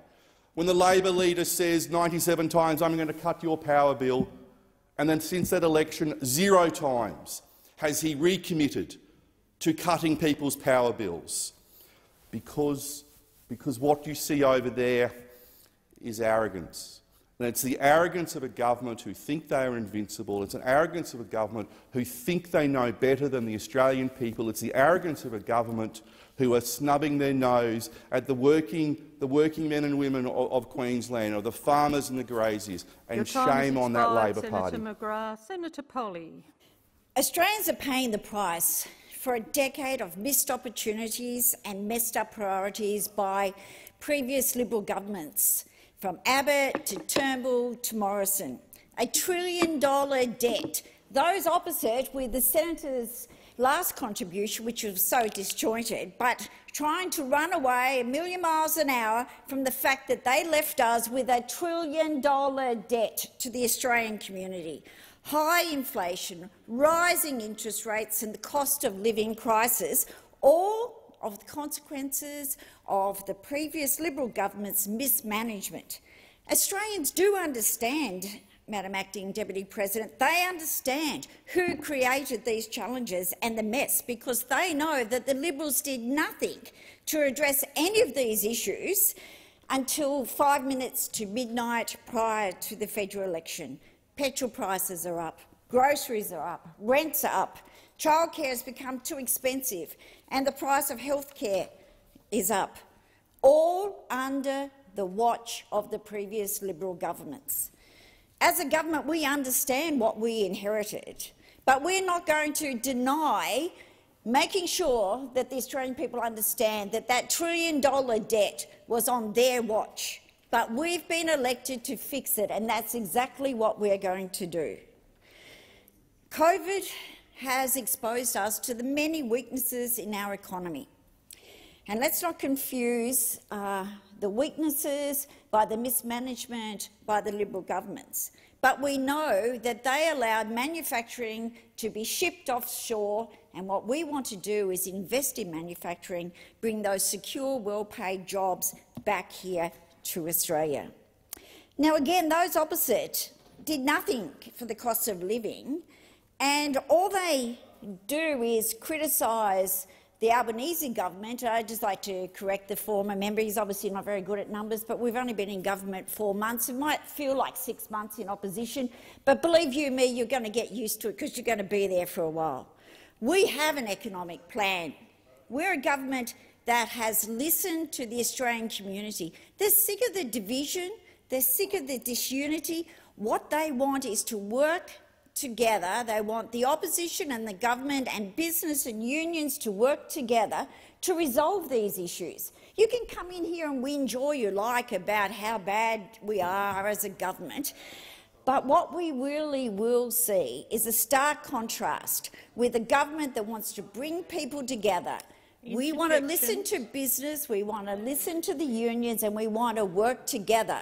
Now, at the summit last week, what did we see? Where was Mr Dutton, Mr 22 per cent? Where was he? Nowhere to be seen, probably having a long lunch on Friday afternoon.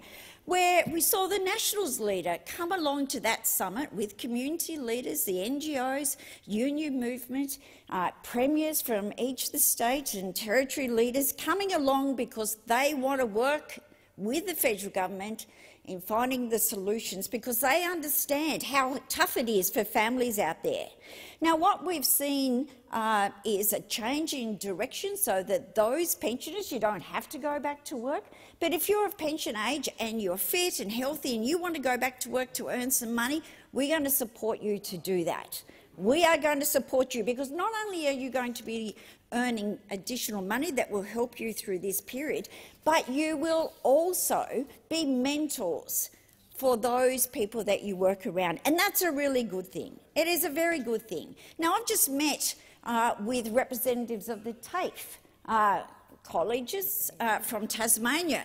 And what they've said to me is that they are suffering because over the last decade, the Liberal governments have tried to run and have successfully, unfortunately, run TAFEs into the ground. And I see Senator Duniam over there smiling and laughing. Well, as a fellow Tasmania, I'm very disappointed because it's his state Liberal colleagues that have done exactly that. The Liberals are so afraid of what we might find out that they won't even allow Labor senators to visit the TAFE campuses. That's how paranoid they are.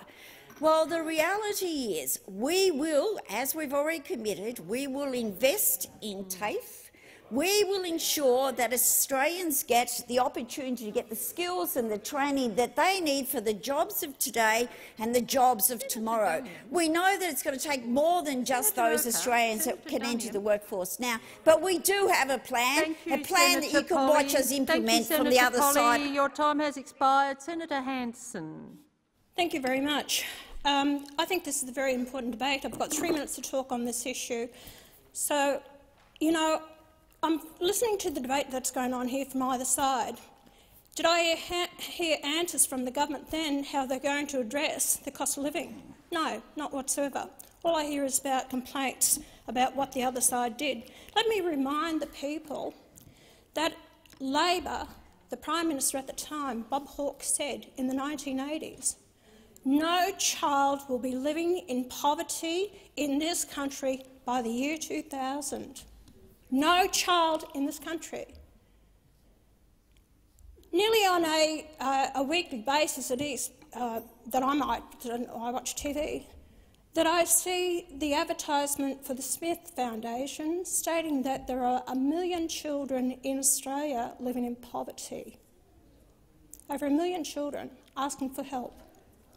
I don't know if this chamber or the leaders of this nation in this place really can relate to the Australian people and how much they are hurting. When I turned on the TV this morning, I saw that 40 per cent of people recognise the cost of living is the biggest issue for them.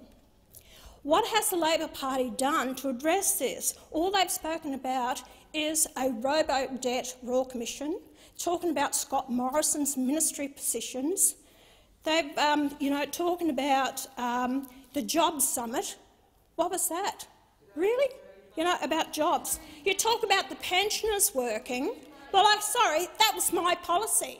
And I'm pleased to see that the Liberal Party have taken up, but that was again my policy. You talk about the TAFE colleges. Again, it's something I've been speaking about for years. The apprenticeship scheme was my policy in 2018 to get the apprentices working. If you actually want to address if you really want to address the cost of living in this country, then you readdress Quiet, what is cost please, of electricity Senator. in Australia for not only the Australian homes, but you're driving up the cost of electricity for normal households, industries, manufacturing. This is going to drive increased prices. Farmers have told me they can't afford electricity. This is the problem, and yet you're bringing in an emissions target that's going to drive up electricity costs. Here we have it. They've done it in England. They've done it in Europe. Guess what's failed. To buy a pint of beer in, in England now is $34 a pint. You take that away from the Australian people to be able to go to the pub with their mates and have a beer. You're destroying their whole life, and that's what it's about. You don't realise what you're doing to the Australian people and the future generations of this nation. Don't talk to me about you. Your time living. You has have no expired. idea. Senator um, Askew, you have the call. Thank you, Madam Deputy President. I also rise today to speak on the matter of public importance regarding the failure of the Al Albanese government to have a plan to address the rising cost of living facing Australians today, despite the government's repeated claims during the election campaign that they had a plan. And how appropriate it is that we are discussing this today, the day the Reserve Bank increased interest rates by a further 0.5 per cent, taking the cash rate to 2.35 per cent, the highest level since December 2014. This rise is the fourth 0.5 per cent rise in each of the four successive months since the election, and it will, it will send even more Australians into mortgage stress.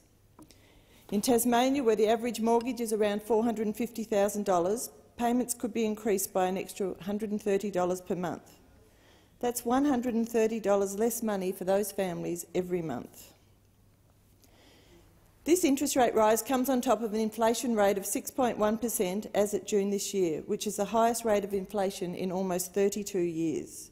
Coincidentally, this peak in inflation in the December 1990 quarter came at the time of the recession we had to have, according to Labor back then. And then there are the rising costs for groceries and the rising costs for electricity. Tasmania's power bills increased by 12 per cent in July, which is an extra $200 a year. The cost of living is higher now than ever, but we are still waiting to hear of the Albanese government's plan on how they will deal with this crisis. The Parliamentary Budget Office, however, has some insight for us on Labor's policies. The PBO has confirmed that the government's policies will result in higher debt and deficits than the plans the coalition put forward ahead of the election. So not only are we in a worse position since, Labor, since Labor took government, but we will be worse off in the future too, due to the cost of their policies. The Assistant Treasurer is predicting hyperinflation and more industrial action. We don't need predictions about doom and gloom, we need action from a government that actually has a plan to get the cost of living down for Australians. During the coalition's term, more than $1.9 million were created, with over one jobs were created, with over 1.1 million of those filled by women. Female workforce participation grew to 62.2 per cent under our watch, compared to 58.7 per cent when we took over government, and the gender pay gap reduced too. The unemployment rate dropped to 3.9 per cent, the lowest in decades, and the number of trade apprentices in training hit 220,000, which is the highest level since records began in 1963. Besides creating jobs so more people could earn their money, the coalition cut taxes. Low and medium income earners became eligible for a tax offset in July, something which many people have already realised have already realised benefits from after submitting their tax returns in recent months. And we legislated the personal income tax cuts to ensure around 95 per cent of taxpayers will not pay more than a marginal tax rate of 30 cents in the dollar in 2024-25. We also reduced the company tax rate for small businesses to 25 per cent and remember, small businesses are what drives Australia's economy, and the people running these important operations were being taxed at 30 per cent under Labor. The Coalition introduced the unincorporated small business tax discount and lifted this rate from 5 per cent in 2015-16 to 16 per cent from 21-22. Combined, these changes will deliver more than $21 billion in tax cuts to small business from 2015-16 to 24-25 with around $2.6 billion estimated to flow through in 22-23. Not only did the Coalition expand access to small business tax concessions, but we also provided tax relief and reduced red tape. And then there's the Coalition's response to the COVID-19 pandemic. Over the course of the pandemic, the Coalition provided $314 billion in economic support to help Australians get to the other side of this huge economic shock. This, this support included JobKeeper, a program that saved 700,000 jobs and stopped the unemployment rate reaching 15 per cent. It was the biggest economic support program in Australia's history. So where is the Albanese government plan to address the cost of living rises that are impacting us all? There is no plan.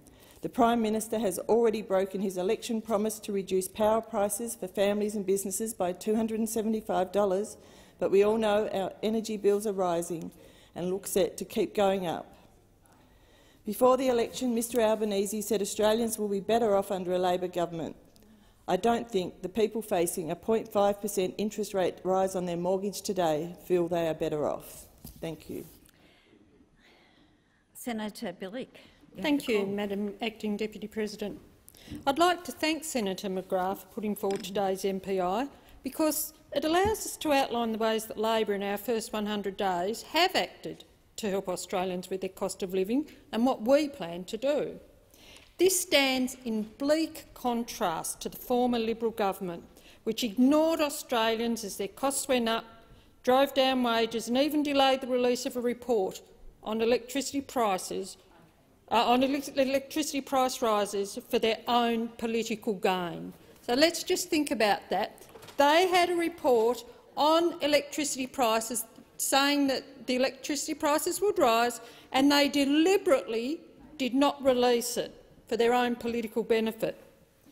Australians are paying the price of a decade of missed opportunities and messed up priorities under the coalition. Our government took office at a time of rising inflation, falling real wages, a skill shortage crisis, rising interest rates and a trillion dollars, trillion dollars in Liberal Party debt. These are the consequences of years of economic mismanagement by our predecessors.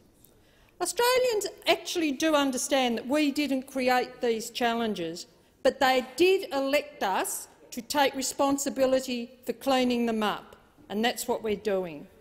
So one of the first acts of the Albanese government was to successfully argue for the minimum wage to keep pace with inflation, and this helped 2.8 million Australians. We followed that with a submission to the Fair Work Commission that unequivocally supports a wage increase for aged care workers. What did those on the other side do about aged care workers in the nine years they were there? Zilch, not a thing. Our budget in October will include our plans for cheaper childcare and cheaper medicines, making a real difference to household budgets for millions of families. Labor will cut the maximum co-payment under the PBS from the current maximum of $42.50 to $30. This represents a saving of $12.50 or 29 per cent. The changes to the PBS will take effect from the 1st of January 2023 and will save Australians more than $190 million a year in out-of-pocket costs. Let me tell you about Labor's childcare plan. This means that 96 per cent of families with a child or children in care will be better off. That's 1.26 million families. Labor will lift the maximum childcare subsidy rate to 90 per cent for families for the first child in care Increase childcare subsidy rates for every family with one child in care earning less than $530,000 in household income. Keep higher childcare subsidy rates for the second and additional children in care and extend the increased subsidy to outside school hours care. So on this side, we're working hard to deliver our commitment to lift the speed limit on the economy that those on the other side had implemented we're working hard to get wages moving again with investments in cheaper and cleaner energy, advanced manufacturing skills and fee-free TAFE. In fact, the government is committed to providing 465,000 fee-free TAFE places and 45,000 new TAFE places in industries facing skills shortages, and I'm pleased to say this includes early childhood education. These fee-free places will obviously be a massive saving for those looking to reskill or improve their qualifications and helping them to increase their take-home pay. Our guiding principles as a government are about ensuring no one is left behind. More than 4.7 million Australians will receive a much-needed boost to their social security payments from this month to help ease cost of living pressures and the Albanese Labor government has announced the largest indexation increase to payments in more than 30 years, more than 30 years for allowances and 12 years for pensions. Age pension, disability support pension and carer payment are all set to rise by $38.90 a fortnight for singles and $58.80 a fortnight for couples. The maximum rate of pension will increase to $1,026.50 a fortnight for singles and $773.80 for each member of a pension couple, or $1,547.60 per couple, including pension supplement and energy supplement. Job seeker payment, parenting payment, ABSTUDY and rent assistance will also increase. The rate of job seeker payment for singles without children will increase by $25.70 a fortnight to $677.20, including energy supplement, while parenting payment single will Senator, increase by $35.20. Your time has expired. Senator Steele-John. Make no mistake, this cost of living crisis is being made far worse by the indifference of this government to those who are doing it right now the very toughest. Now, after the biggest electoral win for progressives that this nation has ever seen, you would think that the new government would work finally towards supporting folks that are struggling in our communities to get by. They certainly talk the talk. This morning in the House of Representatives, the Prime Minister said these exact words, and I'll quote him directly. A compassionate nation like ours cannot simply allow suffering of our fellow Australians to continue um, unabated. Prime Minister, you are absolutely right, which is why it is particularly galling that this government, despite talking the talk, is continuing to sacrifice the very most vulnerable, most struggling people in our community to this spiralling cost of living. Yesterday, the rates of support, uh, payments and pensions increased ever so slightly. The reality of this increase uh, is that it amounts to only a 2% increase in CPI on these payments compared to an inflation rate of 7%.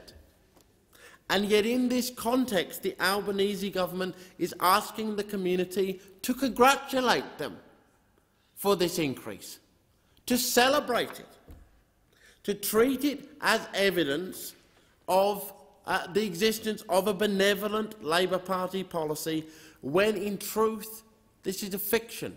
All they have done is index these payments to CPI. Now, people are rightly furious about this because people that struggle week by week, month by month, on the rate of these payments understand the difference between indexation and an actual increase because they live it every single day. I have to ask where the government gets the gall to attempt to advertise this as a win while so many Australians are languishing in poverty that it, in no uncertain terms, has chosen to maintain, particularly affecting those on the disability support pension who were left behind again and again by the previous government and can expect, it seems, no better. Thank you, Senator. Your time has expired. Senator Pocock. You, Madam Acting Deputy President. Yesterday, indexation increases to a range of payments were announced, including JobSeeker. Recipients will get an extra $1.80 a day from 20th September, an extra half a coffee if, if they're lucky. This lifts the daily rate from 46 to $48. Expecting people to live on $48 a day is expecting people to live in poverty. The price of food alone is soaring, with estimates suggesting it could be costing low-income households as much as 40 per cent of their take-home wage to buy a week's worth of food. This comes at a time where costs of rent are driving people to homelessness we're having to talk about the working homeless here in Australia. In the last 12 months, the average rent on, on a unit in Canberra increased by 11 per cent. It is the most expensive city to, to rent in our country. Nationally, there are 164,000 people on the social housing wait list. 164,000. It's not an exaggeration to call this a housing crisis. We're in a cost of living crisis too. In the pandemic, the COVID supplement increased the rate of job seeker, and we understand now that it lifted people out of poverty.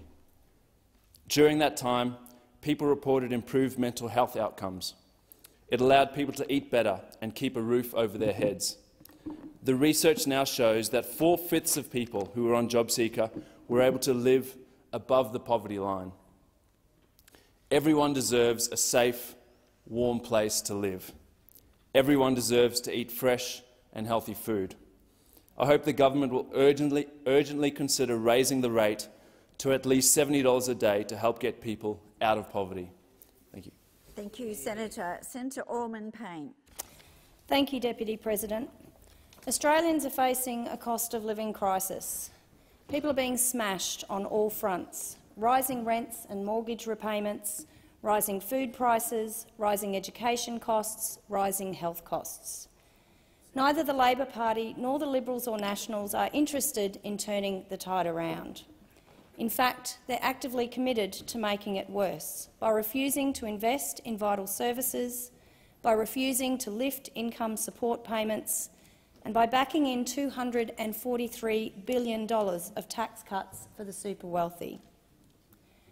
Of the 243.5 billion of Labor's stage three tax cuts, $188 billion, or 77 per cent of the benefit, will go to the wealthiest 20 per cent of the population.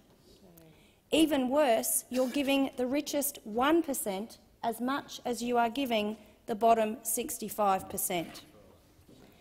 The commitment to raw, unadulterated neoliberalism should bring shame to all of those on the Labor benches. Labor's stage three tax cuts for the super-rich will turbocharge inequality in this country and effectively destroy our progressive taxation system.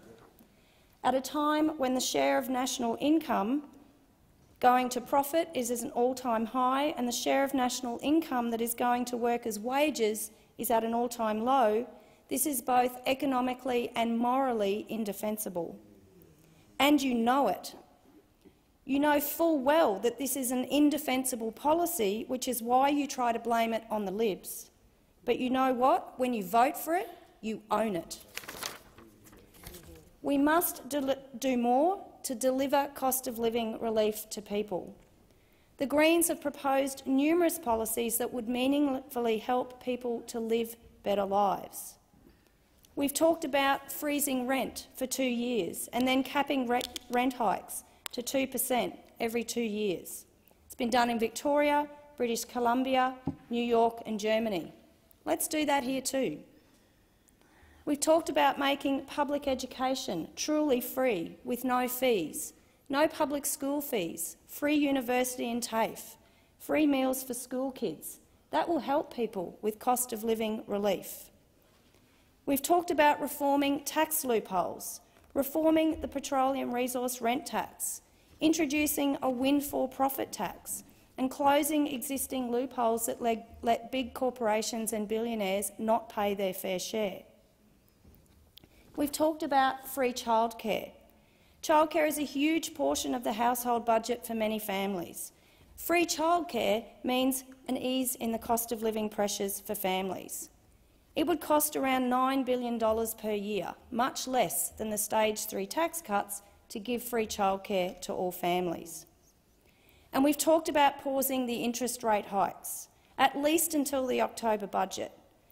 Interest rate rises are hurting both renters and new homeowners, and they are doing nothing to address supply-side inflation. Labor's stage three tax cuts will turbocharge inequality. We need cost of living relief now, not more tax cuts for the wealthy. Thank you, Senator. Uh, we will now move to the consideration of documents. Those documents are listed on page four of today's order of business, and I will remind the chamber that approximately five o'clock we will go to first speeches. So, um, item one, Australian National University. Any speakers? Commonwealth Grants Commission Report 2021. Migration Act 1958. Senator McKim. Yes, um, thank you, Acting Deputy President. I do rise to speak to uh, the Migration Act uh, 1958, um, Commonwealth, Commonwealth Ombudsman's reports, uh, numbers 20 to 22, 24 and uh, 25 of 2022, as well as the government responses to, um, to those uh, Commonwealth Ombudsman's reports. And I, I want to be very clear here in regards to uh, immigration detention, that the average length, average length of time that people spend in immigration detention in Australia is uh, a human rights calamity. And when you compare us to other countries in the world, uh, we imprison people in immigration detention in this country, in some cases for many years and in a small number of cases for over a decade, we imprison people on average for far longer than comparable countries around the world, whether it be the United Kingdom, whether it be Canada, whether it be the United States. We are a global outlier in terms of how long we keep people in immigration detention, why we put them there in the first place, and the way we treat them in immigration detention. And that is why the Greens have consistently argued for a royal commission into immigration detention, not just onshore but offshore, what we did to people on Nauru, what we did to people on Manus Island. And I want to say right here, there are still over 200 people in either Papua New Guinea or Nauru who are in their 10th year, their 10th year of suffering. They were put there by the Labor Party in 2013 and they remain there now. After long years of Liberal government, they remain there now under a Labor government, exiled in Papua New Guinea or Nauru. And I know some of those people and I'm in contact with some of those people, either directly or indirectly. And I can tell you now, some of them are doing it incredibly tough. And there is no excuse, no reasonable rationale for leaving those people in exile in Papua New Guinea or Nauru for one day longer. They should be brought to Australia and settled here, but even if the Labor Party won't do that, what the Labor Party should do is bring them here to Australia and allow them to stay here in this country until they are resettled in a third country. That would actually be in line with Labor Party policy. It is unconscionable that in the 10th year of suffering, they are still suffering so much and so grievously. In onshore detention, we have stateless people who've been locked up for year after year, arbitrarily detained, with no hope of ever being released, locked up in our onshore immigration detention system.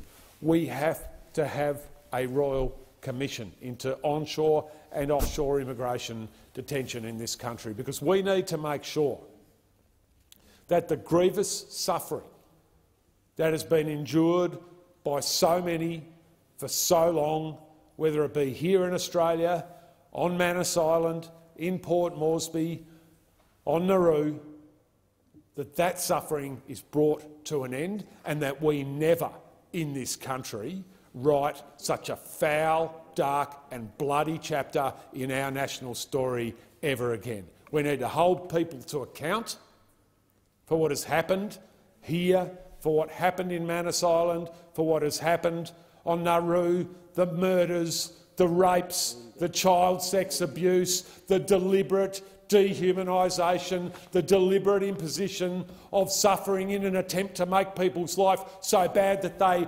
fled back to the persecution that they fled from in the first place. We need to make sure that never happens again in this country. We need to make sure people are held to account for what happened, and the way we can do that is through a royal commission so we can get the truth out about what happened and make the improvements that need to be made so that we can regain our human rights credibility.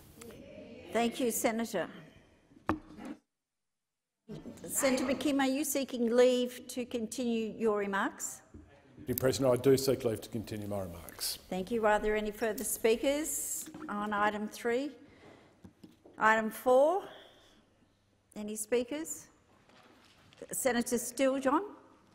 Yes, I'm, I'm just seeking. I think on I, I think it's item four to take note of the uh, of document number five, the economic references No, committee. No, we're on to number four, treaty joint initiatives on service domestic regulations. Oh, it's a bit early. Sorry. No further speakers, then we shall move on to the tabling and consideration of committee reports and government responses. Senator Scarr. Deputy President, uh, I rise to take note of the Economics Legislation Committee report, Treasury Laws Amendment Electric Car Discount Bill 2022, and seek leave to continue my remarks. Table said report first. Ah. On behalf of the chair, sorry, once I've got the call. Yes, you have the call, Senator. Thank you. On behalf of the chair of the Economics Legislation Committee, Senator Walsh, I present the report of the committee on the provision of the Treasury Laws Amendment Electric Car Discount Bill 2022, together with accompanying documents. So they've been tabled. Senator Scarr, you're now seeking leave preempted. Okay. Um, right, Senator Canavan. Thank you, Madam Deputy President. I rise to take note of the uh, Senate Economics Committee on the electric car discount bill. Um, uh, look, I, I uh, uh would like to commend the uh, committee uh, for this. Sorry, Senator. Sorry, yes. I've just been advised that you need to seek okay. leave. Could I seek? Um, so could I seek leave to take note of the? Is leave granted? We need to take leave. I don't think we need to take leave. Well, that's, this is.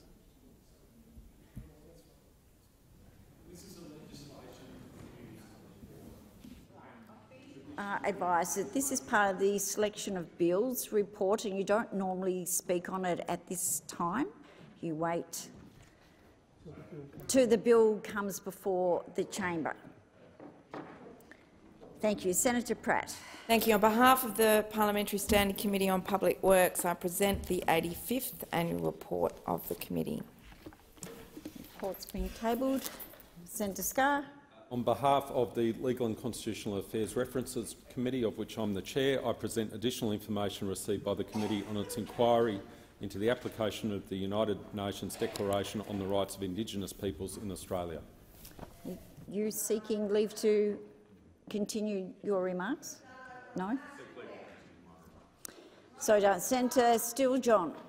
I, I, would like to uh, take note of the Economic References Committee report, Australia's sovereign naval shipbuilding capability, and uh, seek leave to continue my remarks. Is leave granted? Leave's granted. Thank you all. Any further speakers? No?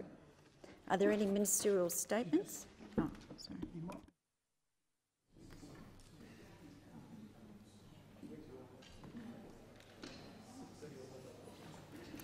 I just, uh, yes, thank you. Uh, just checking that no one wants to speak to the committee reports presented um, out of sittings, items six and seven on the back of the order of business today. That's the Environment and Communication and Legislation Committee report. Or the no, no further speakers. Then, are there any Ministerial statements? No. Committee membership? Uh, I seek leave to move a motion to appoint senators to committees. The President has received letters nominating senators to be members of committees. You're, uh, you're seeking leave for that motion. Uh, is leave granted? Leave's granted. Senators be appointed to committees as set out in the document available in the chamber and listed on the dynamic red. Uh, Senator Waters? Yes. Can I just seek clarity on which committee is being referred to? Because we have a, a, a, related motion that we would, uh, would be seeking to move and make some contributions to, but we'd obviously rather not get in the way of first speeches.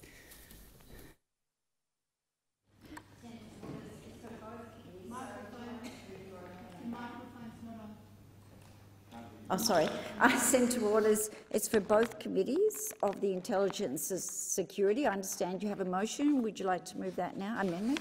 Uh, yes, well, we, we, are willing to, unless the uh, government would like to delay this until after first speeches. Up, up, to you, just as a as a gracious thing. But you want to. Um,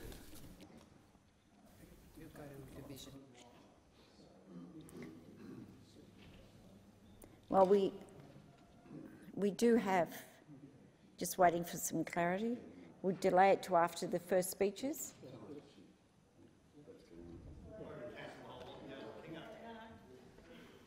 So I'm in the hands of the government. Uh, Senator Waters, uh, you should move your motion.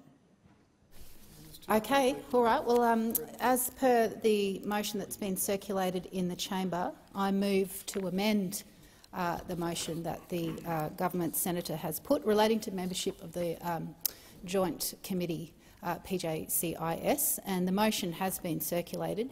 Um, and this pertains, and, and, I'm now seeking to speak to that motion, um, assuming that I now have that right to continue on to do that, Dep Pres. Uh, how, we've got two minutes. yes, well, this is minutes. why I suggested that we delay it until after the first speeches. So I'm, I'm seeking some guidance from the chamber. So uh, Perhaps you did if, actually if, offer, um, offer, that courtesy, Senator Waters. Acting Deputy President, uh, and if I indicate to Senator Waters that perhaps that the best way to proceed was if I could get an indication uh, that uh, Senator Waters would speak for five minutes prior to prior to the, I'm just trying to arrange the speaking times and that, and that you be afforded uh, speaking prior to the upcoming first speech, and then we'll continue with speeches in relation to that after the first speech.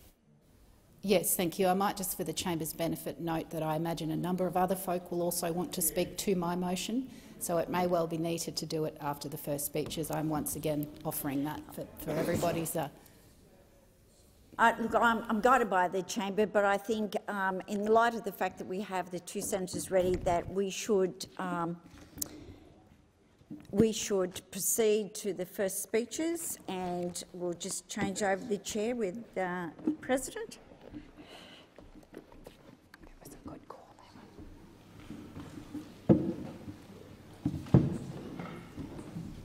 Uh, thank you, thank you, uh, Senator Waters, for your indulgence. Pursuant to order, I now call Senator Tyrrell to make her first speech and ask senators that the usual courtesies be extended to her. I call Senator Tyrrell. Yeah. Thanks, President. Appreciate it. What if I appreciate it? I'll get on with it. Look, this is the strangest experience, being a senator. Calling myself one, even. Feels like I'm a kid playing dress-ups. Like there's been a mistake. Any minute now, someone's going to come grab me and tell me I actually lost. I didn't grow up writing and rewriting my first speech in my head. I grew up hanging out with my Nana French, swimming at Gunns Plains or Spelman's Bridge, wearing knitted clothes and going for a barbecue and collecting firewood for winter. I was an average student. I struggled with maths, and truthfully, I still struggle with it. Um, in high school, I was the chubby, geeky, weird kid. Um, I liked hanging out in the library, going through books about the world outside of Tassie. After school, I fell into the trap of bad perms, short skirts and high heels. Go on, you know you all did. I worked on a farm, going out to the paddock, collecting the hay bales and throwing them onto a truck. It's not glamorous work, but a girl needs money. And that Garfield Orange XD Falcon with a column gear shift wasn't going to pay for itself two grand. Buy one now for two grand. It's a collector's item. Mum passed away 23 years ago. too young, but all she wanted was time with the people she loved. She knew what it meant to struggle. And I think we all do too. I hear politicians talk about it. The words that get used always sound foreign to me. Phrases like putting bread on the table. You don't work just so as you can put bread on the table. You work because it gives you something else. And I'll tell you how I know that. I didn't go to university. I worked in paddocks, like I've said numerous times, and factories and offices. I've raised a family. They would judge me harshly sometimes, but that's okay. I've been unemployed in between. I worked for 15 years in the employment services, helping long-term unemployed back into work. And this is what I saw. When you first lose your job, people will ask you, what do you do for a living? And you say your old job, like you're still doing it. It's just out of habit. At least when it starts, it's a habit. Then you're out of the job a little longer, and it's out of convenience. It's a white lie, but it's simpler, because it's what you'll be doing again in no time at all. Then a bit of time passes, and you realise maybe you won't be. You start to say you're between jobs, which is like saying you're adrift but land is in sight. You say it to reassure the person you're saying it to. But then a little while passes and you're still saying you're between jobs. You end up saying it a few too many times to the same few people.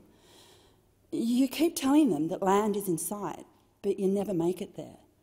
And it gets embarrassing. So they stop asking. And you know why they're not asking you anymore? You ask a kid what a dad does, and they'll tell you what his job is.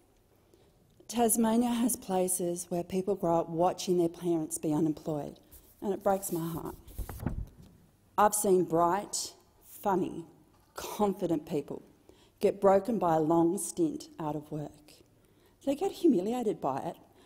It's like coming last in a beauty contest every single day, and it's a kind of trauma. It's bloody hard to come back from.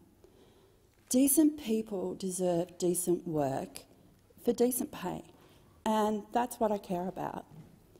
And when you're out of work, you deserve help to get back on your feet. You deserve a lift up. And respect for the strength it takes to lift yourself up off the floor. If you can't work, we should be working for you to make your life better. Well, Jackie and I we come from the same place. I started working for her in Burnie's, in her Burnie office about eight years ago. I was terrified, cacking my dax. Two weeks in, and I'm walking into a brand spanking new senator, and you've all met her. Um, I didn't want to show how terrified I really was.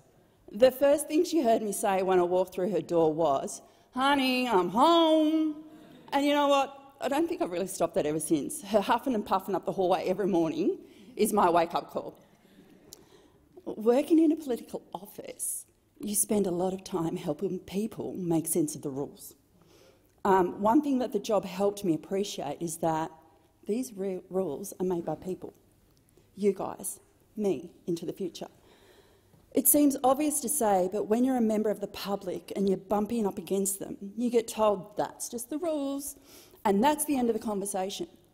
And when I started, that was my approach too. But when you do the job for a while, you learn the rules, enough to know when you can work around them. Sometimes you have to. Sometimes the rules are bloody dumb. Rules are set by people. They're not handed down from on high. And if they don't work for people, people can change them. We can, right here if we want to. The other thing I saw working with Jackie was just how rough it can be on the crossbench. Don't get me wrong, it's quite comfy over here at the moment. People are passionate about issues, but they're passionate on both sides, for and against. And that passion can be horrible when you're caught in the middle of it. Please don't be horrible to us here in the crossbench. When the crossbench is in the balance of power, it's because the parliament can't agree to anything. That's okay, that's normal. That's what we use politics for. But it gets ugly when we don't just deserve uh, apologies, but it gets ugly when we don't just disagree, but we take it further half the country represented by half the parliament thinks the other half isn't just wrong but bad. I've never heard someone put their hand up to run for politics because of their burning ambition to make Australia a worse place to be. Everyone is here because they've got an idea of what would make our country better. Those ideas clash with each other, and that's all right. We have to start by agreeing that the person who holds the idea you disagree with isn't a bad person for not agreeing with you. I've never met a person who thinks their own views are immoral. Not one. Everyone thinks their views are the right ones, and the immoral ones are the people who disagree. That's a really toxic way to approach political debates. People who disagree aren't bad. They're not evil or less than human. They have a different way of what a good country looks like, but that doesn't mean they're the devil incarnate. I want to disagree nicer. With that in mind, I want to offer my respect and admiration for the person whose seat in this place I'm now perched. Former Senator Eric Abetz had a vision for what would make Tasmania an even better place to live. And for nearly three decades, he committed himself to making that vision a reality. It's not my vision, though. And I don't share his politics. I think he was wrong about what Tasmania needs but he had an honestly held view that what he was fighting for was what's right for our state, and I admire him for that. It's what I want to do. I'm just going to do it a little bit differently. My friends are a lot like me. They're very plain and simple. They're not classy, but they're not nasty. And you'll never be left wondering what they're thinking. I like people who are straight with me, and that's how I always try to be with them too.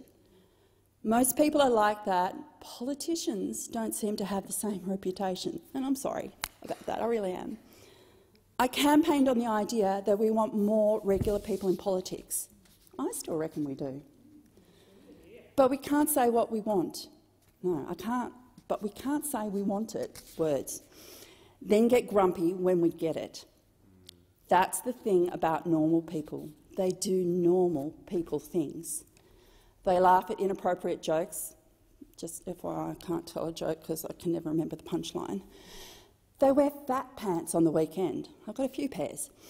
They'll try to say something clever and end up with their foot in their mouth. They get nervous talking to big crowds. Uh, they get self-conscious when there's a camera in their face. Yeah, that's you. Um, they doubt themselves. Normal people change their minds about things. It's one of the things I like about Jackie. She's not the Jackie she was when she was elected for the first time, because she's not been afraid to um, learn. I want to learn and I want to change my mind. That's who I am. I change my mind about things all the time. Be quiet, Tim. The reason I'm here is because I changed my mind about whether I wanted to be a politician. And I like that about myself. I like being modest enough to say, I've learned more and I was wrong. I don't want this job to change me. I don't want the normal to get drained out of me. But politics is the only place where if you change your mind, you're punished. You're a flipper-flopper, you can't be trusted. I'm telling you now, I will get things wrong. I will make calls on how I vote, then I'll live to regret. I know that. I'm just hoping that I'm always open to learning how I got things wrong. And I'm hoping I won't be afraid to acknowledge it. Or even if I am a little afraid, I do it anyway. But everyone from out on the streets to up in the press gallery, you've got to be prepared to cut us some slack. Politicians won't acknowledge they've got something wrong or acknowledge that they've changed their minds if you go after them. If you want politics to change, you've got a role to play too. If you've ever criticised a politician for flip-flopping or reversing their position on something, or looking like a dork, I do that a lot, or feeling nervous about a media appearance, wait for it, that's happening soon. Um, you're making it impossible for regular people to get involved in politics because you're marking them down for doing something regular people do. I don't want to start acting like a politician. Please don't try and make me. um, I don't want to lose that part of me that gets awed by the building every time I walk through the Marble Hall. It's an amazing place to be. I want to show people that regular people can be good at this. I want people like me to look at, me here and say, if she can do it, so can I. Because you can and you should. I know the office of a centre is a rental. It's a six-year lease, and if you're a good tenant, your landlord might give you an extension. Um, but it's never yours. It's always theirs. And if you forget that, they'll remind you. I'm hoping I can look back years from now when people ask me what it was like to be a senator and I'm able to say good things. I hope people feel like they got value. Most of all, I want it to be something that's a source of pride for people, the ones who bent their backs to put me here. I want them to feel like they backed me to do good, and it paid off. I did good. I don't want to seek out the limelight. I want to be able to give the limelight to the rest of us. I want to make it hard for the rest of Australia to ignore us. I want it to be impossible to focus anywhere else. When they swear you in as a senator, they give you a little pin to wear instead of tags everyone else has to wear. It's a little bit bougie.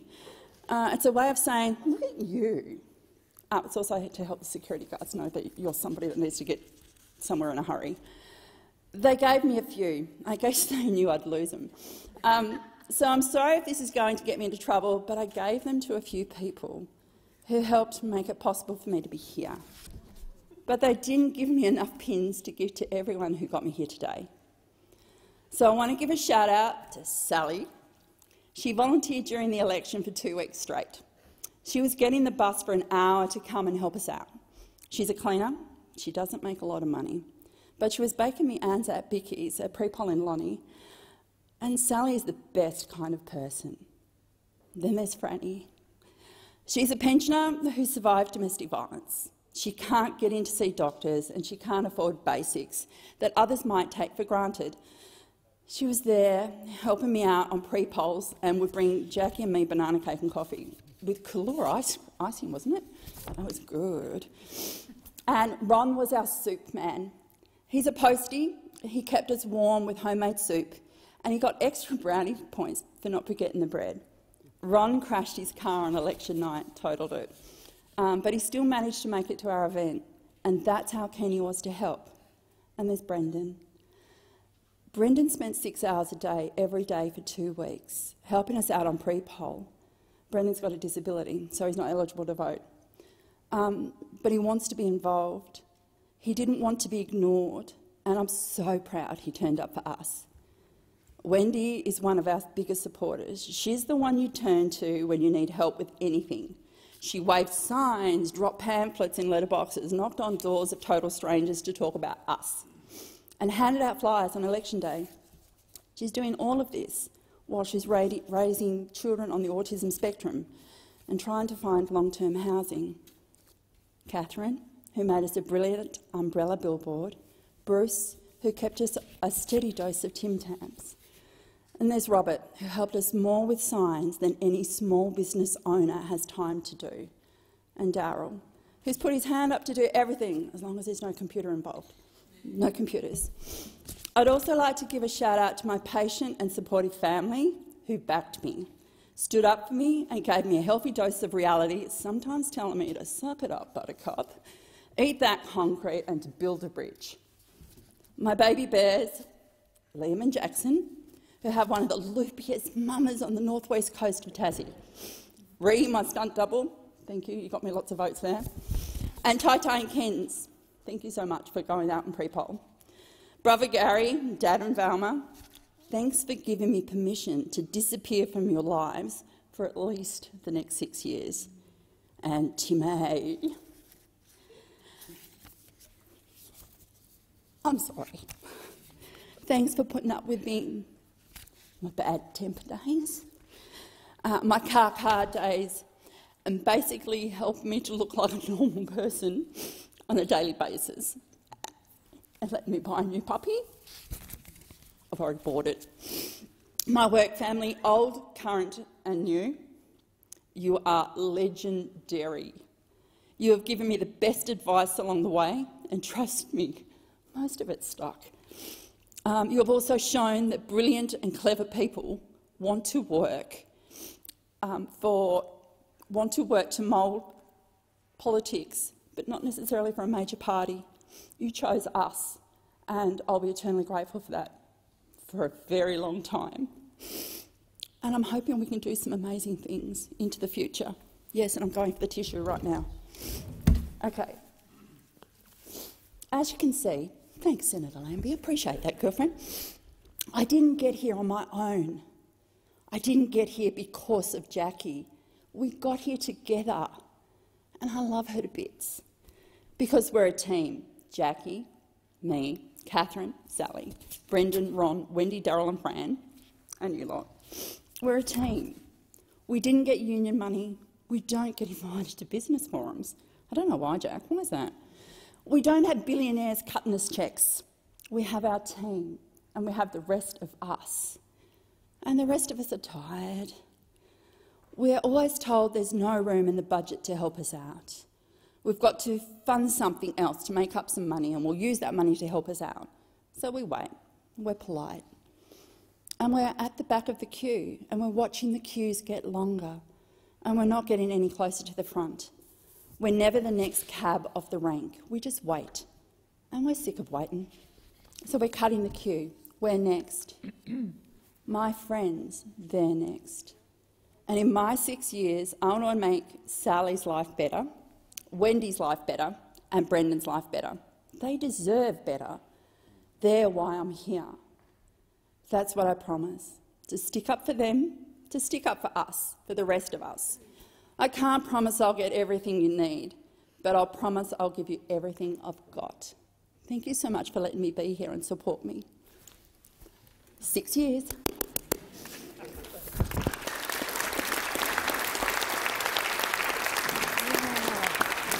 Happy days. Uh, I know.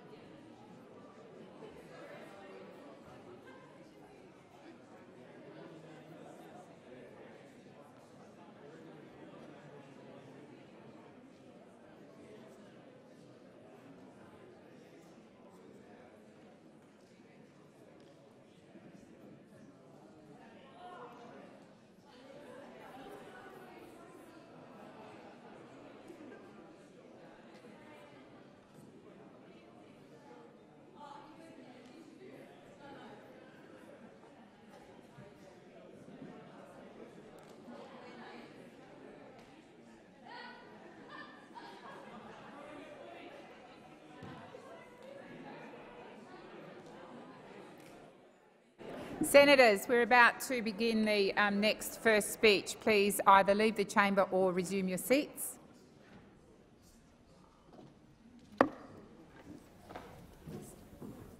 Pursuant to order, I now call Senator Payman to make her first speech and ask senators that the usual courtesies be extended to her. I call Senator Payman. Thank you, President. I rise to present my first speech, finally.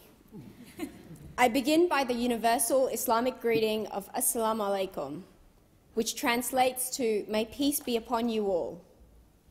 I acknowledge the Ngunnawal and Ngambri elders and knowledge holders who have paved the way for those here now, those following proudly in their footsteps, and those yet to come as custodians and owners of country. I would also like to acknowledge Whadjuk country as my home base, where I live, uh, care for and maintain continuing reciprocal relationships with all who share this land. Sovereignty has never been ceded, it always was and always will be Aboriginal and Torres Strait Islander lands. I recognise the resilience and strength of all First Nations people of Australia and appreciate their knowledge sharing and stories that influence the life of many new Australians like me. It is time to recognise the constitutionally enshrined voice to Parliament as a significant and practical reform to get long overdue outcomes for the First Nations people. I am so proud to be part of a government, an Albanese Labor government, who will implement the Uluru Statement from the Heart, emphasising our support for voice, for truth and for treaty. I congratulate you, President, on your election as the second female President of the Senate and the first Labor woman to hold your position. Your incredible sense of justice and fairness will make you perfect for the role. I wish you very, every success. I'd like to take this opportunity to thank my late father, Abdul Wakil, whose selfless sacrifices will never be forgotten and whose advices about hard work, perseverance and integrity I will hold on to as pearls of wisdom. To my mother, Shagufa,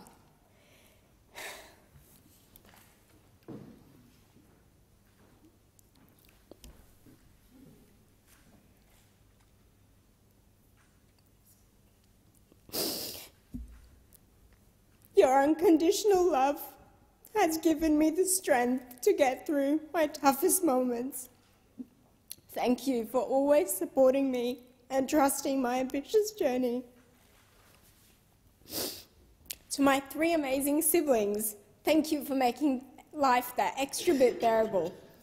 Hurush, you have made me so proud of all your achievements as a mother, as a wife, a makeup artist, and soon to be pharmacist. Salman, I love your sense of humour and enjoy our spontaneous kitchen counter philosophical discussions.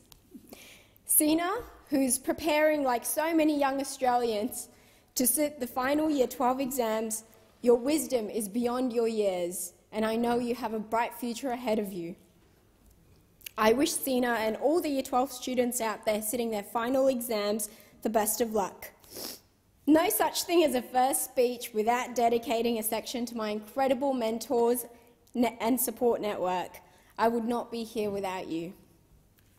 The WA Labor Party office team, former State Secretary Tim Picton and current State Secretary Ellie Whiteaker, thank you all for your efforts in supporting my campaign. Jacob Stokes, congratulations on running the best Senate campaign Australia has ever seen, with a great deal of strategic direction and management. Thank you for putting up with my highs and lows on the campaign trail. Dom Rose, I know you couldn't be with us today, but thank you for being an older brother that saw potential behind my crazy ideas and supported me through my breakdowns. And, of course, introduced me to the Dockers. Carolyn Smith, thank you for your generosity, guidance and goodwill. The Honourable Pierre Yang MLC, thank you for giving me the opportunity to prove myself and for taking me under your wing of guidance on this political journey. Terry Healy, MLA, thank you for the contagious energy and interest you brought to my campaign, always full of amazing ideas and inspiration. Janine Freeman, thank you for the long chats and providing me a platform to speak my mind. I want to extend my appreciation to every federal WA Labor colleague who supported my campaign and encouraged me to keep striving. I wish I had time to name you all.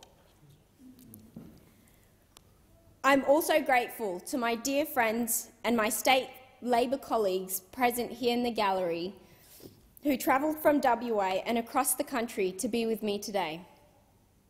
I am thrilled to have a wonderful team in Lena He, Alex Tileni and Rose Lockhart who have helped me adjust to this new role, and I look forward to the awesome things we will achieve together as a team in the years to come. A final thank you to my beautiful home state of Western Australia for putting your trust in me and the Labor government. We will work hard for you and with you every day.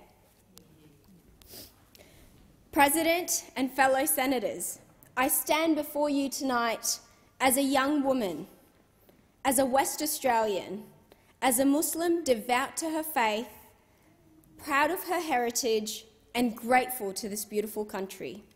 It is a country that offers so, so much to so many. People travel from all parts of the world in the hopes of calling Australia home. My family and I also had that same hope. On a cold winter evening, 8,852 kilometres away from Perth, I was born in Kabul, Afghanistan in 1995 as the first child to a young couple thrilled at the prospect of what the future held for their little bundle of joy. That excitement did not last longer than a year, followed by the collapse of Afghanistan in the hands of the Taliban. With no hope in sight, my parents had to make the tough decision of fleeing to Pakistan with my newborn sister and I. Resettling was difficult, but not as difficult as what my mother was about to urge my father to consider to migrate to Australia. In 1999, my late father risked his life and left his family behind to traverse the Indian Ocean for 11 days and 11 nights on a small boat and stormy weather in the hope of finding safety and security for his wife, two daughters, and a son on his way. Anxiety and waves of doubt flooded my mother's thoughts as she waited and waited for any news of my father arriving safely in Australia. Four months later, we finally received the good news. And from there on, for, for four years, my father worked around the clock as a kitchen hand, a security guard, a taxi driver, while learning English as a second language and saving up enough money to sponsor my mother, my two siblings and I. In 2003, we were finally reunited with my father and settled in the northern suburbs of Perth to begin our new life together. As we adjusted and adapted, I witnessed the struggles my parents went through to put food on the table to pay for our education and to provide a roof over our heads. Like many hard-working Australians, this came as second nature to my parents, who just wanted the best future for their children. From discrimination and abuse to job insecurity and low wages, my father endured those hardships without complaining or seeking compensation. And when my youngest brother started kindergarten, that's when my mother embarked on a journey to start her own small business, a driving school to empower other women. Despite the unfamiliarity of the venture, my mother strived to alleviate the financial burden on my father to make ends meet. You see, my parents always encouraged us, encouraged my siblings and I, to aspire for greatness, to study hard, get a secure job, and be a respectable member of society to always stay true to your roots and stay humble, to praise God and be grateful to his bounties, to be generous with our wealth and time towards those who are less fortunate. However, life took a bitter turn when my father was diagnosed with acute myeloid leukemia in 2017. He went through 11 months of intense chemotherapy, bone marrow transplant, and endless cycles of medications, but his health continued depleting. My once fit, independent, and healthy father became frail, weak, and required assistance to move around. Despite this, my father was still the strongest man I have ever known. Losing him at the age of 47 was the most difficult reality of life had to face.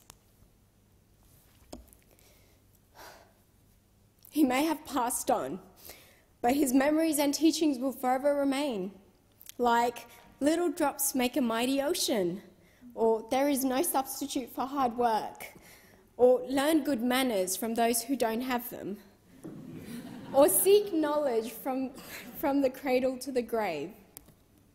Life is short and very unpredictable, so we cannot even take a moment for granted.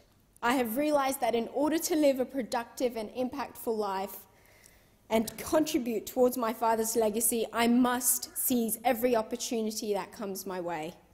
Carpe diem. Easier said than done, though. Life has its own way of throwing figurative punches. The onus is on us to see every challenge as an opportunity, as a chance to grow, as a lesson to learn, and as a part of life. When my attempts to study medicine were not successful, I took my late father's advice to pursue pharmacy, with the perception that the medical field was the only way to serve humanity. Cruising in my own world of endeavours, I stumbled upon my first experience of being made to feel like the other. At a university tutorial, when a young man ridiculed my hijab. You see, I never felt different growing up. Perth felt like home from the get go. Because home is where the heart is, and my heart was with my family. So I didn't feel different or strange. I felt like any other Aussie kid growing up in the northern suburbs of Perth, catching public transport to university, and hoping to become a productive member of society. But comments like, go back to where you came from, or inferences to extremism forced me to feel like I didn't belong. So I started volunteering in the hopes that being part of the change, if I was seen to be spreading goodness in society, perhaps then I will be accepted as an equal member of this nation. I joined the Edmund Rice Centre and became involved in youth leadership through the guidance of Joe Moniotis. I joined the WA Police Muslim Community Advisory Group as the youth representative. I served as the president of University of Western Australia's Muslim Students Association for two years and worked hard to have an active presence on university grounds to break down those barriers of the unknown. Through my community work, I met the Honourable Pierre Yang MLC, Upper House member for North Metropolitan Region in WA. That is when my journey in the Labor Party began. I finally found a space where I, was, I felt seen, appreciated, and like I belonged. I made friends with people who shared the same core values. I remember my father always encouraging me to vote Labor, not because he was very well versed in Australian politics, but he had a firm belief that Labor cared for the working class people and ensured the well-being of everyone on the economic spectrum. It was Labor who established Medicare so that people like my father had access to the best treatments and medication without the financial burden being on the families to bear. It was Labor who abolished the White Australia policy to acknowledge, respect and celebrate the diversity of our growing multicultural society so families like mine don't feel ostracised. It was Labor who pioneered superannuation and fought for workers' rights, ensuring everyone was afforded a fair day's pay so hard-working Australians like my father weren't taken advantage of.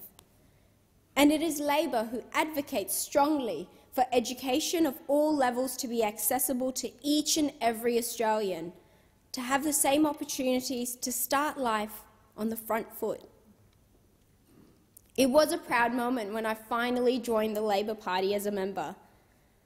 And from there on, my experience as a union organiser at the United Workers' Union solidified my Labor values and motivated me to spend every day fighting for fairness, justice and equality.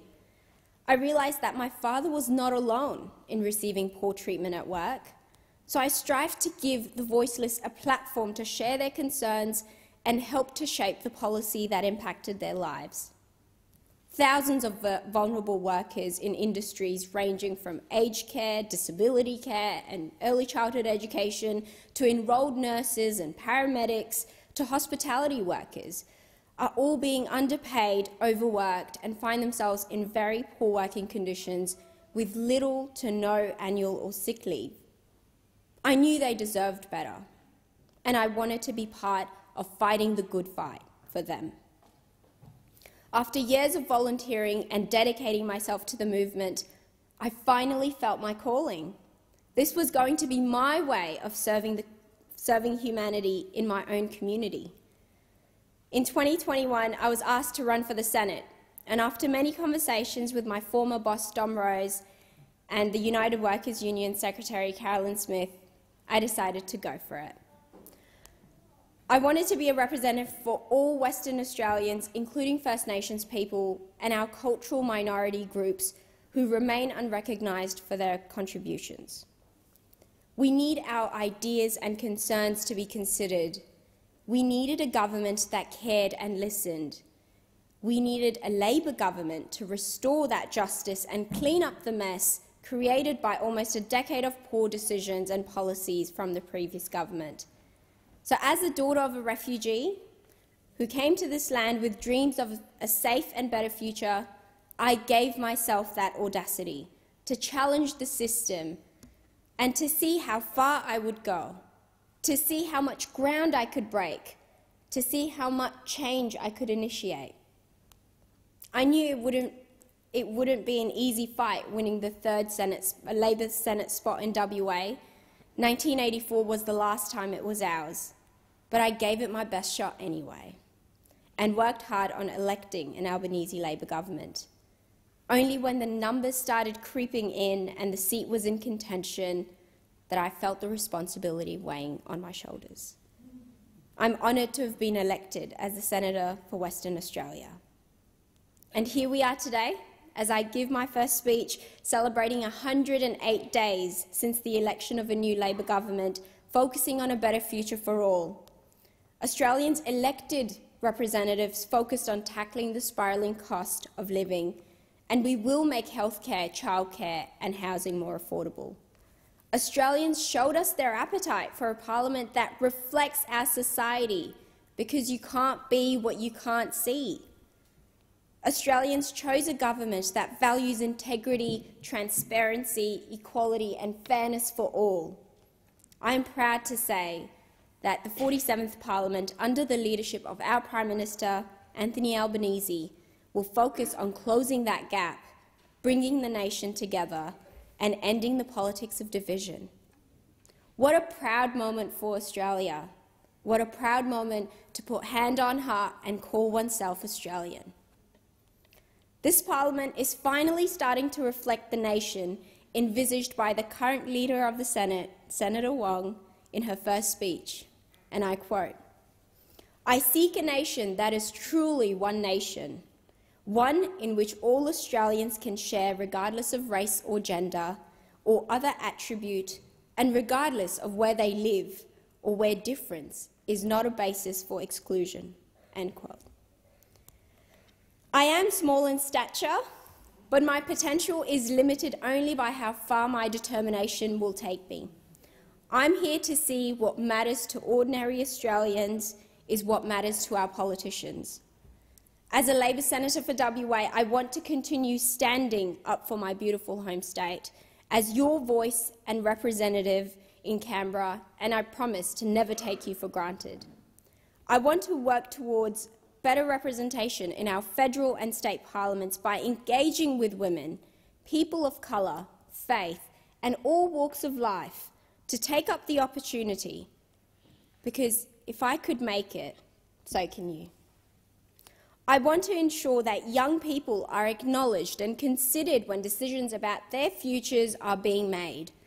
Inspired by James Charlton's book, Nothing About Us Without Us, will be a slogan that I will embrace when advocating for accessible housing, education and employment opportunities for Australian youth. I want to eradicate stigmas around mental health and make it more accessible to receive professional help. As someone who suffered from grief, anxiety and depression after my father's passing, I appreciate the importance of maintaining my emotional and mental state. I do not know what it will take to end homelessness, but I want it gone. In a progressive first world country, we must aim to remove poverty and homelessness from our streets and ensure everyone has access to basic human needs. I want to see people in jobs with dignity, having quality time to spend with their families, being able to give their children a good education and be respected members and citizens of a country that appreciates their contributions and respects their uniqueness. I want to give this opportunity my best shot by staying hungry and humble, because not many 27-year-olds can say that they have the honour and privilege of serving our nation as a senator. It is so important to acknowledge that privilege because only then will we appreciate our purpose responsibilities and duties to the people who elected us here, to this parliament, hoping for a better future. Hope is an amazing thing. Hope can help you endure work in a foreign land with a foreign language so that you can save up enough money to sponsor your family. Hope can make you work multiple jobs and endless hours, all with a smile, knowing that you are building a better life for your kids. There are many immigrants who turn to this great country of ours in hope of finding a better place to call home, to raise a family, to start a life. They bring with them their talents and skills and phenomenal work ethics and their families in hope for a better tomorrow. They add to our diversity, to our society, to our culture and to our cuisine, and of course to our economy. Whilst at times, and even in this very chamber, xenophobia has raised its ugly head. Fear-mongering and divisive sentiments have been shared about our immigrant population, but the simple truth remains that as a nation, we need a humanistic and optimistic approach. A policy which will help solve many of our skill shortages and grow our economy and strengthen our diversity and link to the world. I am, a I am a proud daughter of an immigrant, and there are millions more like me. In fact, this great nation of ours was built on immigration. The service of my ancestors, the Afghan Cameleers, allowed us to navigate the plains of this land. They were pioneers, and I too will be a pioneer and walk in their footsteps to serve our nation as they did. As a nation, we have the potential we have the drive and we definitely have the appetite to support, grow and nurture the future leaders to come. So let us quit the bigotry, racism and discrimination. Australia is way beyond that. Let us not settle on multiculturalism being just a brand we associate with or take pride in as a nation, but rather fully embrace it by caring for one another, by accepting each other for who we are and what we can become, and by ensuring all voices are heard at the table. It is time to love, care, and respect one another. It is time to unite, not break away and divide. It is time to use our diversity as our strength and seek wisdom in our differences. Because we all know beneath it all, we all belong to the human race. I'll finish by sharing the poem by Saadi Shirazi called Bani Adam, which translates to Children of Adam, a truly timeless piece that my late father would always recite to me in Dari. بنی آدم ازهای یک دیگرن که در آفرینش ز یک گوهرن چو عضوی به درد آورد روزگار دیگر عضوها را نماند قرار تو که از مهنت دیگران بغمی نشاید که نامت نهند آدمی which translates to human beings are members of a whole. In creation of one essence and soul. If one member is afflicted with pain other members uneasy will remain. If you have no sympathy for human pain the name of human you cannot retain. I thank the senate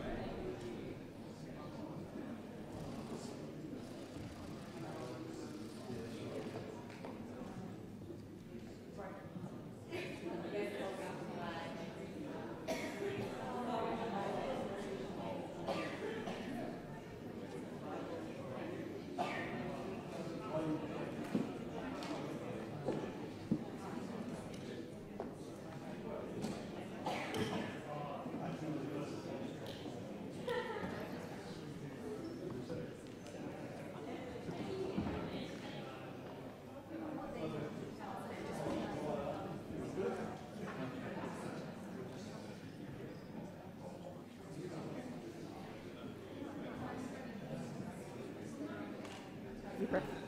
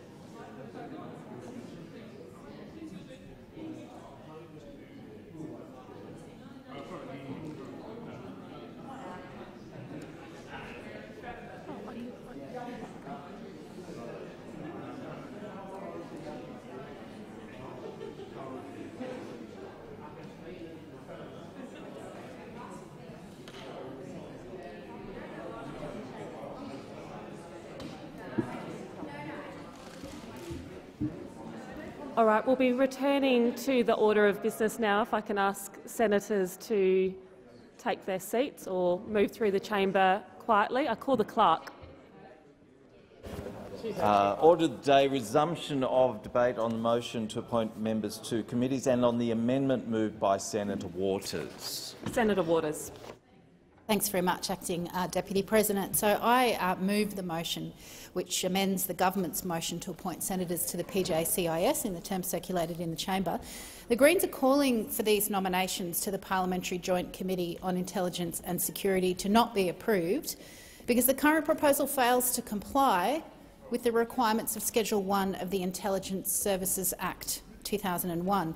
Nominations should not be considered or finalised until after the Senate is notified uh, by the Leader of the Government that appropriate consultation has occurred and that the committee membership reflects the representation of recognised political parties in the parliament.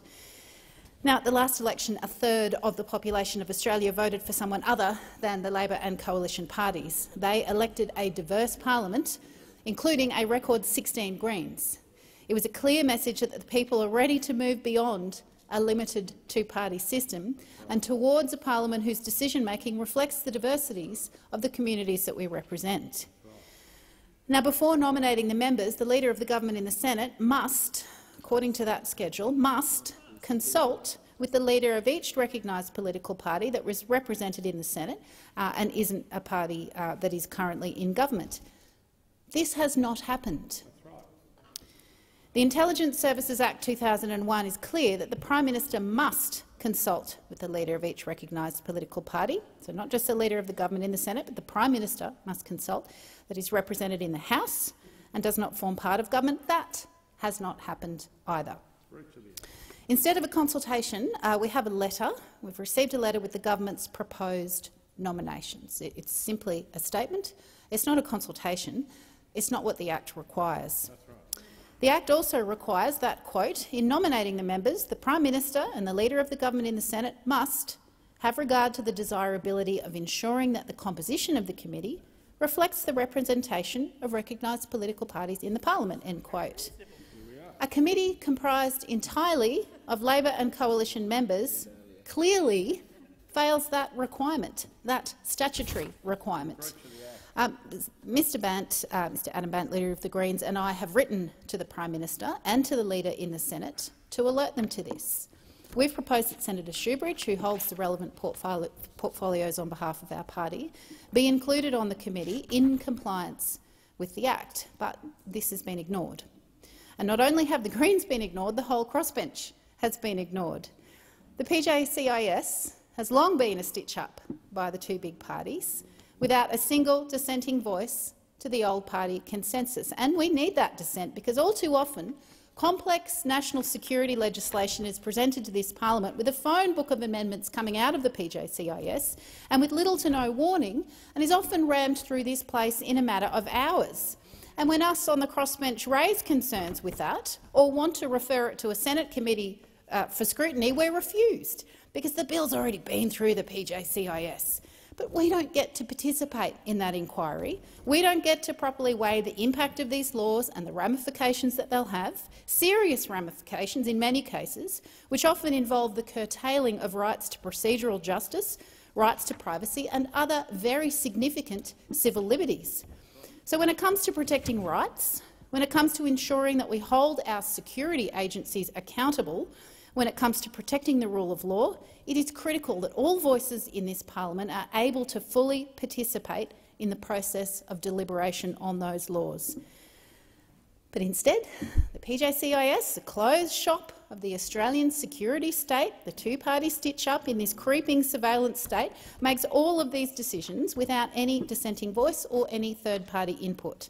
And that is not good for democracy. It is certainly not good for protecting human rights. It is not good for the parliament. It is not good for the people that we are put here to represent. Um, so for all of these reasons, we are moving this amendment because we're sick of the two big parties thinking that you own committees like this that make crucial decisions that impact on people's rights and daily lives, and it's not good enough. And it's in breach of the Act. So vote how you will, and uh, this isn't over. Here, Senator Gallagher. Thank you, uh, Mr Deputy President. Uh, the government opposes the amendment to the motion moved by Senator Waters, and I think uh, we would disagree strongly with Senator Waters' presentation in her remarks that uh, the government has not complied with relevant clauses of the Intelligence Services Act. Um, the Leader of the government in the Senate has consulted with all leaders of each recognised non-government political party in the Senate about the membership of the committee as required by Clause 14. Now, it might not have been the consultation process that you were after, but we have met the requirements of the Act. We have consulted as required by Clause 14 of Schedule 1. Yesterday, the Leader of the Government in the Senate sent correspondence to Senator Waters, as Leader of the Australian Greens in the Senate, in accordance with statutory requirements, and the correspondence was also provided was also provided to the Leader of the Australian Greens, Mr Bandt. Um, no response has been received from um, Senator Waters to that correspondence. The Leader of the Government also sent the same correspondence to other party leaders, including Senator Birmingham, Senator McKenzie, Senator Lambie, Senator Hanson and Senator Babet. And I could assure Senator Waters that extensive consideration was also given by the Prime Minister to the desirability of ensuring that the composition of the committee reflects the representation of recognised political parties in the parliament, and I tabled the correspondence sent by Senator Wong to Senator Waters. Can I give that to someone? I'll consider it tabled. Thank you, Senator Gallagher. Do you have any further contributions, Senator? No.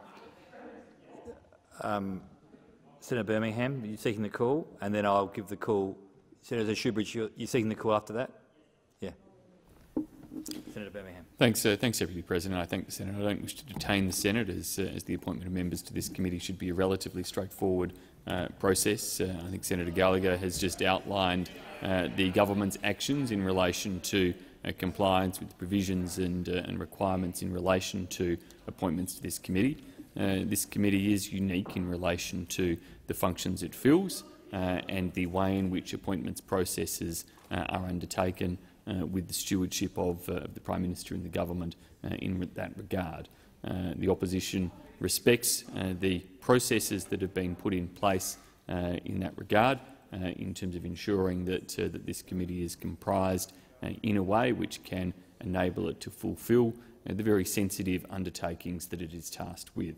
Uh, the opposition also respects the process that the government has applied and the conventions attached uh, to that process uh, and therefore does not support the amendment proposed uh, by the Greens uh, and, and would urge the Senate to proceed to ensure that this important committee can get on with the work that it is tasked to do. Thank the Senate. Senator Shoebridge. Deputy President, it's just not a good start from a new government to directly flout the law in one of the key committees that, that it seeks to establish in the life of a new parliament, which has, if I might remind members of this chamber, about one in four senators are from the crossbench, totally excluded from this committee.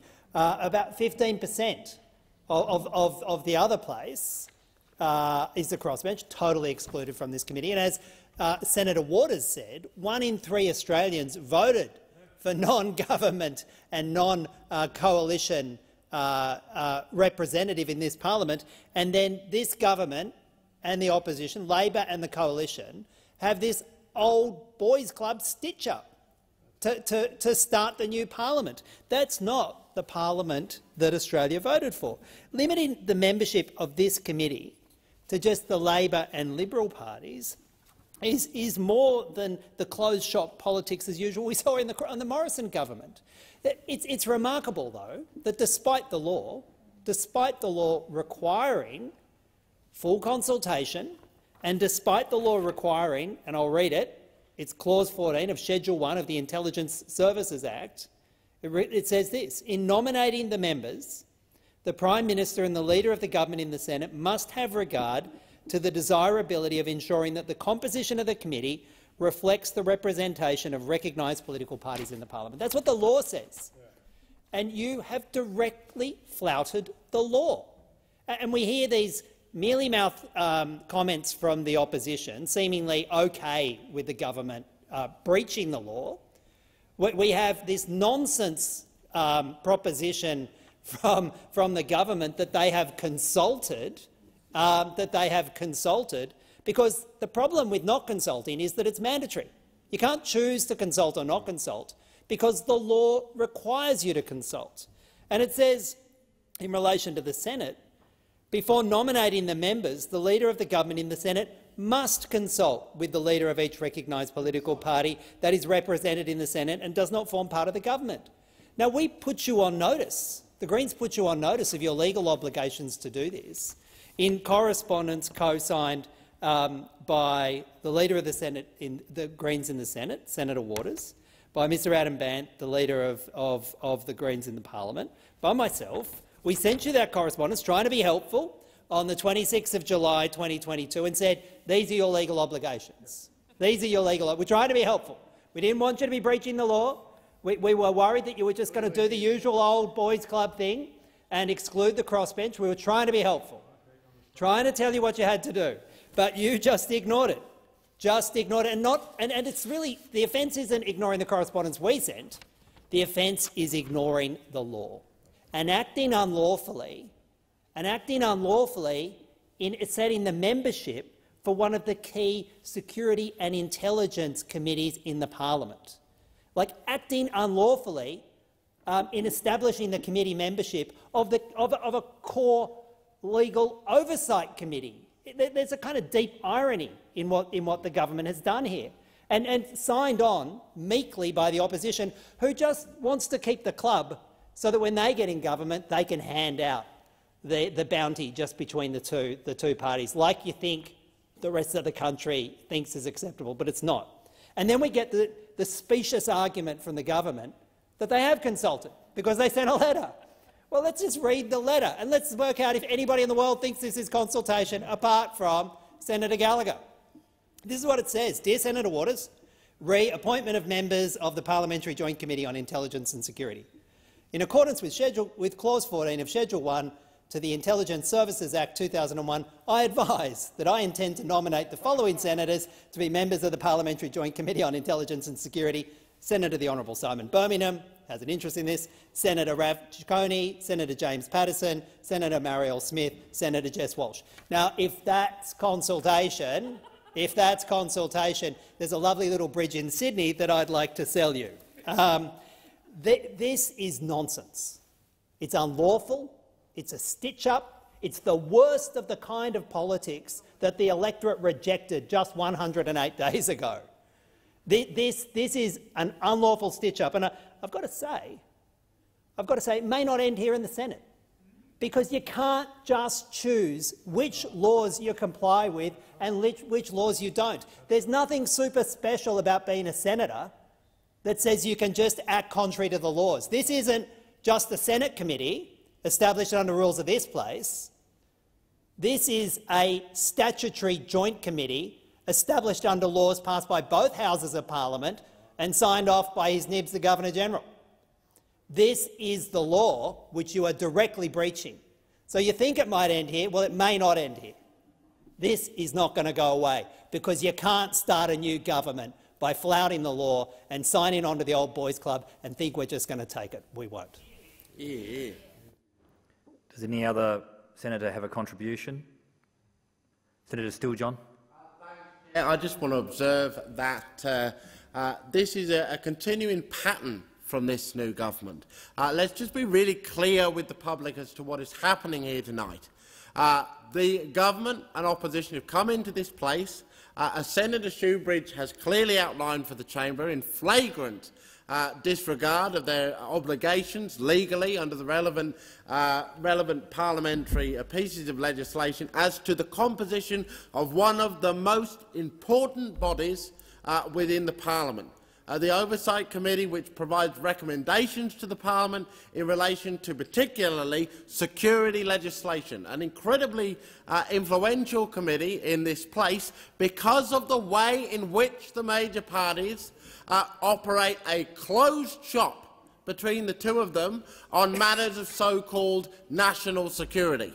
Now, when it was my privilege to have the portfolio for the Greens of uh, IT and of, of digital rights, I uh, witnessed firsthand in ways in which the uh, recommendations uh, of this committee are manipulated and utilised to close down the debate of this place in relation to legislation impacting the privacy of Australian citizens. I lost count of the number of times uh, in my role uh, as the digital rights spokesperson for the Australian Greens, the number of times uh, whether it be metadata retention, uh, whether it be backdoor, uh, backdoors uh, legislation into encrypted messaging uh, applications, you would ask questions after question on behalf of some of the most intelligent, some of the most engaged uh, stakeholders in our community as to the blatant technical flaws within pieces of government legislation, opening the Australian public up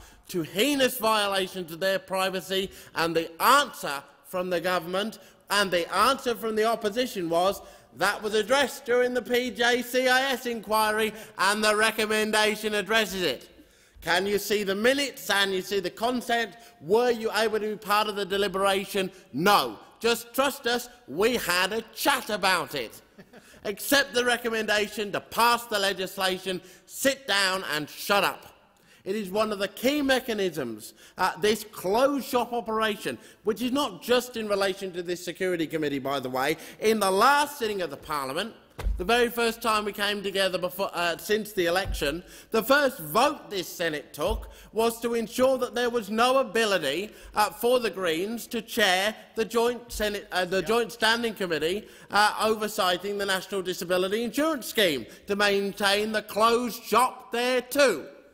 Because here's the reality. The reality that everybody watching at home understands about Australian politics. Both sides, Liberal and Labor, and let's not forget the Nats too, those great country cosplayers uh, that come into this place pretending to represent the voices and the needs of rural and remote Australians. The deal is this. Whatever side wins the election, there are a certain number there are a certain number of gifts and rewards that each side are able to hand out to the factional players, the people that were able to get the donations, the people that want to advance their careers within the internal mechanisms of the parliament and of the party.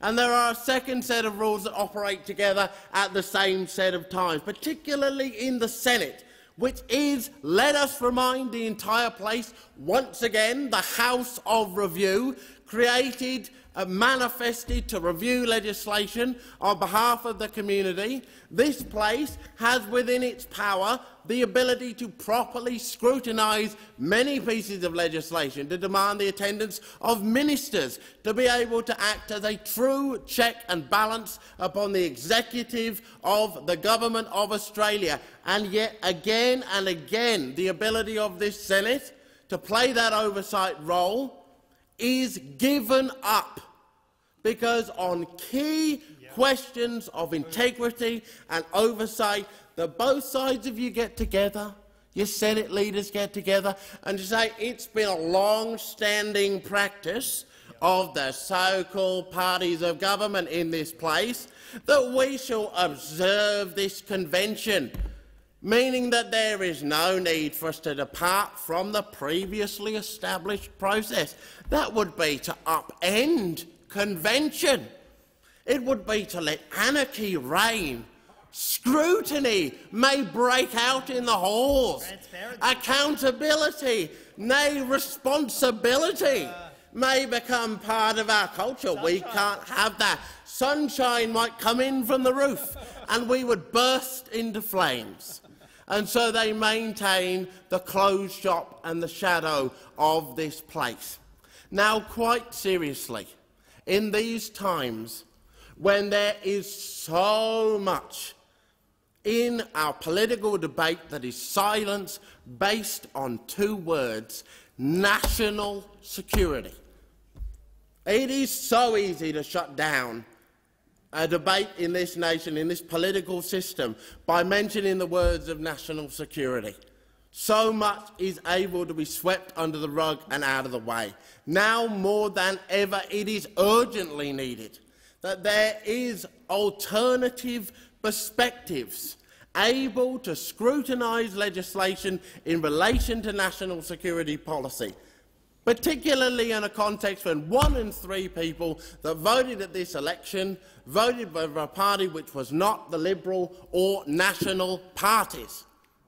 The Liberal or National parties. You people are not trusted by growing and growing and greater and ever greater portions of the Australian public for very good reason, particularly because of the decisions you make in relation to national security, whether it is the exorbitant expenditures upon defence programs uh, such as the submarines, uh, such as the frigates, such as the various pieces of military uh, uh, uh capacity which are purchased without any thought of value to money to the public or what we might otherwise do uh, with those funds, or whether indeed it is the pieces of national security legislation which are rammed through this place, uh, making Australia one of the weakest nations in the world in relation to its human rights structures, in relation particularly to the digital rights protections that are available to its citizenry.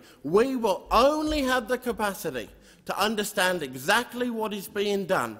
The public will only have the ability to access the information that they need to make informed decisions in relation to national security and security policy when parties that are not part of this closed shop are able to access the information available to members of committees such as the PJCIS committee. I commend the amendments put forward to the Senate uh, by uh, Senator Waters, our Senate leader. Uh, Senator Shoebridge would do a fantastic job uh, in that role uh, and it is exactly the type of independent oversight offered by the addition of crossbench members uh, to such committees which are so urgently needed uh, to inform properly these debates. It's my intention to put the amendment, the amendment to the motion unless any other senator wishes to make a contribution.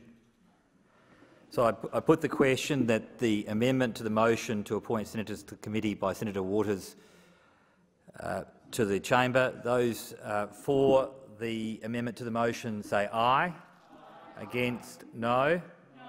I think the noes have it. Division required. Ring the bells.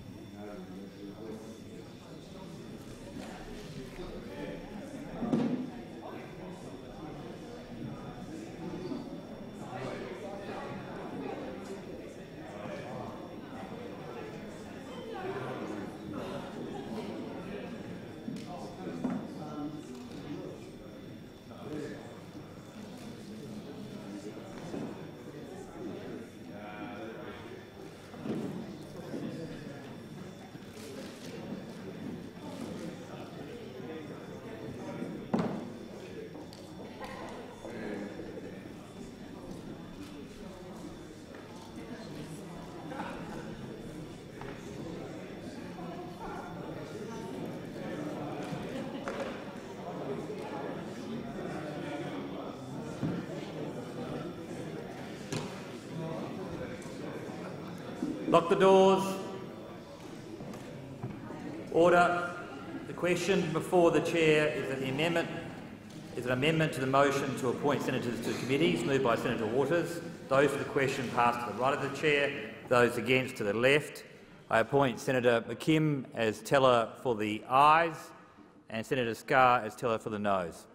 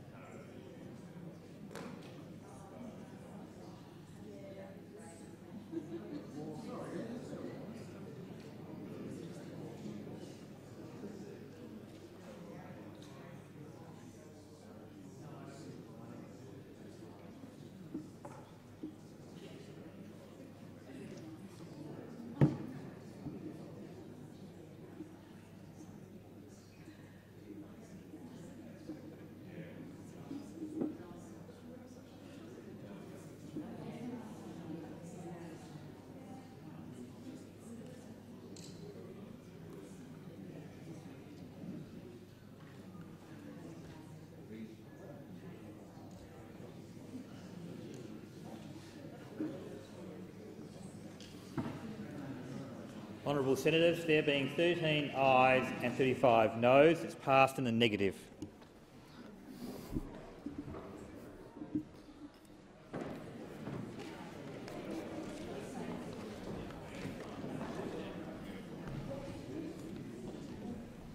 I now intend to put the original motion. The original motion was moved by the uh, Senator Gallagher that senators be appointed to the committee as set out in the document available in the chamber and listed in, on the dynamic red. Put the question. Those to the question say aye. Against no. I think the ayes have it. I think division required. Division is required. Ring the bells.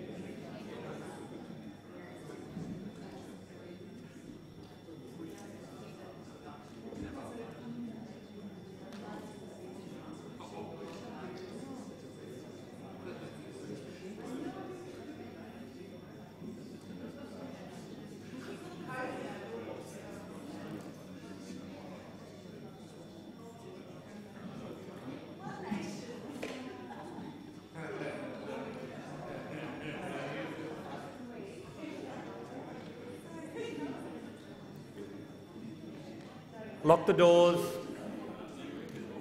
The ayes will pass to the right of me, noes to the left of me. I appoint Senator Pratt as teller for the ayes and Senator McKim as teller for the noes.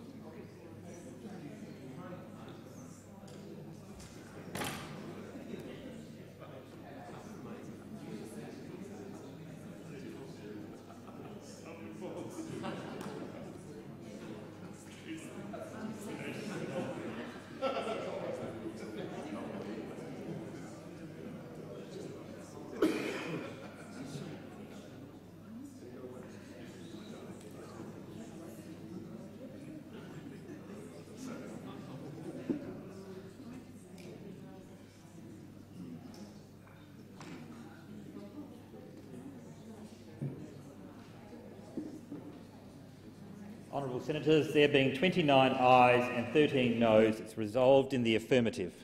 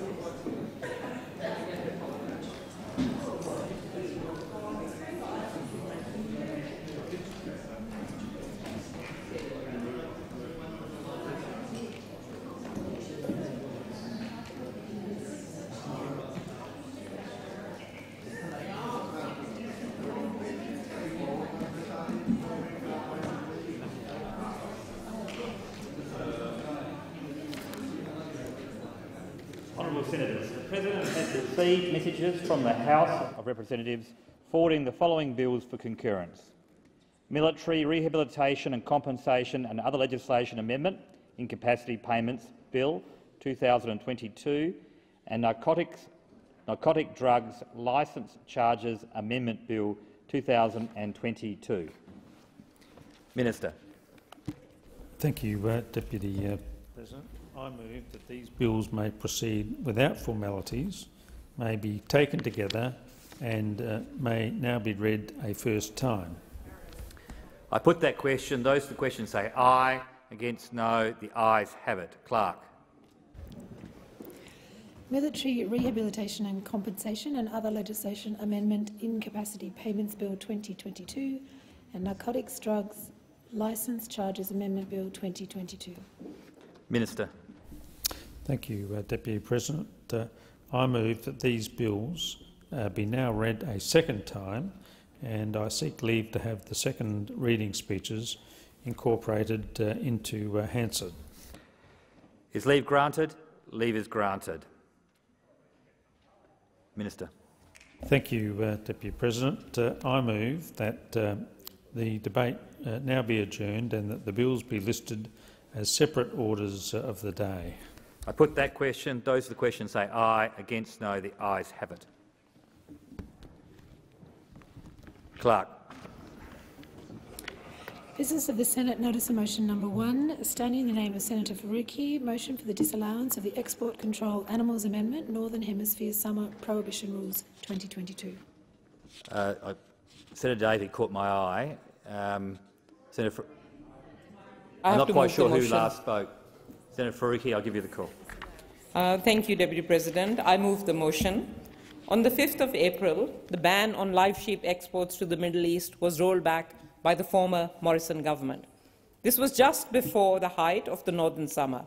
It was cunning timing, just before a federal election being called, which meant the Senate was denied the crucial opportunity to scrutinize or to act on these last-minute changes. This motion seeks to reverse those changes which unwind the northern summer ban, which wasn't perfect in the first place, but did provide protection to animals in some of the hottest months. Let me make clear at the outset that the entire live export industry should be shut down, and it should be shut down as soon as possible. It is beyond repair. Its social license has well and truly expired. It cannot be made safe for animals. The Greens have fought long and hard to ban the cruelty that is the live export trade, and this disallowance is one small step in the journey for animal welfare. It is worth reflecting on some of the history to see how far we've come and how much further we have to go. In 1985, a review of the live sheep trade by the Senate Select Committee on Animal Welfare reported that if a decision were to be made on the future of the live export trade purely on animal welfare grounds, there was enough evidence to stop the trade.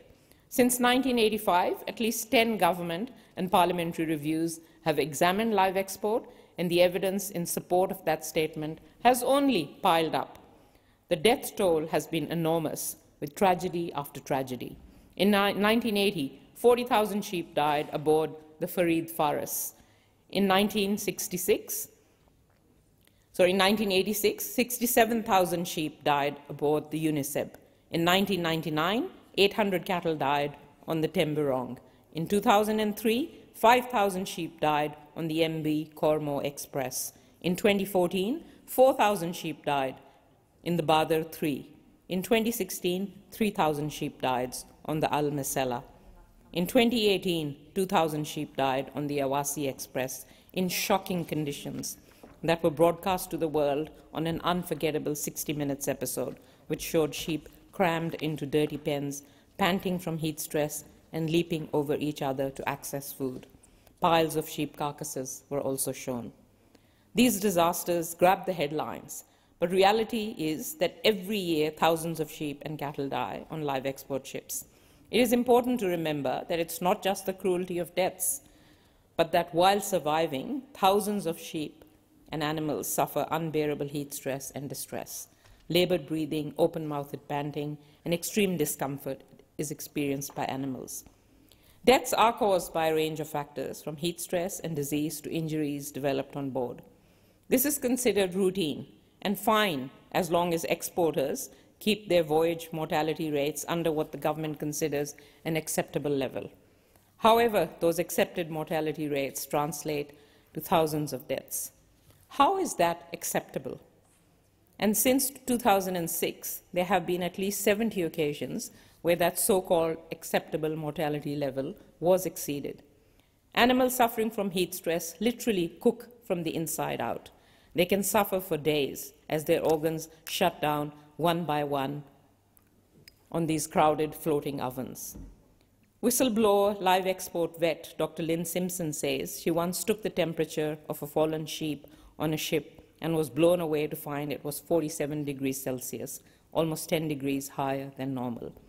Their fat was melted and like a translucent jelly, she said. They were cooking from the inside. After that, any animal that looked like it was about to collapse, I killed. Lynn is one of the many brave whistleblowers who exposed the cruelty of the live export trade at great personal cost. Trainee navigator Faisal Ullah is another, and I pay tribute to them today. Their courage led to the northern summer ban in the first place. The ban officially came into force in 2019 in recognition of the fact that the risk of heat stress for sheep on live export ships to the Middle East during the northern summer months is simply too dangerous. Unfortunately, the ban only prevented live sheep exports from June to September, though science clearly tells us that it should be from 1 May to 31st October. Nonetheless, the ban has been important in reducing mortality rates and in keeping sheep off ships at the most dangerous time of the year. And now, instead of listening to science and expanding the ban, the Department of Agriculture has wound it back.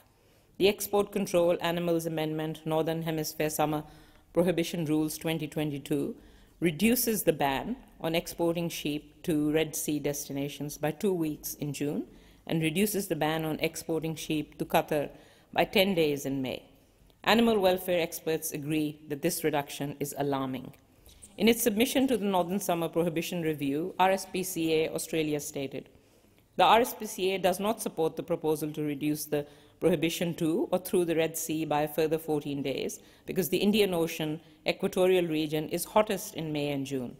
Updating the animal rules in support of this proposal would be irresponsible given the scale of known animal welfare risk and the government's responsibility to protect animal welfare.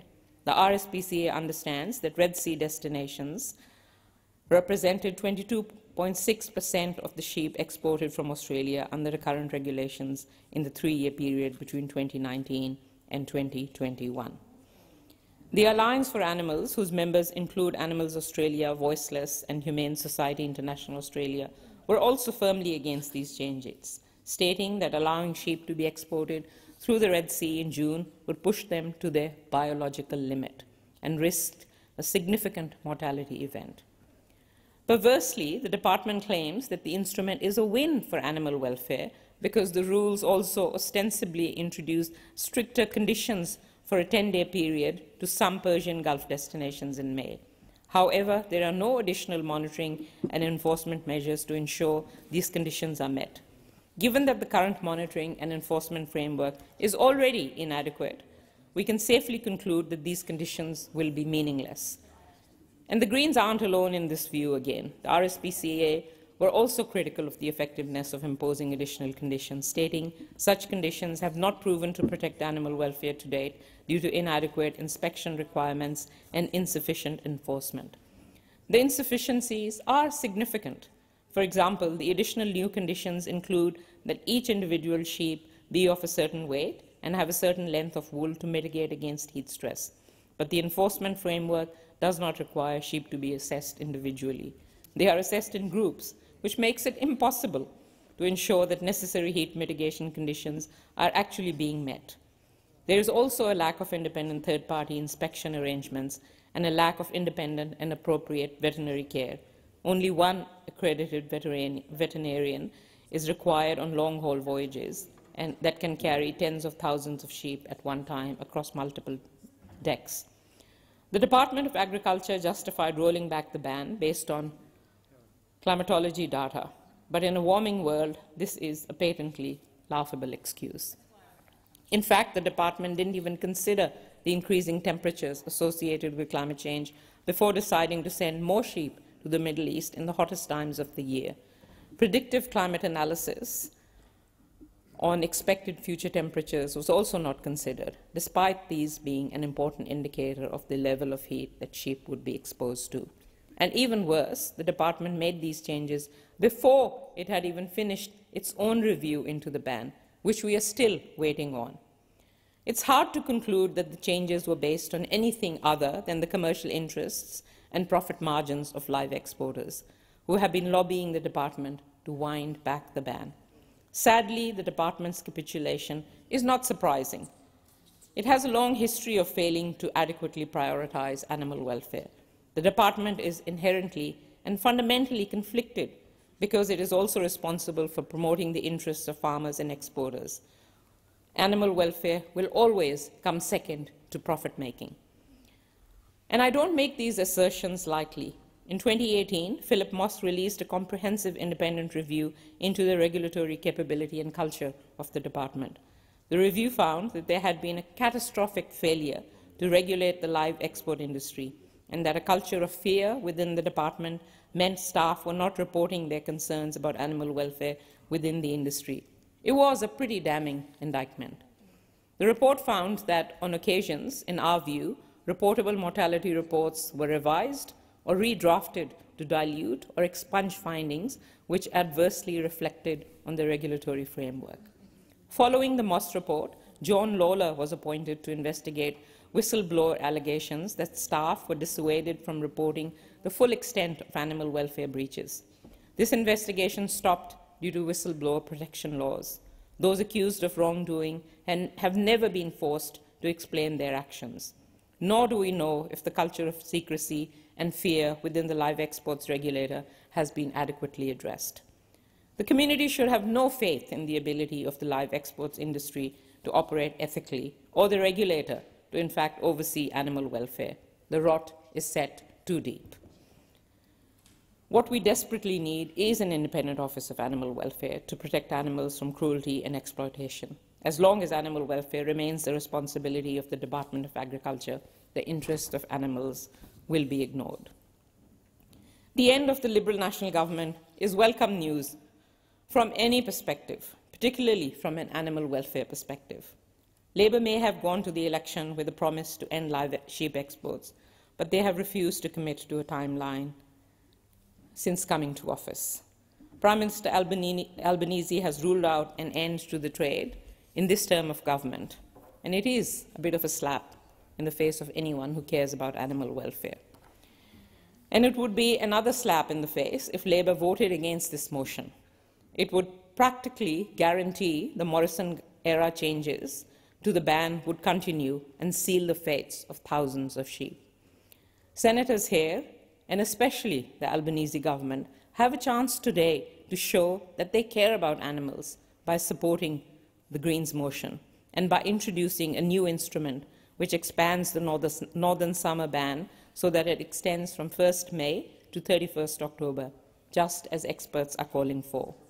Then let's quickly move to end this brutal trade once and for all.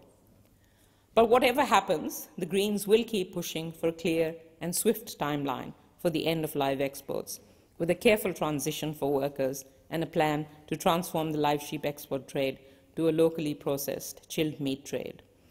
A clear majority of Australians agree with that position. 58% of people in Australia support a ban on live sheep export within this term of government, according to a poll conducted by Lonergan Research in June. RSPCA Australia commissioned an independent poll in January 2022 and the results showed that around 8 out of 10 people in Australia are opposed to reducing the northern summer prohibited period for live sheep exports. Two-thirds want an end to the live export of animals, including 66% in rural or country areas and 70% in Western Australia. So I implore the government to listen to our communities. Don't unwind the Northern Summer ban and commit to a deadline to end live export in this term of government. The Greens have been steadfast in our position. We first introduced legislation to end live exports back in 2011. In 2018, my bill, co-sponsored by then-Senators Hinch and Storer to ban live sheep export, passed the Senate but languished in the House. In 2019, we again introduced legislation to end live export. And we will continue to fight for animals in this term of Parliament because animals are not mere cargo. They are living, breathing, sentient beings. They are capable of fear and suffering. They have meaning and worth beyond their commercial value. Today, this Senate has the power to undo these cruel cuts to the Northern Summer Ban and insist that sheep deserve better than, than to be shipped off to cook at sea in torture chambers at the hottest time of the year. I urge everyone in this chamber to make the right choice and support this motion. I had the, Senator Farrell, you seeking the call. I am. In the order of precedence, I'll give it to Senator Farrell, then I'll give it to Senator Davey. Thank you, Deputy President. Um, the government is committed to protecting uh, animal welfare, and that is exactly why we are opposing this motion. At the May election, the Australian people endorsed Labor's policy to phase out the trade of live sheep by sea. Labor is committed to ensuring that live animal exports are well regulated while we work uh, with industry to uh, implement uh, this commitment. We were surprised to learn the Greens were seeking to move this disallowance. If this motion were to pass, it would produce worse outcomes for animal welfare. In April this year, amendments to the Northern Summer Prohibition Rules were made to improve the management of heat stress risks for sheep exported, exported in uh, late May. The rules introduce a 10-day conditional prohibition period, preventing export to some Persian Gulf destinations off the back of new data that showed an increased risk of heat stress during this period. Uh, that change to the rules strengthens animal welfare. The rules further impose additional conditions, uh, targeted heat stress risk reduction that must be met during the designated period. Again, those changes strengthen animal welfare. To disallow this uh, instrument would force the uh, regulators of the uh, live sheep exports to find new and likely weaker measures to protect animal welfare. The government uh, does not want that. The Australian people do not want that. So why are the Greens voting for it? Voting for this disallowance is a bad outcome for both animal welfare, animal welfare and exporters. The government's commitment to phase out the trade of live sheep by sea reflects community sentiment. Balancing community expectations and the Australian industry remains a key priority for this government. That's why we will continue to support regulators to protect animal wel welfare as we work with industry to phase out the trade of live sheep at sea. Senator Davey. Thank you. Um, well, we know what the Greens actually want to do. The Greens want to ban all live export. And we know what a lot of the organisations that the Greens have quoted in their justifications for this disallowance uh, actually stand for, and that is to end all livestock industries. I mean, if you're quoting from the Alliance for Animals or Voiceless or Animals Australia, you know, you're really scratching at the anti-livestock industries barrel. But as uh, Senator Farrell quite rightly said, disallowing this instrument will lead to worse outcomes.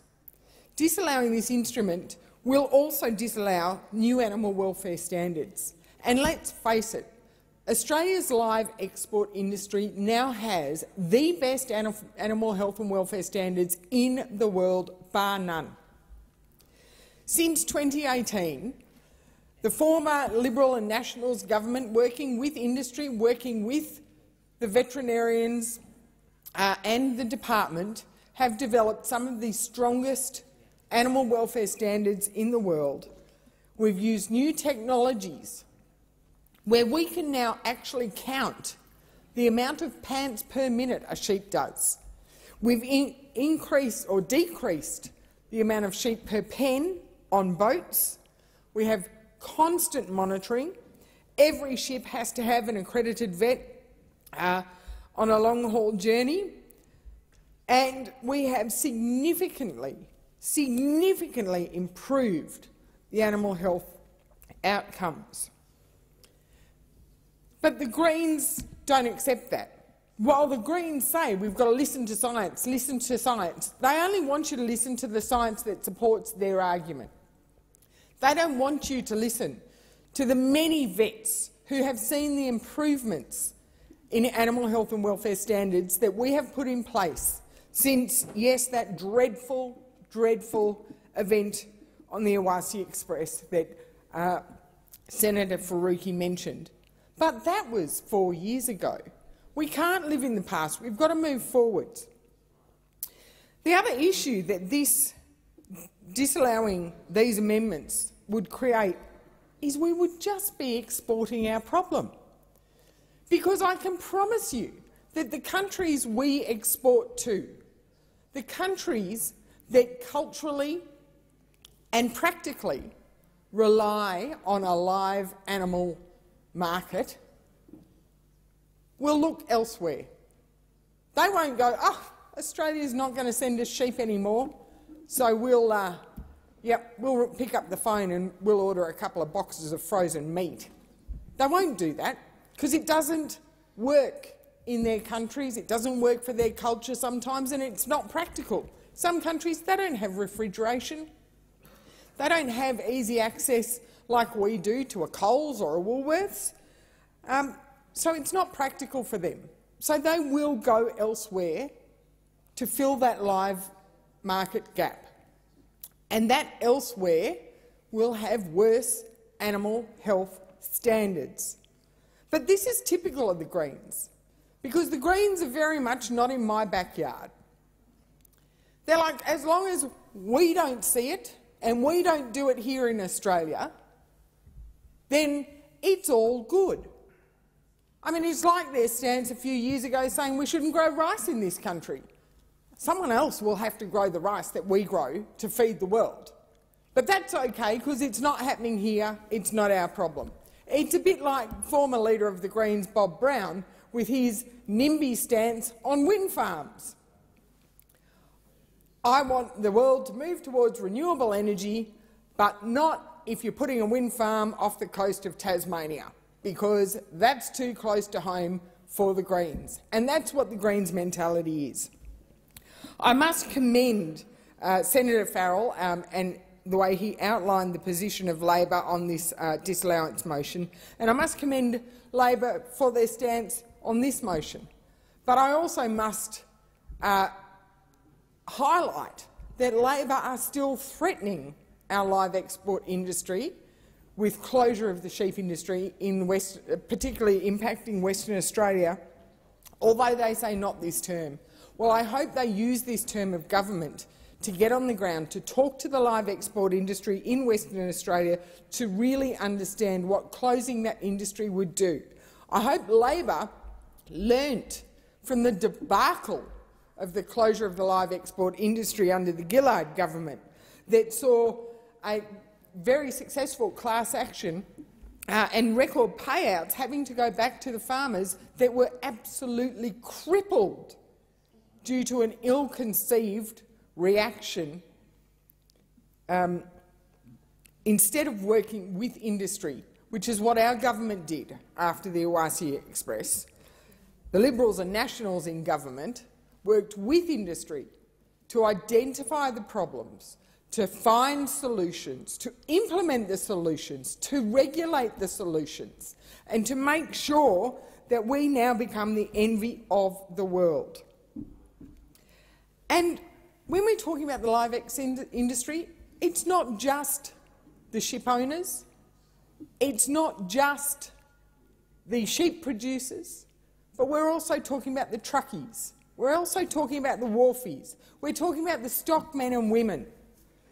You need go no further than the Young Live Exporters Network that uh, have shining examples and case studies of men and women from around Australia who are proud to work in the live export industry, who are proud to say that they are very concerned about animal health and welfare standards, who are proud to know that their industry strives every day to improve those standards. We can't rest on our laurels. We did a lot from 2018 to, to, to today. We have done an awful lot to improve standards, but that doesn't mean that we're stopping, that the industry will now throw their hands up and go, that's it, there's no more to do. Every day they are working to make sure that we continue to have the best record for animal health and well-being in the live export industry. The work we have done and the work industry has done on new developments in heat stress management for the live export of sheep should always be considered as it becomes available. And this is what I mean when I say industry is constantly striving, constantly working, to the point that we now have the lowest mortality rates, rates in sheep export ever. And when people say, well, the live export industry is in decline, I beg to differ. Because in March 2022, the forecast export value for this financial year was 107 million. That's a pretty impressive figure, but that's going to grow to 119 million for the 22-23 financial year. And that was before any ban was proposed. The Northern Summer Hemisphere trade is important, particularly to Western Australia, where the majority of this annual live export is met. Industry believes live export is key to the preservation of the entire Western Australian sheep industry. And there is a huge demand for those sheep from Western Australia in the Middle East. And as I said before, this demand is not only on a cultural value uh, basis, but also on the basis that they don't have the cold storage facilities. This is about food security in these nations. This is about food security across the world, and it's also about industry security here at home. If the live sheep export industry was shut down, then countries with poorer animal welfare standards will fill the void and take Australia's market share. And I implore the chamber not to export our problems, not to push issues offshore and then pretend that it doesn't happen, but to work with industry and to work with our trading partners. Because that's the other thing that, a ban ignores. We're actually, we have people onshore in our trading markets working with the purchasers of our animals to ensure that our animal welfare standards go from Australia to the ship and to the port where, where they are exported to, and even into the markets, because that is our commitment to animal health and welfare. So I implore the chamber, don't export our problems. Don't hide your head in the sand and think that if it's offshore, out of sight, out of mind, and it doesn't happen. We have a responsibility as a trader. We have a responsibility to our international friends and colleagues to make sure that we retain the best animal health and well-being uh, statistics, but also that we do our bit to feed the world, and we don't do it um, ignoring cultural and practical issues. So we will not be supporting this motion in any way, shape or form, and I am pleased to hear that nor will the, the government, uh, and I urge the rest of the chamber to also not support this disallowance. Thank you. Mr Smith. afternoon just to make a few remarks in support of this matter also, and just to follow Senator Perin, who has made it very, very clear that the coalition will not be supporting this, um, this position put by Senator Faruqi and the Australian Greens. And I speak, of course, as a West Australian senator, and this is a agricultural industry that's very, very important to the livelihood of Western Australia, Western Australian regional families, Western Australian regional communities. And just to quantify that uh, for people, that in 2021-22, the industry was worth in excess of $100 million to Western Australia, and in 2022-2023 in excess of $110 million. So it makes a very sizable contribution to the welfare and prosperity of our state. I think there's a very, very important point to be made and indeed a point to be reiterated. And that is that if the position of the Australian Greens is to be supported and is to be upheld, then we actually have this perverse outcome that countries with poorer animal welfare standards will be lifted and raised in the global trade to fill the void left by the Australian and indeed the West Australian trade. And I think that's a very, very important point. And as Senator Davey remarked, if Australia, and Western Australia in particular, was to leave the live export industry, it does not mean that the trade gets better. In fact, the very, very real outcome is an industry, a global industry, that has lower standards than currently exist. It's the participation of the Australian live export industry, I believe, that maintains very, very high standards across the world. And indeed, it's the existence and participation of Australian traders that ensure that the highest standards are in fact replicated. Over the last few years, I think the industry has met and understood the changing community expectations that exist around the live export industry. And not only does the trade generate important wealth and income for the Australian economy, supporting thousands of people employed across associated industries throughout rural and regional communities, and like I said, in particular in my home state of Western Australia, the ongoing success of the trade depends also on the very hard work of producers and exporters and their strong and continuing commitment to world standards in regards to animal welfare and their very, very strong endorsement of robust rules that are based on science and evidence. And I think that's an important point, that when I think about the live export trade in Western Australia, I am reminded that the industry has been very alive to changing export, expect, community expectations.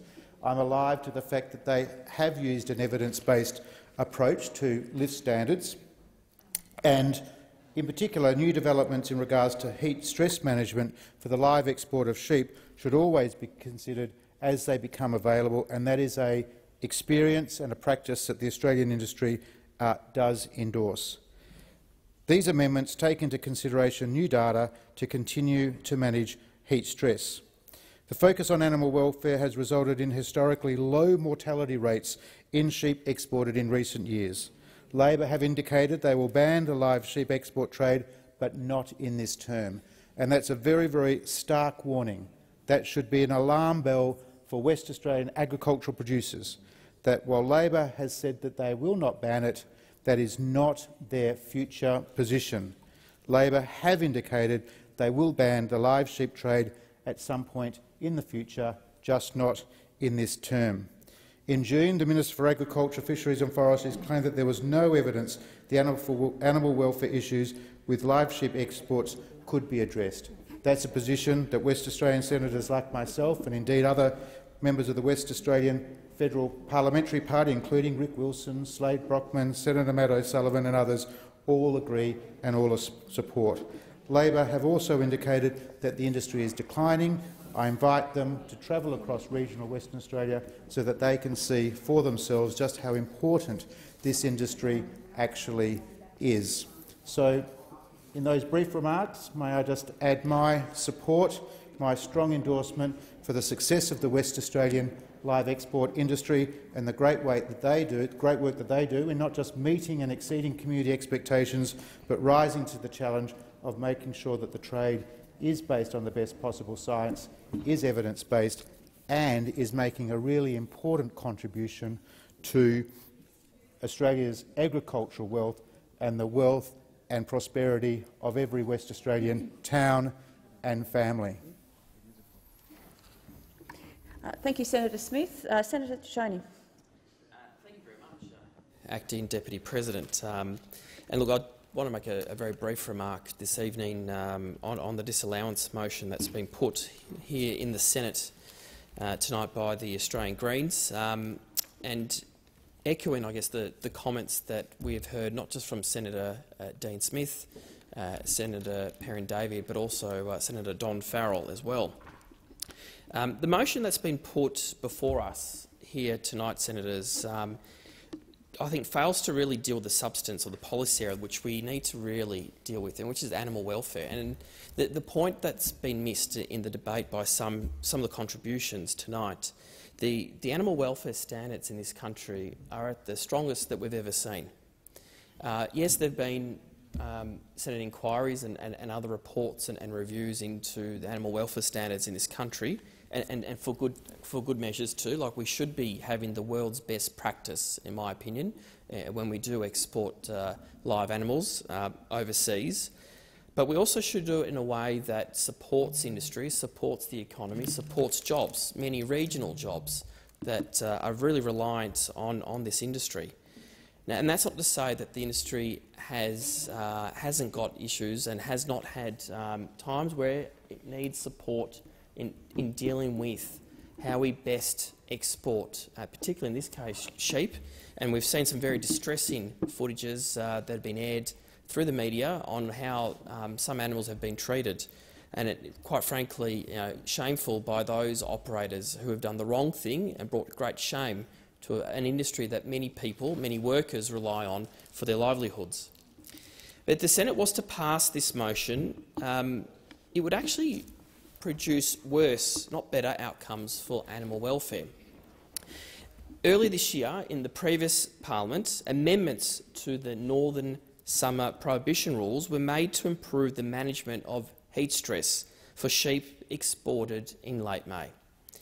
And comments that we heard earlier uh, this evening, um, I think unfair comments attacking the department, the officials who I think do a, a, who do a fantastic job at not just upholding the rule of law, but they do have animal welfare close to them. it is central to their job to make sure that the animals that are exported are done so with the highest standards. But it is also good to see that at the state and federal level, governments have worked together to address the, the shonk operators, the shonky operators that have, been, that have given the industry a bad name. And it is important that the changes, the changes that the Northern Summer Prohibition rules were based not just on science but also data, updated climatology data, which indicated that changes were necessary to reduce the risk of heat stress. Now, the rules introduced a 10-day conditional prohibition on exports to some Persian Gulf destinations. The rules also impose additional conditions during the designated period designed to reduce the risk of heat stress. These include shorter fleece length, maximum sheep weight limits, minimum pen air turnover rates and increased pen space allowances. These actions all strengthen animal welfare based on science and data that we have available to us, which is why I think many of us were surprised when this disallowance motion was brought before the Senate. The, uh, the, the Greens uh, moving this disallowance really, I think, failed to understand the real issue that they're trying to deal with here. You know, we, we do hear from time to time um, that they are somehow the champions of animals, the champions of animals. Order. And as we heard the contributions from this, from this evening, um, putting animal welfare, somehow we need to not just look at uh, one part of the disallowance, but we need to look at the whole disallowance, quite frankly. And, and if, if what has been proposed by the Greens tonight would not it would just hurt animal welfare standards in this country. It would reduce the standards in this country, but also impact the livelihoods of many people around, around this country, particularly from the state of Western Australia, uh, and through the contributions that Senator Smith and others have made this evening. So I was very surprised that we are dealing with this disallowance motion tonight. So it is actually quite shocking that we are having to deal with this instrument or this motion uh, that would override and, and, fail to actually improve animal, animal welfare standards in this country. But um, let's also not give this instrument the chop.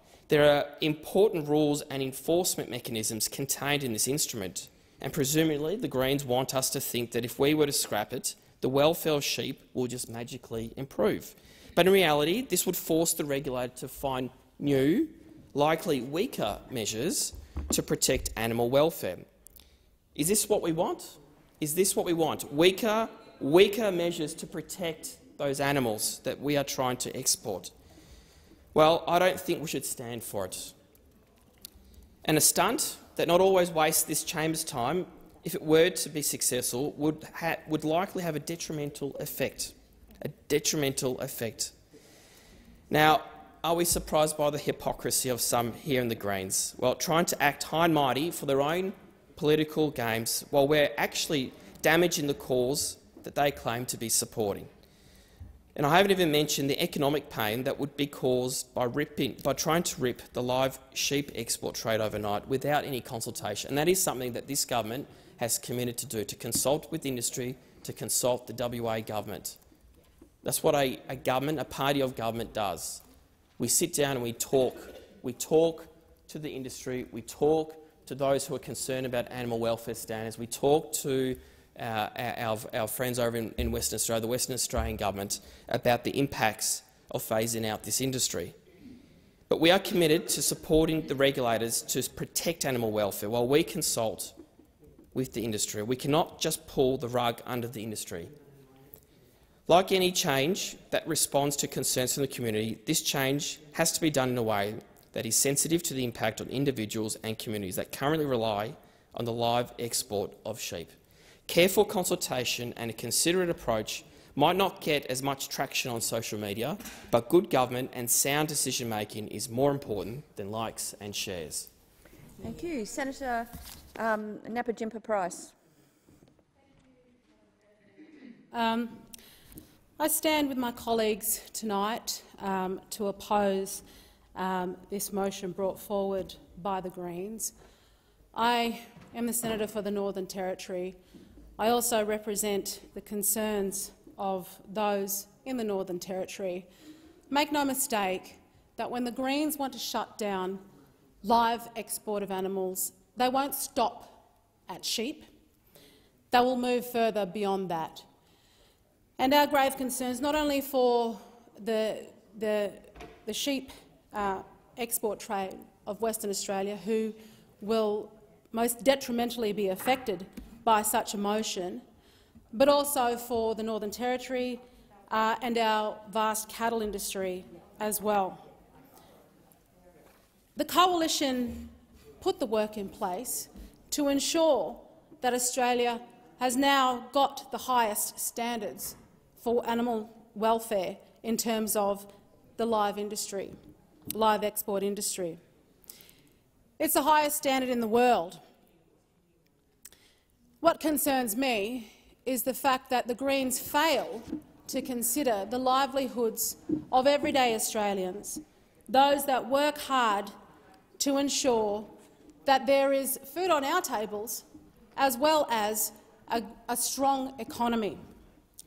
In the Northern Territory, Australia's live cattle export industry with excess of 40 per cent of the nation's live export trade goes through the Darwin port, so it is close to me.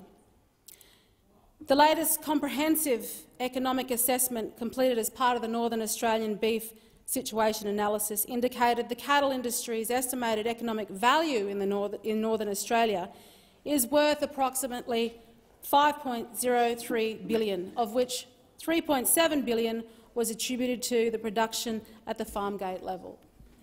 This is what the Greens propose to put at risk when they put up motions such as the disallowance motion that we're now debating tonight.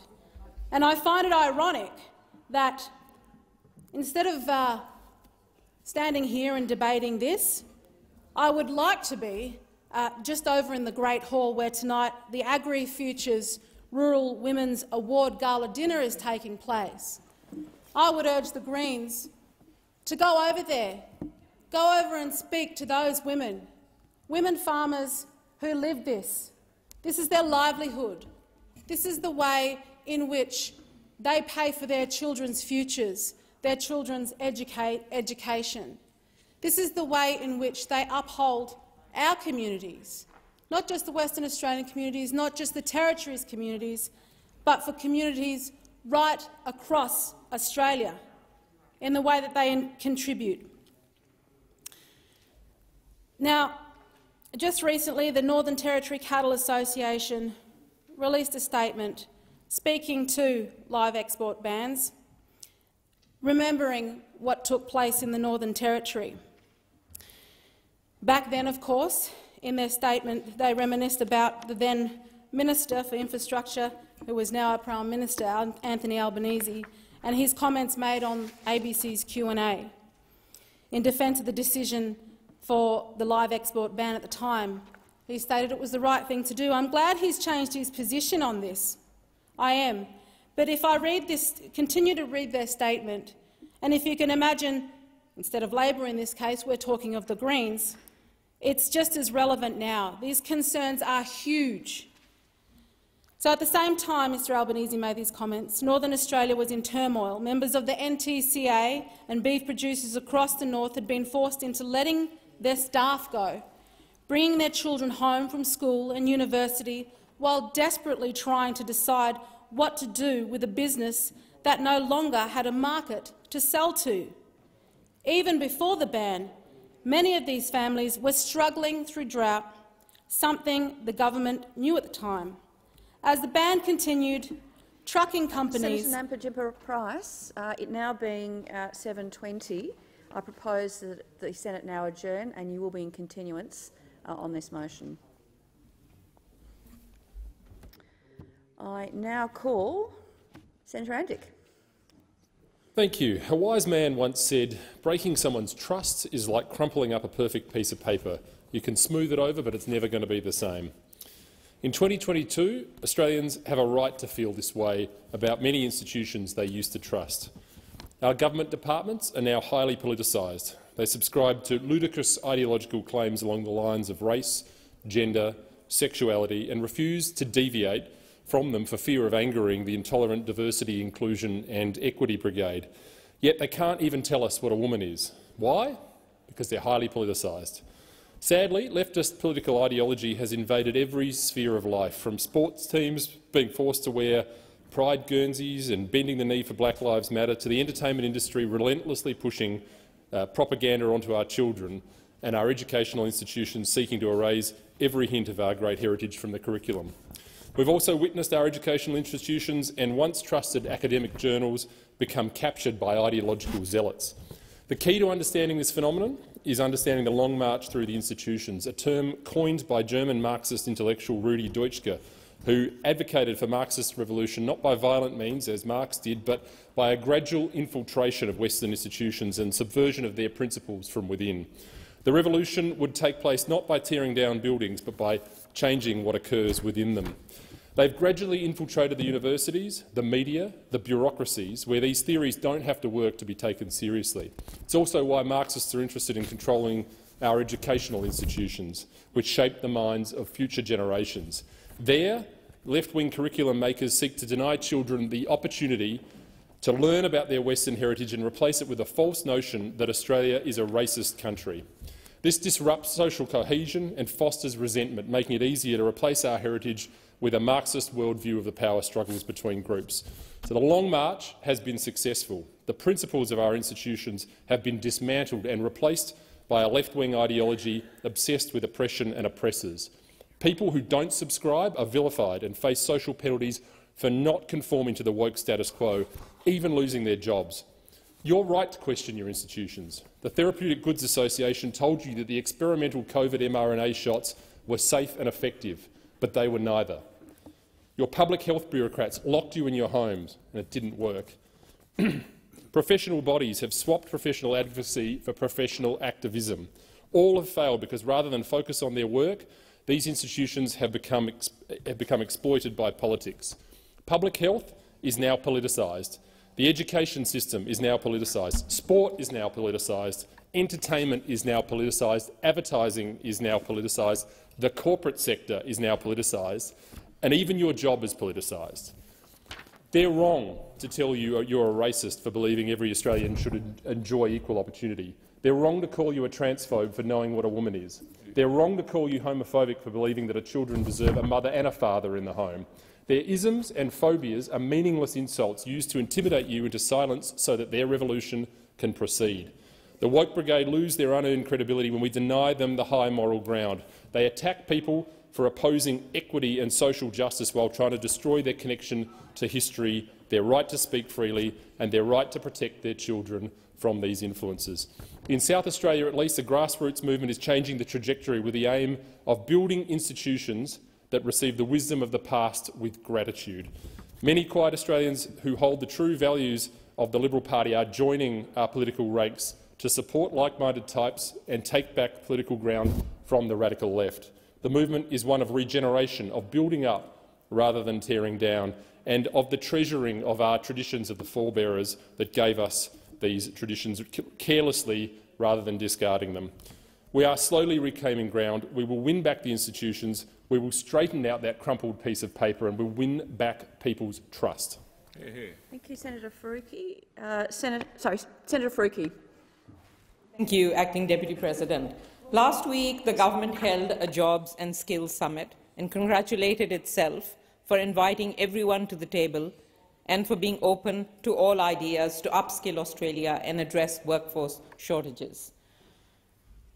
Equal opportunity, visa changes, training opportunities and skilled migration were hot topics on the table.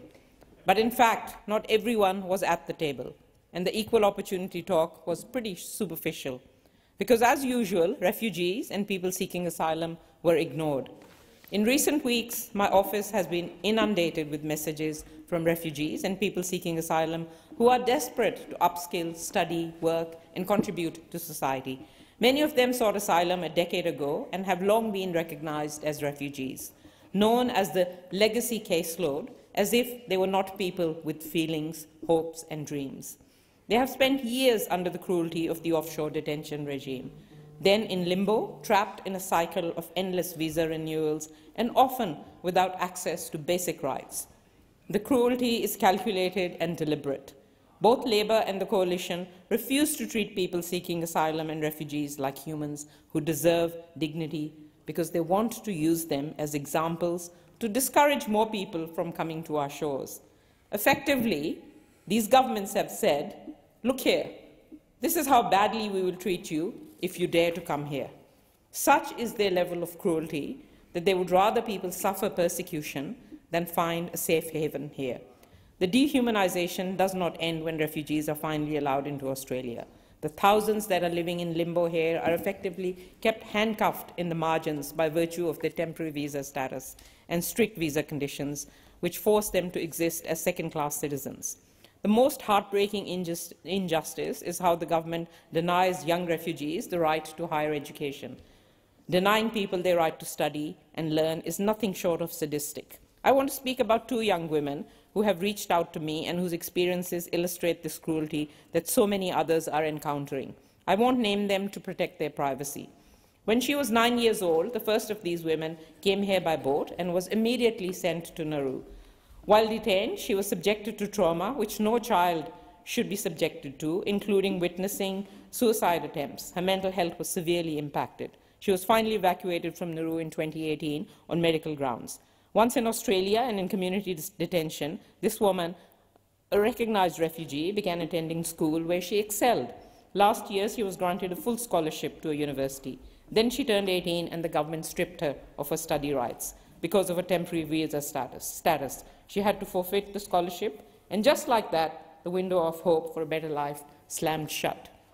The second of these women has a similar story arriving 10 years ago as a 19-year-old and then being sent through straight to offshore detention on Nauru. On Nauru, she was subjected to horrific treatment, including solitary confinement.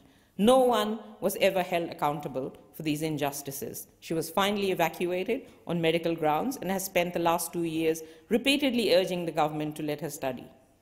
Before she fled her country, she was studying medicine. I understand that these women have both uh, contacted um, the minister, but to no avail as yet.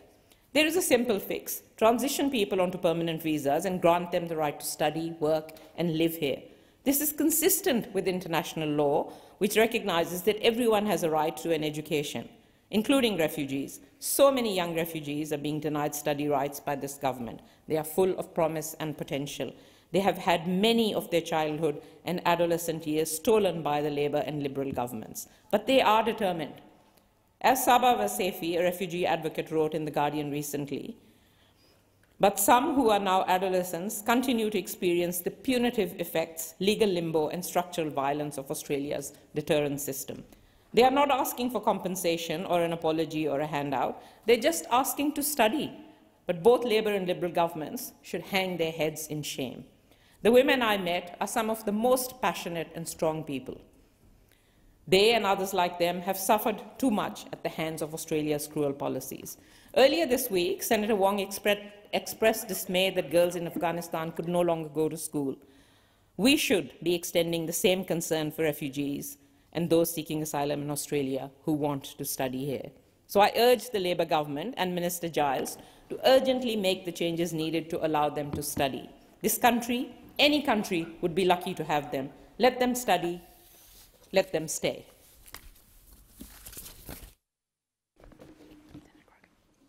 Senator Grogan. Thank you. Um, last month, the South Australian government, um, namely uh, Susan Close, the Deputy Premier, uh, announced the appointment of Richard Beasley as the inaugural South Australian Commissioner for the River Murray. Mr Beasley's appointment is so important to South Australia and so important to the health of the river in general. As we push for real action on the River Murray and as we aim to get past significant numbers of years of the river being ignored and the health of the river and the commitments in the Murray in the Royal in the Murray Darling Royal Basin Plan. Sorry, frog in my throat. the commitment uh, over 10 years that just has not been delivered. The Commissioner is going to make a fundamental difference to how this is going to be dealt with. We've heard from um, Peter Malinauskas, the South Australian Premier, and he believes that this appointment, and I'll quote, sends a clear message that South Australia is serious about defending our water rights and protecting the river including delivering on the 450 gigalitres that were promised but not delivered. Now, as I've said numerous times in this chamber before, the Murray River is the lifeblood of South Australia. The agricultural sector, the community, the environment are all dependent on the river, and all can live together in harmony if we have enough water in the river to keep it healthy. If we stop that flow and we do not allow the river to be healthy, then our agricultural sector will not thrive either. This is not a binary decision about whether we wish to prioritise the environment or whether we wish to prioritise agriculture. This is a scenario where we need to have everything working in harmony. Delivery of that water is critical. And I have a huge amount of faith in Richard Beasley, and I have a huge amount of faith in what the South Australian government has committed to in terms of his role. Now, his role will encompass a whole range of engagements, including working with community, working with the federal government, helping secure that flow that has been promised to South Australia for so long. From the lower lakes, the Coorong, across the whole gamut of the river. His work will make a fundamental difference. It will help us get that water. And now that we have a federal government who is determined also to deliver on the promises in the Murray-Darling Basin Plan, I have great hope, great hope that the South Australian government the federal Labor government and the Commissioner and the relevant ministers can, between them, in concert with the stakeholders and with those people whose lives depend upon that river, can work together to get an outcome that will protect the environment and will also protect our agricultural sector. I look forward to working very closely on this project that uh, Mr Beasley is about to engage in. and I really look forward to us seeing some genuine outcomes delivered and reported on in this place about how we will improve the health of the River Murray. Thank you. Senator, Senator Canavan. President, uh, uh, I'd like to, to, uh, to ring a warning uh, bell this evening, a, a, warning bell that should be uh, ringing a lot louder than it is uh, across our land, because last week energy regulators, our major energy regulator, the Australian Energy Market Operator, revealed that we can't guarantee that the lights will stay on in Australia over the next three years. We're a developed nation. We're a nation blessed with energy reserves, the world's largest uh, coal and liquefied natural gas uh, exporter, yet in the next three years we cannot guarantee to Australians that their lights will stay on.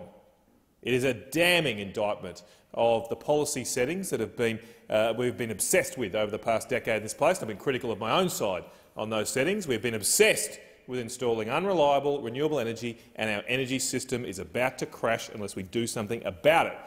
Uh, we are installing solar and wind in Australia faster than anywhere else in the world, by, by many margins. Don't listen to the rhetoric from the new government on the other side that somehow the coalition government didn't invest in renewable energy. That is a lie.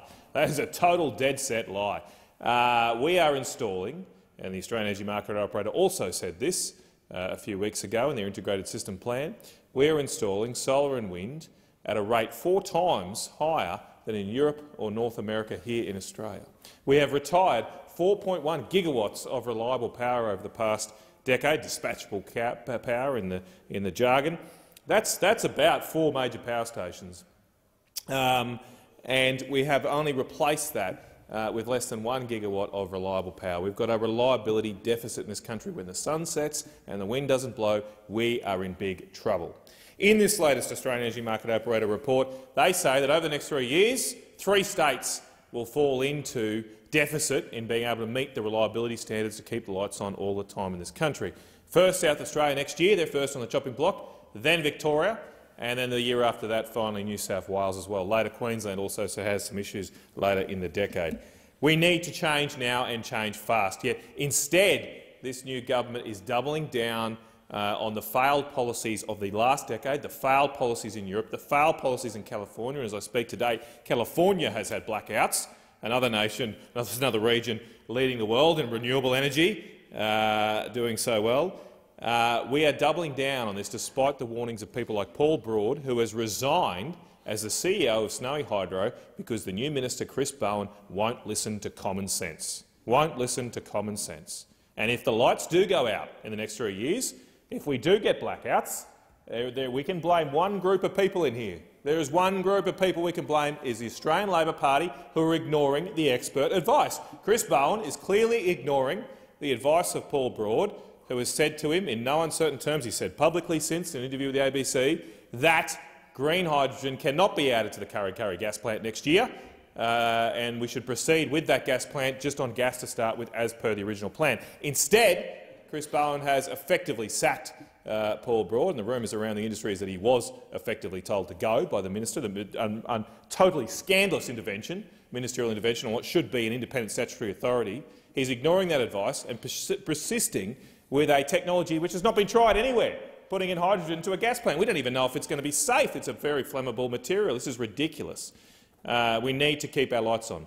Further than that, too, further to that, uh, I give credit to Paul Broad for having the courage uh, to resign his position instead of being asked to do something that he knew uh, would increase risk and not deliver results for the Australian people. But he's further advised the Australian people in an interview that in not, not just Kurri Kurri, we should be building more gas plants, more than just Kurri Kurri. And that is clearly shown in this Australian Energy Market Operator report I started my contribution with tonight.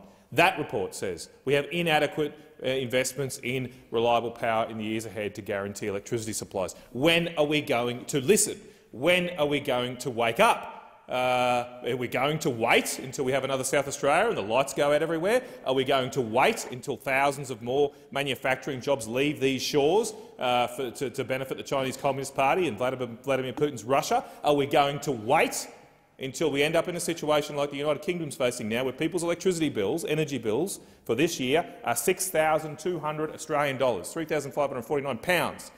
and they're, they're es estimated to go to over $10,000 Australian over the next year. Are we going to wait until Australians are suffering in poverty and energy deficiencies before we act and make common-sense decisions to guarantee the basic essentials uh, in a developed country blessed with energy resources? Senator Steele-John. Tonight, to use my voice in this place on behalf of the community of Western Australia to urge Labor, do not continue uh, with your plans to give $243.5 billion to billionaires. From the university student living in the Perth CBD, uh, to the dad living in Bassendean, to the FIFO worker I met at my local shop uh, in Baldivis, all are united. Uh, billionaires do not need more money from this government. Not now, not ever.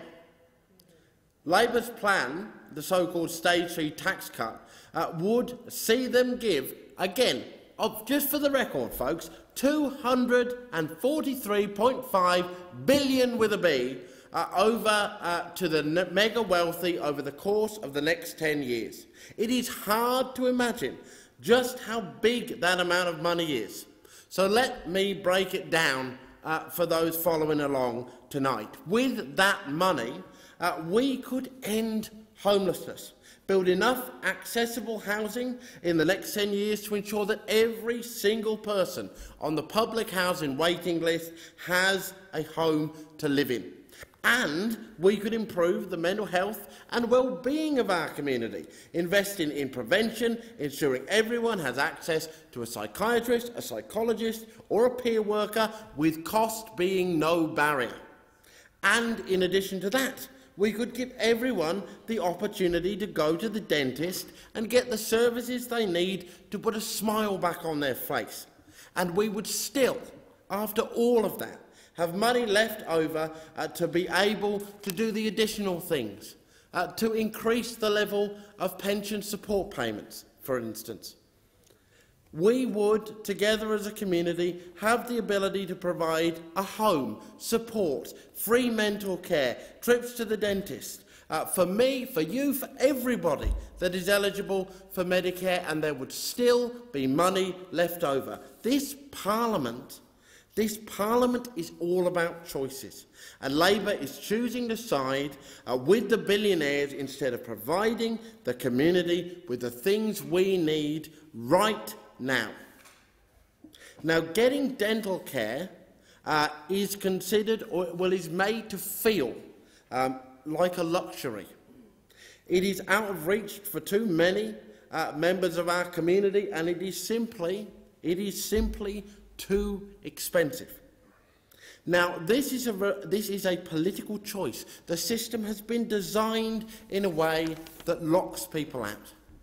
I've heard from members of the community particularly in Western Australia, uh, that they have been unable to eat properly, have missed work due to tooth pain.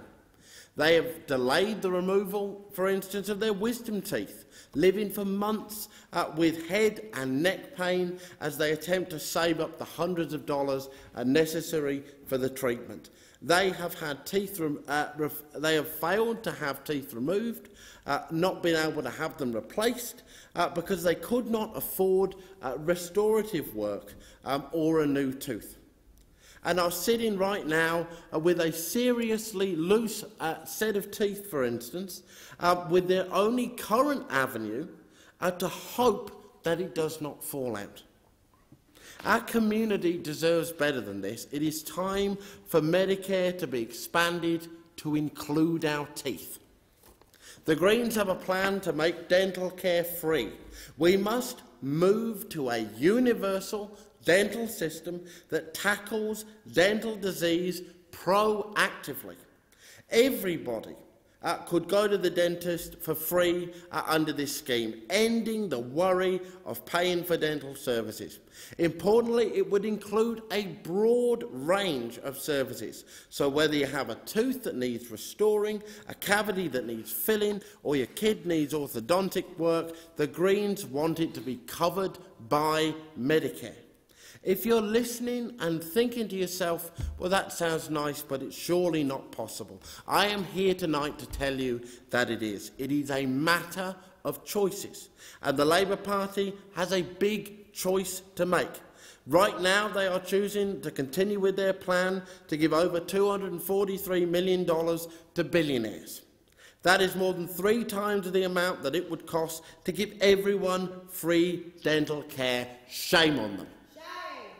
Senator Polley care economy and the work of Professor Rajiv Khosla and his work in robotics and innovation space. The tireless work of Professor Khosla and other stakeholders is now coming to fruition after more than a decade of hard work and professionalism and a commitment to helping people within our community. The work of Professor Khosla started many years ago at the La Trobe University and now is the CEO of Human Centred Innovations. Professor Khosla's work is cutting edge and he has accomplished things that no one else has done before, so it's something that you and the team should be very proud of. More importantly, he's improving the dementia journey for many and bringing joy to people living with a dementia diagnosis. It doesn't matter your age, we all want to experience joy at different times in our lives and just because you have a dementia or you have a disability diagnosis does not mean you can't experience joy and fulfilment in your day. During my advocacy over the many years within the aged care sector and as a Senator for Tasmania and as the former Assistant Shadow Minister for Aged Care, I've mentioned Matilda and Professor Khosla to countless people. I do admit, though, that Matilda is often difficult to describe to people how exactly she functions and what she brings to someone's day-to-day -day experiences without seeing her in action firsthand. Matilda isn't just a social assistive uh, robot, she is an embodiment of a decade of research and development, an embodiment of the people who created her. I think it's fair to say that you, uh, Professor Khosla, has developed Matilda in your own image. She's intelligent, innovative, caring and compassionate. Therefore, I think it would be reasonable to say that she's almost a sentient being. She has the qualities of a human being. She responds to what she interprets and perceives in her surroundings.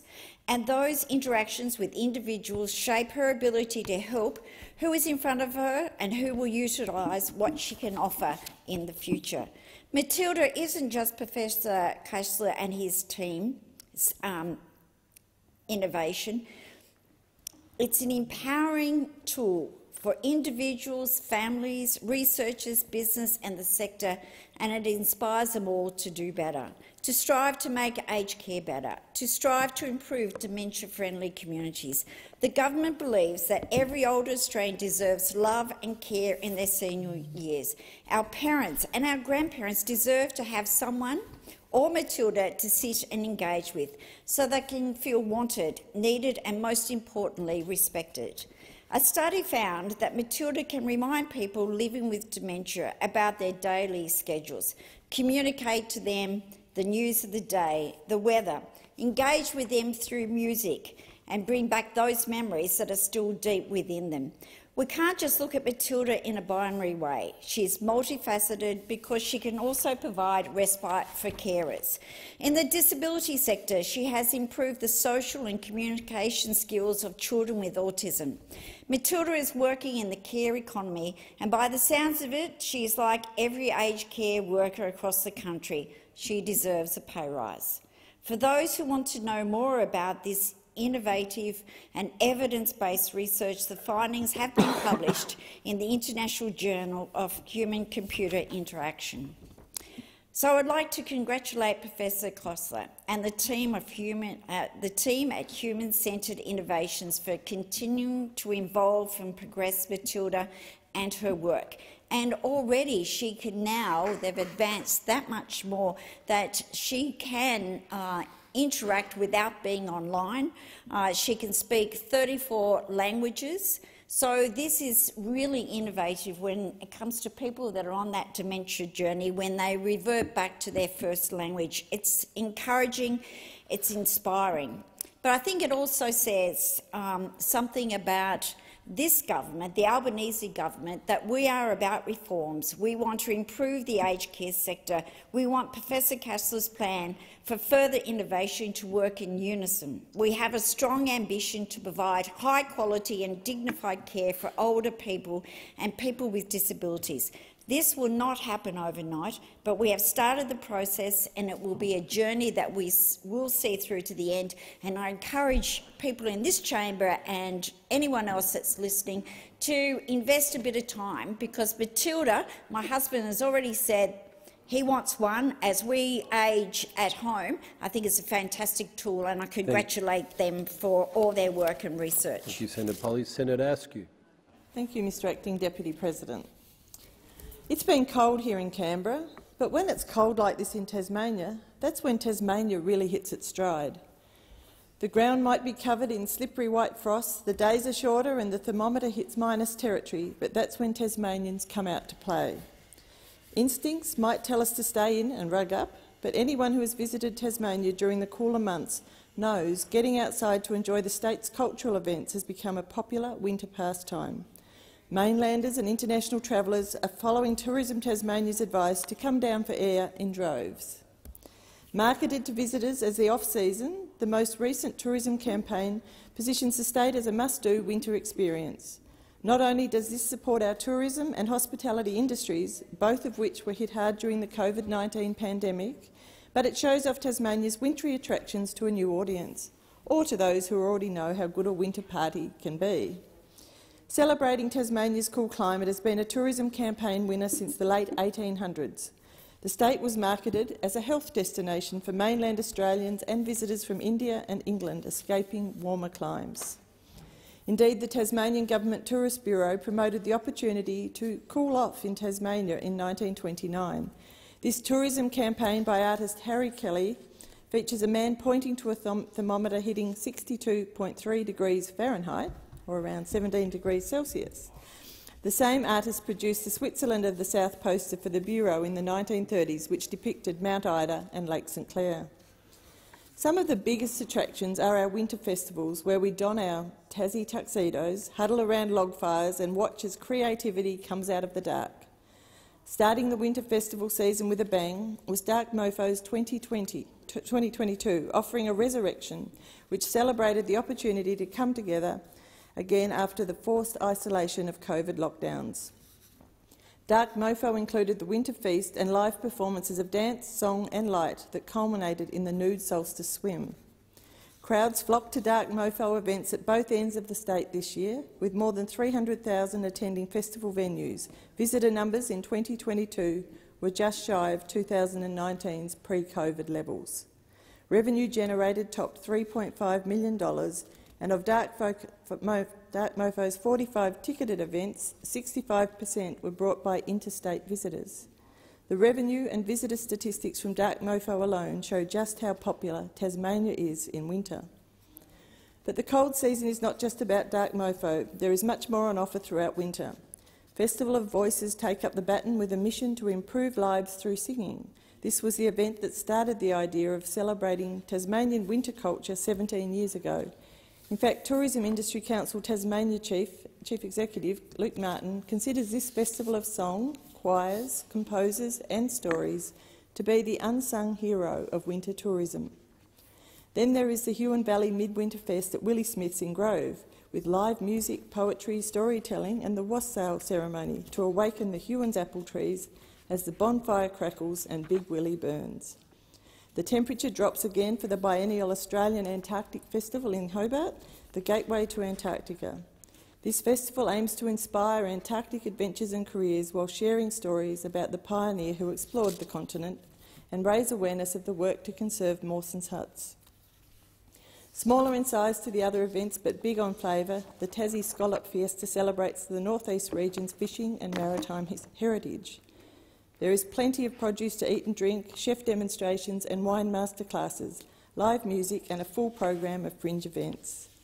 Science and art come to the fore during the Beaker Street Festival in August. This event challenges our ideas about the way the world works and allows us to engage with scientists and innovative art at talks, dinners and join the Tassie Science Road Trip.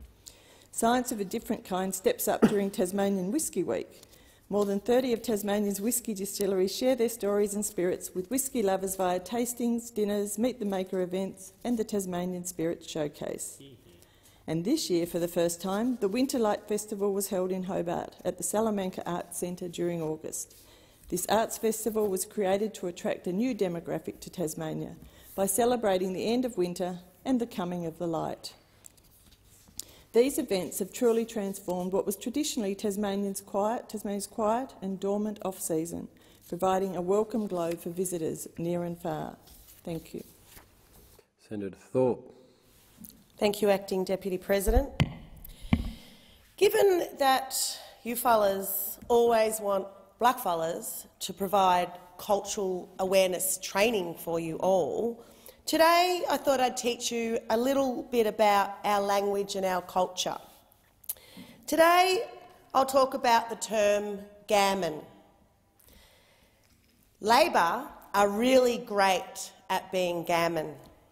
They got that down pat committing to 43 per cent emissions reduction while opening up over 46,000 square kilometres of our ocean for oil and gas exploration.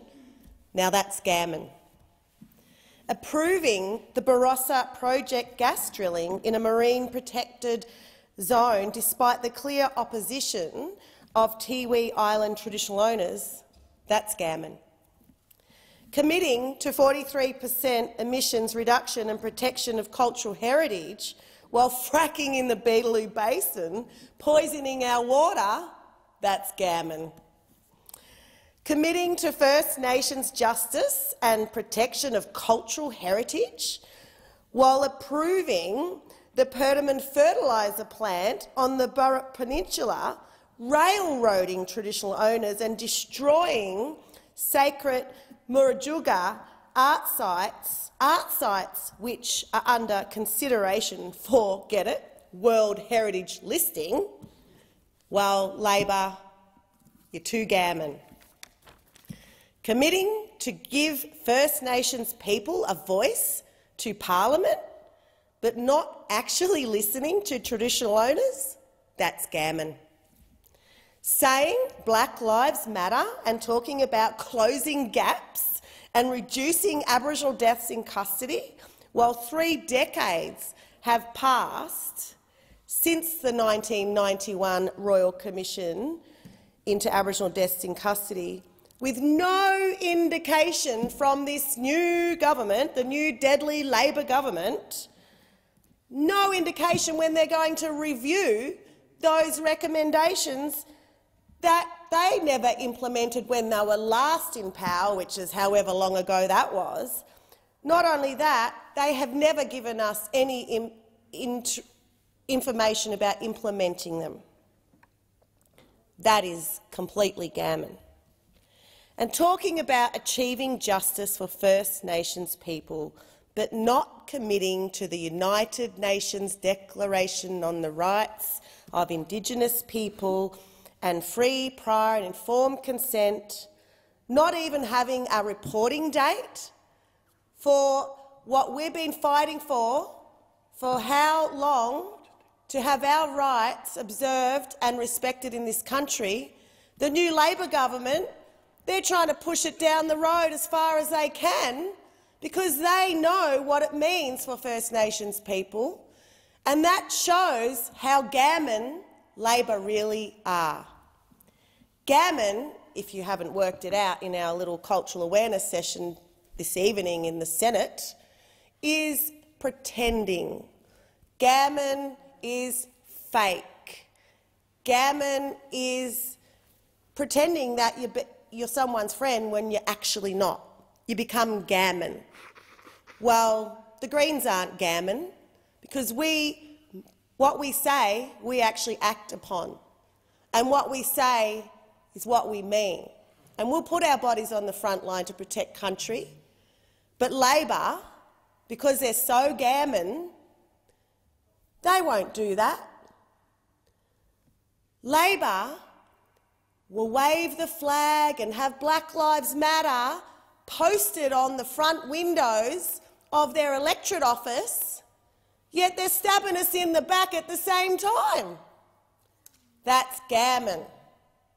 Well, for those gammon Labor mob that want to continue to be gammon and wear your, your Aboriginal earrings and Aboriginal flag T-shirts and look all deadly looking like an ally, it's actually gammon. And blackfellas see right through gammon allies who pretend to be our friends while they destroy the very essence of who we are as First Nations people in this country. So, Labor, give up the gammonness and get on with the real action. Thank you, Senator Thorpe. Senator Lambie. Uh, thank you, Acting Deputy President. Uh, I have a confession to make, and I would confess my sins in a church, but Lambie's in a church and worrying about the ceiling falling in. I tell you, it's a bit too much. So I've made a mistake. In the first days of the last parliament, I was asked to vote on the Morrison government's tax cuts. Stages one, two and three altogether, in a bunch. No splitting, no picking and choosing, all or nothing, one, two and three. And in case you missed it, I supported the package. I want, to, I want to run through why. This is what I said in my speech on the tax cut bill before the vote happened. If the economy gets worse between now and then, as this has, it takes a week to change the tax rates. If in six years' time the economy can't handle a huge tax cut, then people expect their politicians to say so, be upfront and be honest. If the risk is too big to justify, people will understand rolling it back or putting it on hold for the time being. The only way you can think that the worst bits of this tax bill are permanent is if you believe that nobody in this place can do the right thing and the responsible thing.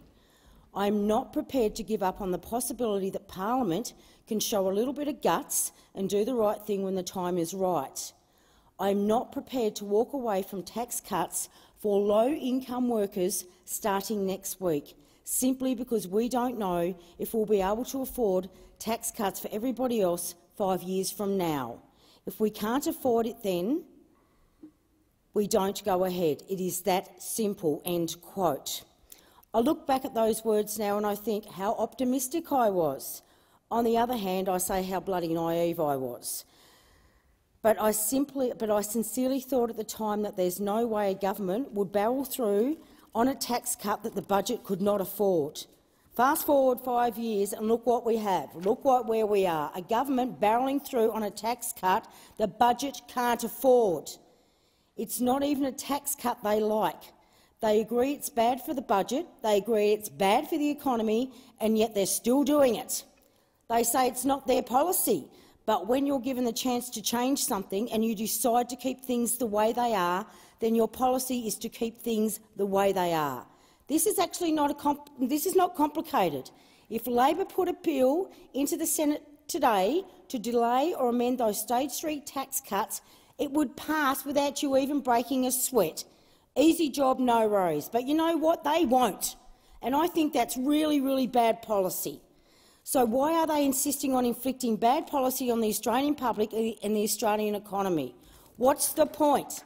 This puts the budget further into the red. We're told we can't afford anything because Labor's got a budget mess to clean up. It's like a garbage bag has split and fallen all over the floor in your kitchen and you're wiping down the bag. Fair go. Don't forget, this is the government that started this parliament saying we have to cut crossbench staff by 75 per cent to save $3 million a year but they're going to plough through with a tax cut that are going to cost $3 million an hour. Ugh, you've got to be kidding me. But look, I said I made a mistake and I did. The mistake was backing the tax cuts. The mistake was believing five years into the future we'd have a government with a of guts and to show some courage. If this, it's this Labor government that is being handed the keys to stop the cuts coming through and they're too goddamn scared to take them out of their jeans pocket. Fair go. You don't get to say that just because the other team legislated them. Somehow you're completely helpless to do anything about it, because that's rubbish. When Labor won the election, they wanted to be more ambitious on climate change, so they increased the emissions reductions target. The previous government didn't want a Royal Commission into robo-debt. Labor did, so they called one. The previous government didn't want to, to increase the skilled migration target. Labor, Labor did, so guess what? You changed it. Hip hip hooray. They changed things because they wanted things to change. You wanted things to change. They're not changing stage three tax cuts because they don't want things to change, not because they can't. I want every Australian person out there to know, not because they can't, because they do not have the will, they don't want to, they're too frightened to, they don't have the guts to. Three months in, three months in, they don't want to remove those stage three tax cuts because they don't have the courage and because they know that is the best thing forward for this country in the economic climate we're in right now. Lacks the guts three months in. I can tell you now, if you're not going to change the stage three tax, tax cuts because you don't want to change, you don't want things to change, that's a decision for the Labor Party, but you wear it. Thank you, Senator Lambie. Senator McGrath. Uh, thank you, Mr Acting Deputy President. Prior to the election, the coalition government was supporting our regions and agriculture sector with record levels of funding for water infrastructure. This investment was especially critical in my home state of Queensland, yeah, yeah. where there have been, I don't think, a single dam built in um, the last 20 years. And when you think of the record amount of rain that has fallen on our state and gone to waste during this La Nina cycle, would it not make uh, sense to invest in water infrastructure to improve water security and drought resilience? At present, the jewel in the crown of Queensland water projects is undoubtedly Urannah Dam, which the former coalition government supported to the tune of $498 million. This 970,000 megalitre dam is part of the visionary Urannah scheme, which includes the Bowen Renewable Energy Hub, the largest renewable baseload energy project in North Australia. Once operational, it will generate over 1,400 megawatts and reduce carbon emissions. The pumped hydroelectric plant has a storage capacity of eight hours and is co-located with solar, wind and a hydro electrolyser to support export-scale hydrogen production. Not only this, but Urannah Dam will feed the 20,000-hectare Collinsville irrigation scheme. This will deliver affordable water for the agriculture sector and open up opportunities to grow high-value crops on a large scale and facilitate export opportunities.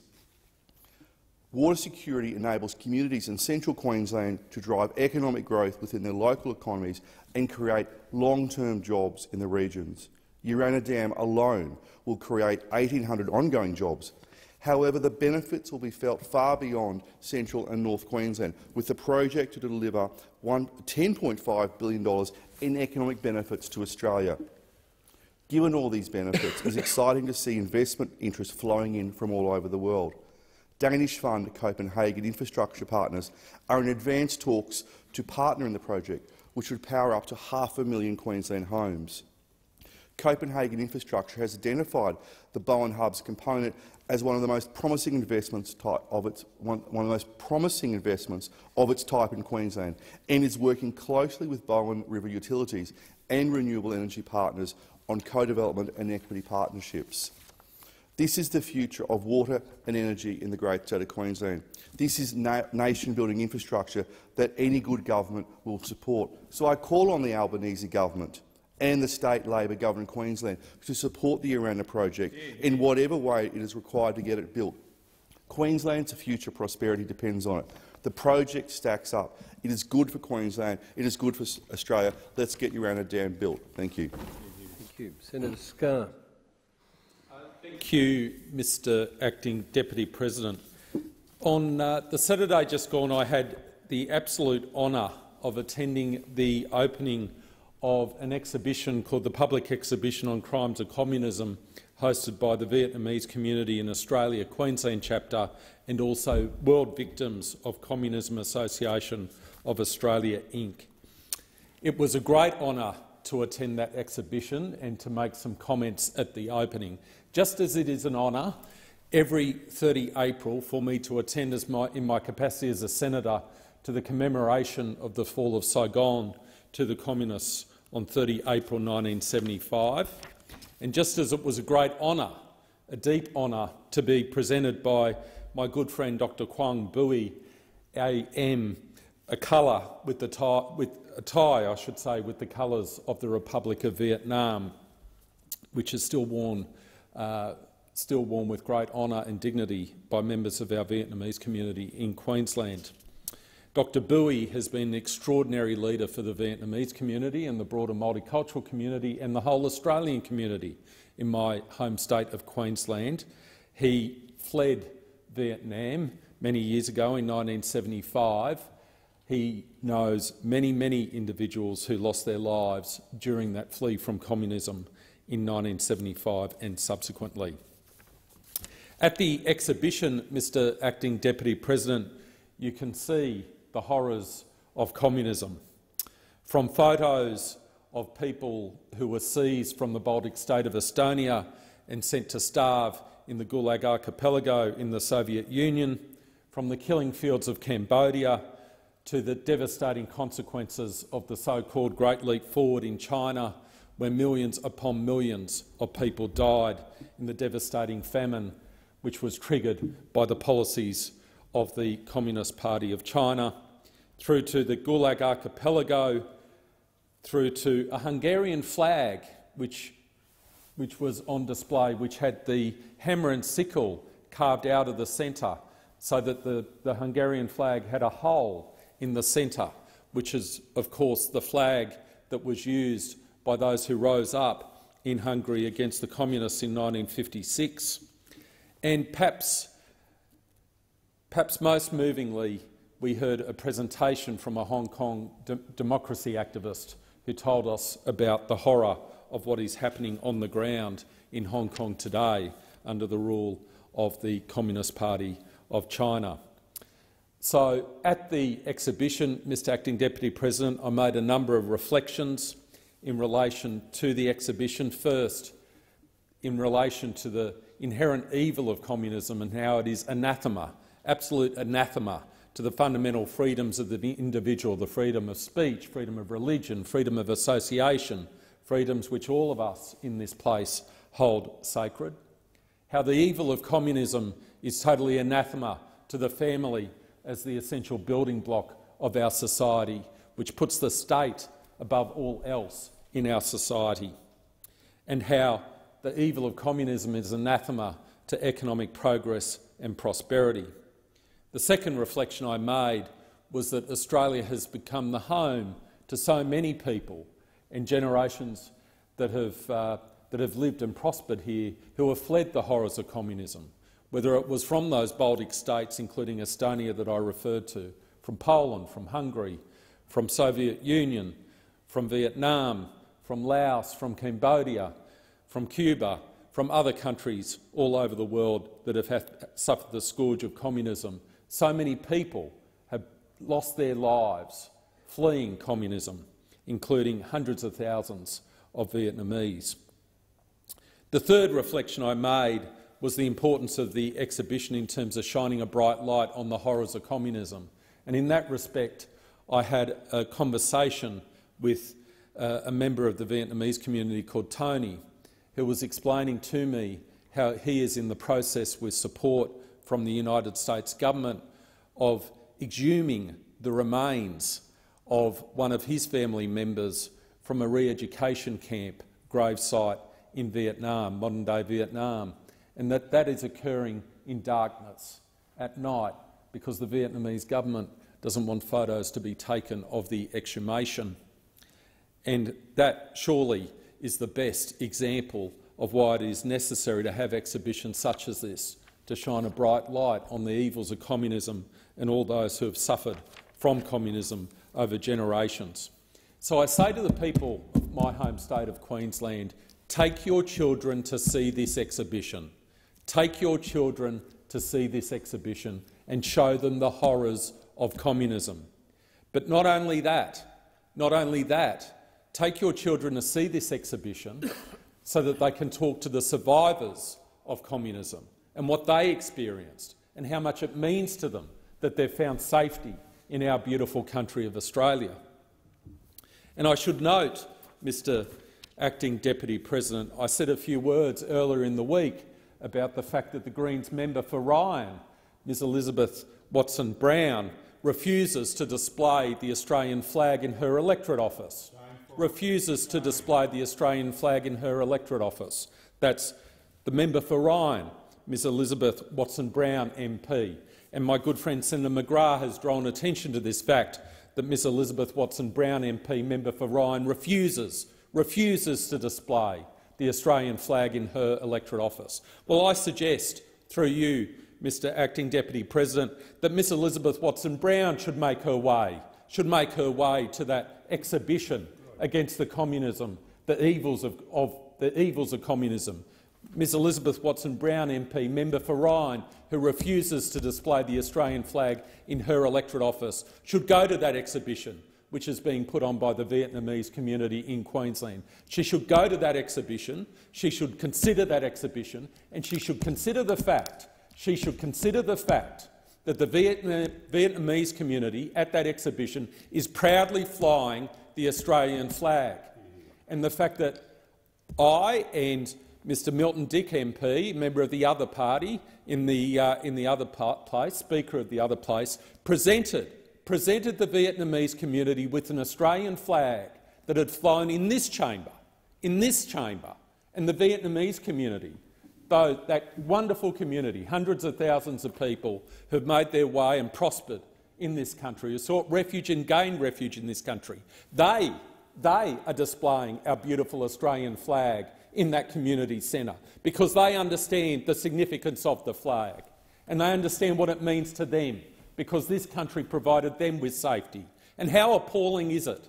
How appalling is it that the Greens member for Ryan, the Greens member for Ryan, Ms Elizabeth Watson-Brown, refuses, refuses to display the Australian flag in her electorate office when the Vietnamese community across the river in Darra at their community centre is displaying proudly, with honour, an Australian flag that is flown in this Senate chamber in this Senate chamber because they, our Vietnamese community, appreciate the values of this country and what it represents to all those people who have fled from persecution and the evils of communism and other extreme authoritarian regimes all over the world. They appreciate the significance of that flag, our Vietnamese community. Dr Bui, who Milton Dick MP and I presented the flag to, they appreciate the significance of that flag, but the Greens MP for Ryan Ms Elizabeth Watson-Brown can't bear to display the flag in her electorate office. What an absolute disgrace. What an absolute disgrace. So I say to Ms Elizabeth Watson-Brown, Greens MP for Ryan, come across the river to Darra. It used to be in the federal electorate of Ryan, used to be in the federal electorate of Ryan. Hopefully it is at the time of the next federal election, because I look forward to talking to the Vietnamese community about Ms Elizabeth Watson-Brown Brown MP, who refuses to display the Australian flag, so she can see the significance of that flag to one of our wonderful communities who found refuge in this beautiful country from persecution. So, Mr Acting Deputy President, we should always remember, we should always remember the horrors of communism, the evil of communism, the 100 million people who've died at the hands of communism. We should always remember, we should always remember that so many people found refuge from communism in our beautiful country, and we should, we should acknowledge and honour our wonderful Vietnamese community who have been so successful, so successful in our beautiful country since fleeing from communism and are now part of our wonderful Australian story. Thank you. Senator Rennick. Okay, uh, thank you, Acting uh, uh, Mr President. Uh, tonight I just want to uh, basically talk ag again about the lack of safety testing that was carried out with the vaccines. Uh, and I also want to discuss the biochemistry once again because there's a lot more elements that I need to discuss that I didn't get to last time. If you want to look at my last clip, you can still see it on my website, um, but I will recap just the, the finer points of it. Effectively, this vaccine produces a spike protein. It's uh, unlike a normal vaccine that produces 28 proteins, and the virus uh, that has 29 proteins in it this uh, vaccine only takes one of those proteins. Now, because of that, it is a much, much smaller molecule and it can cross via the endothelium uh, into the capillaries uh, and go throughout the bloodstream. And we know that because in the uh, TGA non-clinical report on page 45 was a distribution table of the rats where it showed the distribution of the spike protein throughout the entire— uh, sorry, not the spike protein, my apologies, of the lipid nanoparticle throughout all the organs in the actual rat. I did say spike protein, but that's not true because they never actually tested the spike protein at all. I mean, that's like testing a bomb without the actual explosives inside of it. What is the point of actually testing the vaccine if you didn't put the spike protein in it? No, what they did was they used a benign enzyme called luciferase, and they tested that in the rats. Um, but anyway, long story short, went throughout the whole body, despite the fact that we were told initially that it was only going to stay close to the injection site. Now, the second point we need to note out, and I'm going to come back to this in a minute, is the fact that they use this process called transfection. Now, what that means is it bypasses, this is a, uh, makes the lipid catatonic, cationic, cationic, I'll get it wrong again, cationic, and means it bypasses the ACE receptor and the transmembrane serine protein that is required for the virus to actually enter the cell. So therefore, it is a lot more infectious. Okay, the other thing is that the protein that they did deliver, the spike protein, is not the same as the spike protein in the vaccine, uh, in the virus, sorry. The vaccine spike protein replaced uh, uridine with a synthetic molecule that's not found naturally in the human, human body called methyl pseudouridine. Uh, now, studies showed they used that because they wanted to avoid uh, evade the immune system when the actual lipid nanoparticle was delivered to the cell membrane, uh, step one, and it was also shown to have greater self-amplifying properties, in which in other words, it made more of the protein.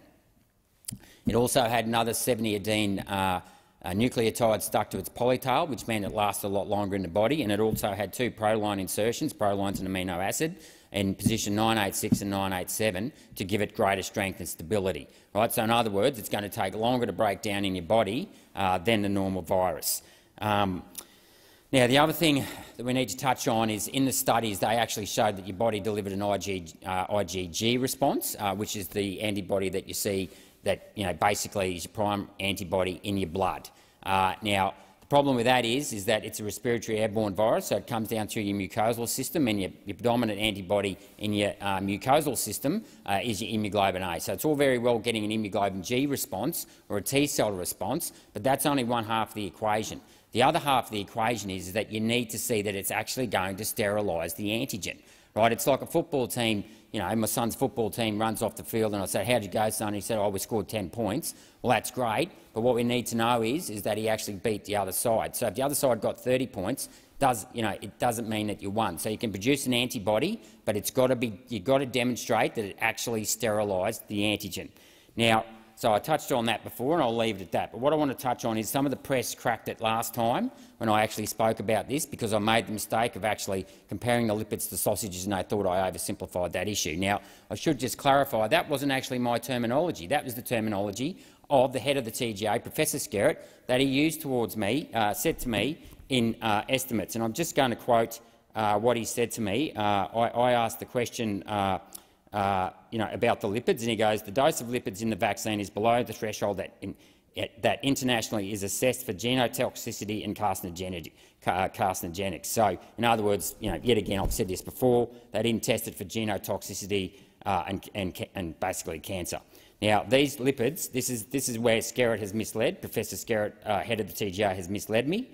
These lipids are commonly used in a range of other human therapeutics and even at a higher, and higher level, there isn't evidence of anything. Now, let me say this. An absence of evidence isn't uh, evidence of absence. Okay? You need to demonstrate that there are no ill effects.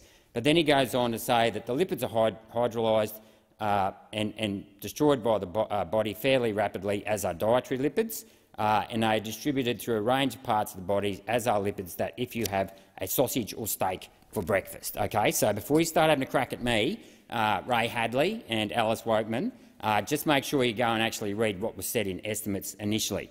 Now, the reason why Professor Skerritt has actually misled me on that is that right here I have documents right from Pfizer on their website, uh, and it talks about how they developed their own raw materials to ensure a steady supply for the COVID vaccine. Okay, so it goes on to say that uh, uh, Melissa French, who worked for Pfizer, got the message Pfizer needed large quantities of something called a cationic lipid that was critical to the COVID vaccine. This isn't an everyday lipid that's readily available. Well, well, well, well, well. So we've got Pfizer actually admitting on their own website that the everyday lipid that's been, or the lipid that's been used isn't, isn't an everyday lipid. So when Professor Skerritt said that it's something that you know, is in your sausage or steak and it's you know, been used in higher levels previously, that is not correct. And this article goes on to say how the, the Pfizer team had to work overtime to actually get this lipid uh, into production and get it manufactured. So I find it very concerning that Professor Skerritt would mislead uh, a senator in estimates on that. But we need to talk a little bit further about this, these cationic uh, charged lipids, okay? because they can be toxic. They're known or they can uh, disrupt the mitochondrial cellular respiration that's responsible for consuming oxygen for producing energy. If this activity is disrupted, then the oxygen is not reduced all the way to water and instead to some intermediaries which are called reactive oxygen species. Okay? Wow, big term, right? Now, reactive oxygen species are intrinsic to cellular functioning and are present at low and stationary levels in normal cells. However, these can cause irreversible damage to DNA as they oxidise and modify some cellular components and prevent them from performing their original functions. This suggests they have a dual role and, and they can be harmful or protective uh, depending on the balance between their production and disposal at the right time and place. Now, you've got to ask the question why this wasn't tested in humans before it was rolled out. Before it was rolled out. But that's, you know, this, there isn't anything new to this. If we go and look at uh, TGA disclosure log 2387, there's a risk management plan that these guys came up with in January 2021. And I just want to go to table three, uh, and this, of course, is off the TGA website, so Facebook fact-checkers don't get upset for actually quoting uh, Pfizer's own source documents and the TGA's own source documents. Table 3, a summary of safety concerns in the EU RMP. Okay. Important identified risks, anaphylaxis, important potential risks, vaccine-associated enhanced disease, right? Lovely, charming. So they actually knew about this, and the response to all this was to actually, even though that they knew this was a risk, uh, is to basically uh, now, what did they say? Go on and say here. It could lead to uh, adverse responses, and it needs to be carefully evaluated once a COVID vaccine rollout commences. Now, I don't know about you, but if there is a risk of having a vaccine-enhanced disease, wouldn't you actually test it before the rollout commenced?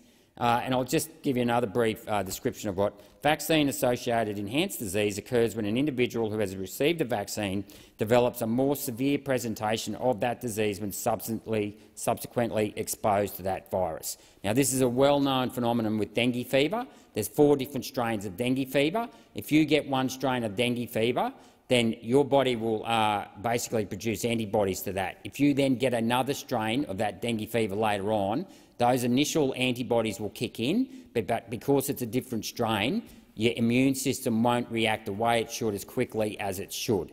And that's because the different strain will have a different spike protein. Now, with all these different mutations going around at the moment, if you keep boosting in, you basically run the risk of pathogen priming, okay, which is effectively where you know, the uh, uh, the viruses that mutate have a greater chance of surviving because your body has only got the antibodies to the initial spike protein and not the nuclear capsid. So you should always have antibodies to not just the S protein but the N protein. And if you look at people who've gone and got their antibody testing after they had COVID, they have antibodies to both the S and N uh, uh, protein, and that's very, very important.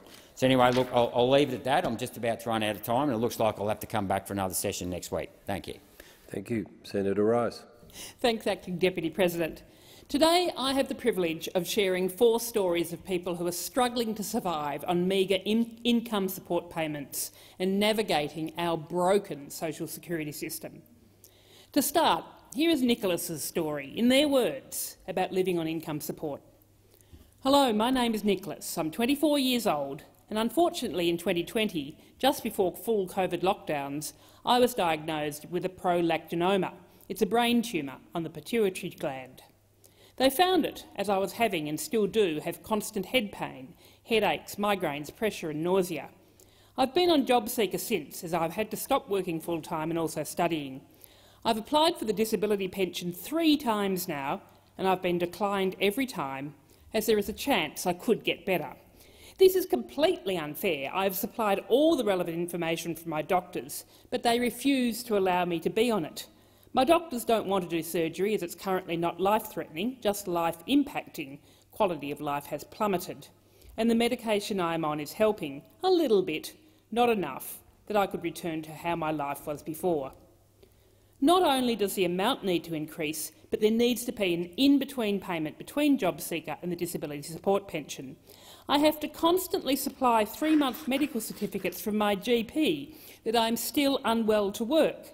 But if I'm delayed by not even one to two days, then the job seeker agencies swoop in and demand I see them, otherwise my payments will be cut. It is a shameful, humiliating experience having to deal with them and Centrelink. Being on JobSeeker, I receive approximately $700 a fortnight with rent assistance. My rent has just increased to $360 a week. I live out of home with no chance of being able to move back home to my parents as there just isn't any room. I'm lucky that I have a partner that's happy to support me, but it's humiliating having to live off your partner's income. My money from Centrelink goes straight into rent, as well as trying to help out wherever I can with other bills.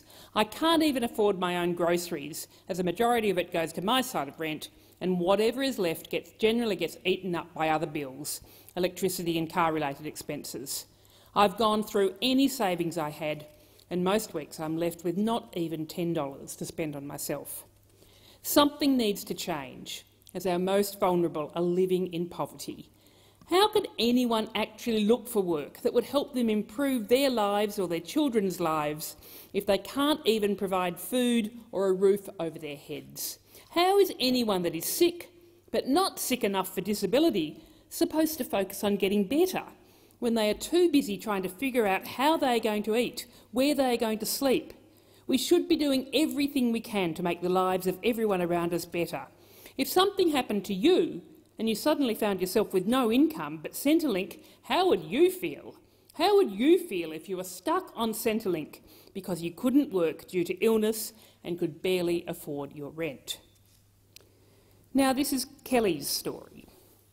Hi, I'm currently 45 years old on the disability support pension with chronic health issues and severe mental health issues, and I'm currently homeless due to my very limited income. It's near impossible for me to find another rental. I was evicted six months ago from my previous rental of nine years because the real estate wanted to double the rent and couldn't do so with me in the property. I'm currently staying in a caravan park, which is dangerous and very unsafe for my health, paying $350 per week, with no cooking facilities, no heating, no in-home bathroom facilities, etc., and my health and mental health have never been so bad. I'm also now separated from my carer and my family members, again dangerous to my health, as there isn't enough room here. And now Elizabeth's story. I'm a 33-year-old woman on the disability support pension. I get the privilege of paying about $7,500 a year out of pocket for my treatment and live in an NRAS studio apartment, which is $13,000 a year in rent. My annual income, according to Centrelink for this financial year, was $23,000. As a disabled person, that leaves me $3,000 a year to eat, pay utilities and travel for treatment. Home ownership is not a possibility for me. I've resigned myself to the fact that I won't be able to have a family because I can't even afford to socialise with peers, let alone date. Yet I've had to endure robo-debt collections, job service providers cancelling my payments because they didn't attend the meeting they set, being told to search for eight to ten jobs a week when I've supplied documents saying I'm in hospital, recovering from having, having an organ surgically removed, threats of being forced into Certificate 1 vocational training classes when I have an undergraduate degree. The problem is not that I don't want to work or that I can't navigate recruiting processes. The problem is that to the Australian government, my value as a human is tied directly to my productivity and the amount of income tax I can pay. I want to work. I know I've got skills and experience in communication, advocacy, event planning, executive assistance. I've run my own business in the past. I've got a tertiary education. Job service providers would tell me to apply for factory work, despite physical impairments, an inability to get to the job for the 5 a.m. start time and my inability to actually complete that type of work. Recruiters wouldn't consider my application seriously anyway, yet I'd be bullied by the provider into applying to meet my obligations and not have payments cut. How can any government say they are representing the people who vote for them when they intentionally look at a group of people who are physically incapable of work through age, impairment or an inaccessible job market and decide to intentionally force them to endure being bullied by service providers, all to have to call Centrelink and beg to receive payments well below the poverty line. Quality of life is non-existent. It's humiliating, dehumanising, psychologically harmful, and as proven by Robodebt, potentially fatal to have to endure. I've thought on more than one occasion I literally cannot afford to be alive right now. And finally, I would like to share the experience of someone who was on income support while they were studying. I left a full-time position in 2016 to attend university, relying on Centrelink to support my studies, as I was unable to find, find an appropriate part-time position willing to be flexible around my uni schedule. Despite dumpster diving for food and living in cramped shared accommodation, income support was so low that I often couldn't afford the bus to class, which severely affected my ability to study. Due to my poor standard of living, I got really sick and could not access the diagnostic tests my GP recommended, as there were out-of-pocket expenses that were not covered by Medicare. I suffered with an undiagnosed, treatable illness for nearly five years because Centrelink is too low to access medical care. This obviously prolonged my degree and therefore cost the government more money to support me while I finished it. The income support over COVID meant that I could access the tests I needed. I was diagnosed and went through surgery in late 2020. Since then, I've been able to finish my degree, get a job in my field and resume paying tax. My heart breaks for people still trapped in poverty while the cost of everything skyrockets around us. Please do something. Thank you to Nicholas, to Kelly, to Elizabeth and to everyone who has shared their stories with me and given me the opportunity to share them here in the Senate tonight. These stories reveal an income support system that is broken, a system that is punishing people in poverty and failing to dismantle barriers to employment. It is time for the Albanese government to listen to people on income support. It is time to raise the rate of all income support payments to above the poverty line and to abolish punitive mutual obligations. Come on, this new government, it is time. This Senate stands adjourned and will meet again tomorrow at 9.30am.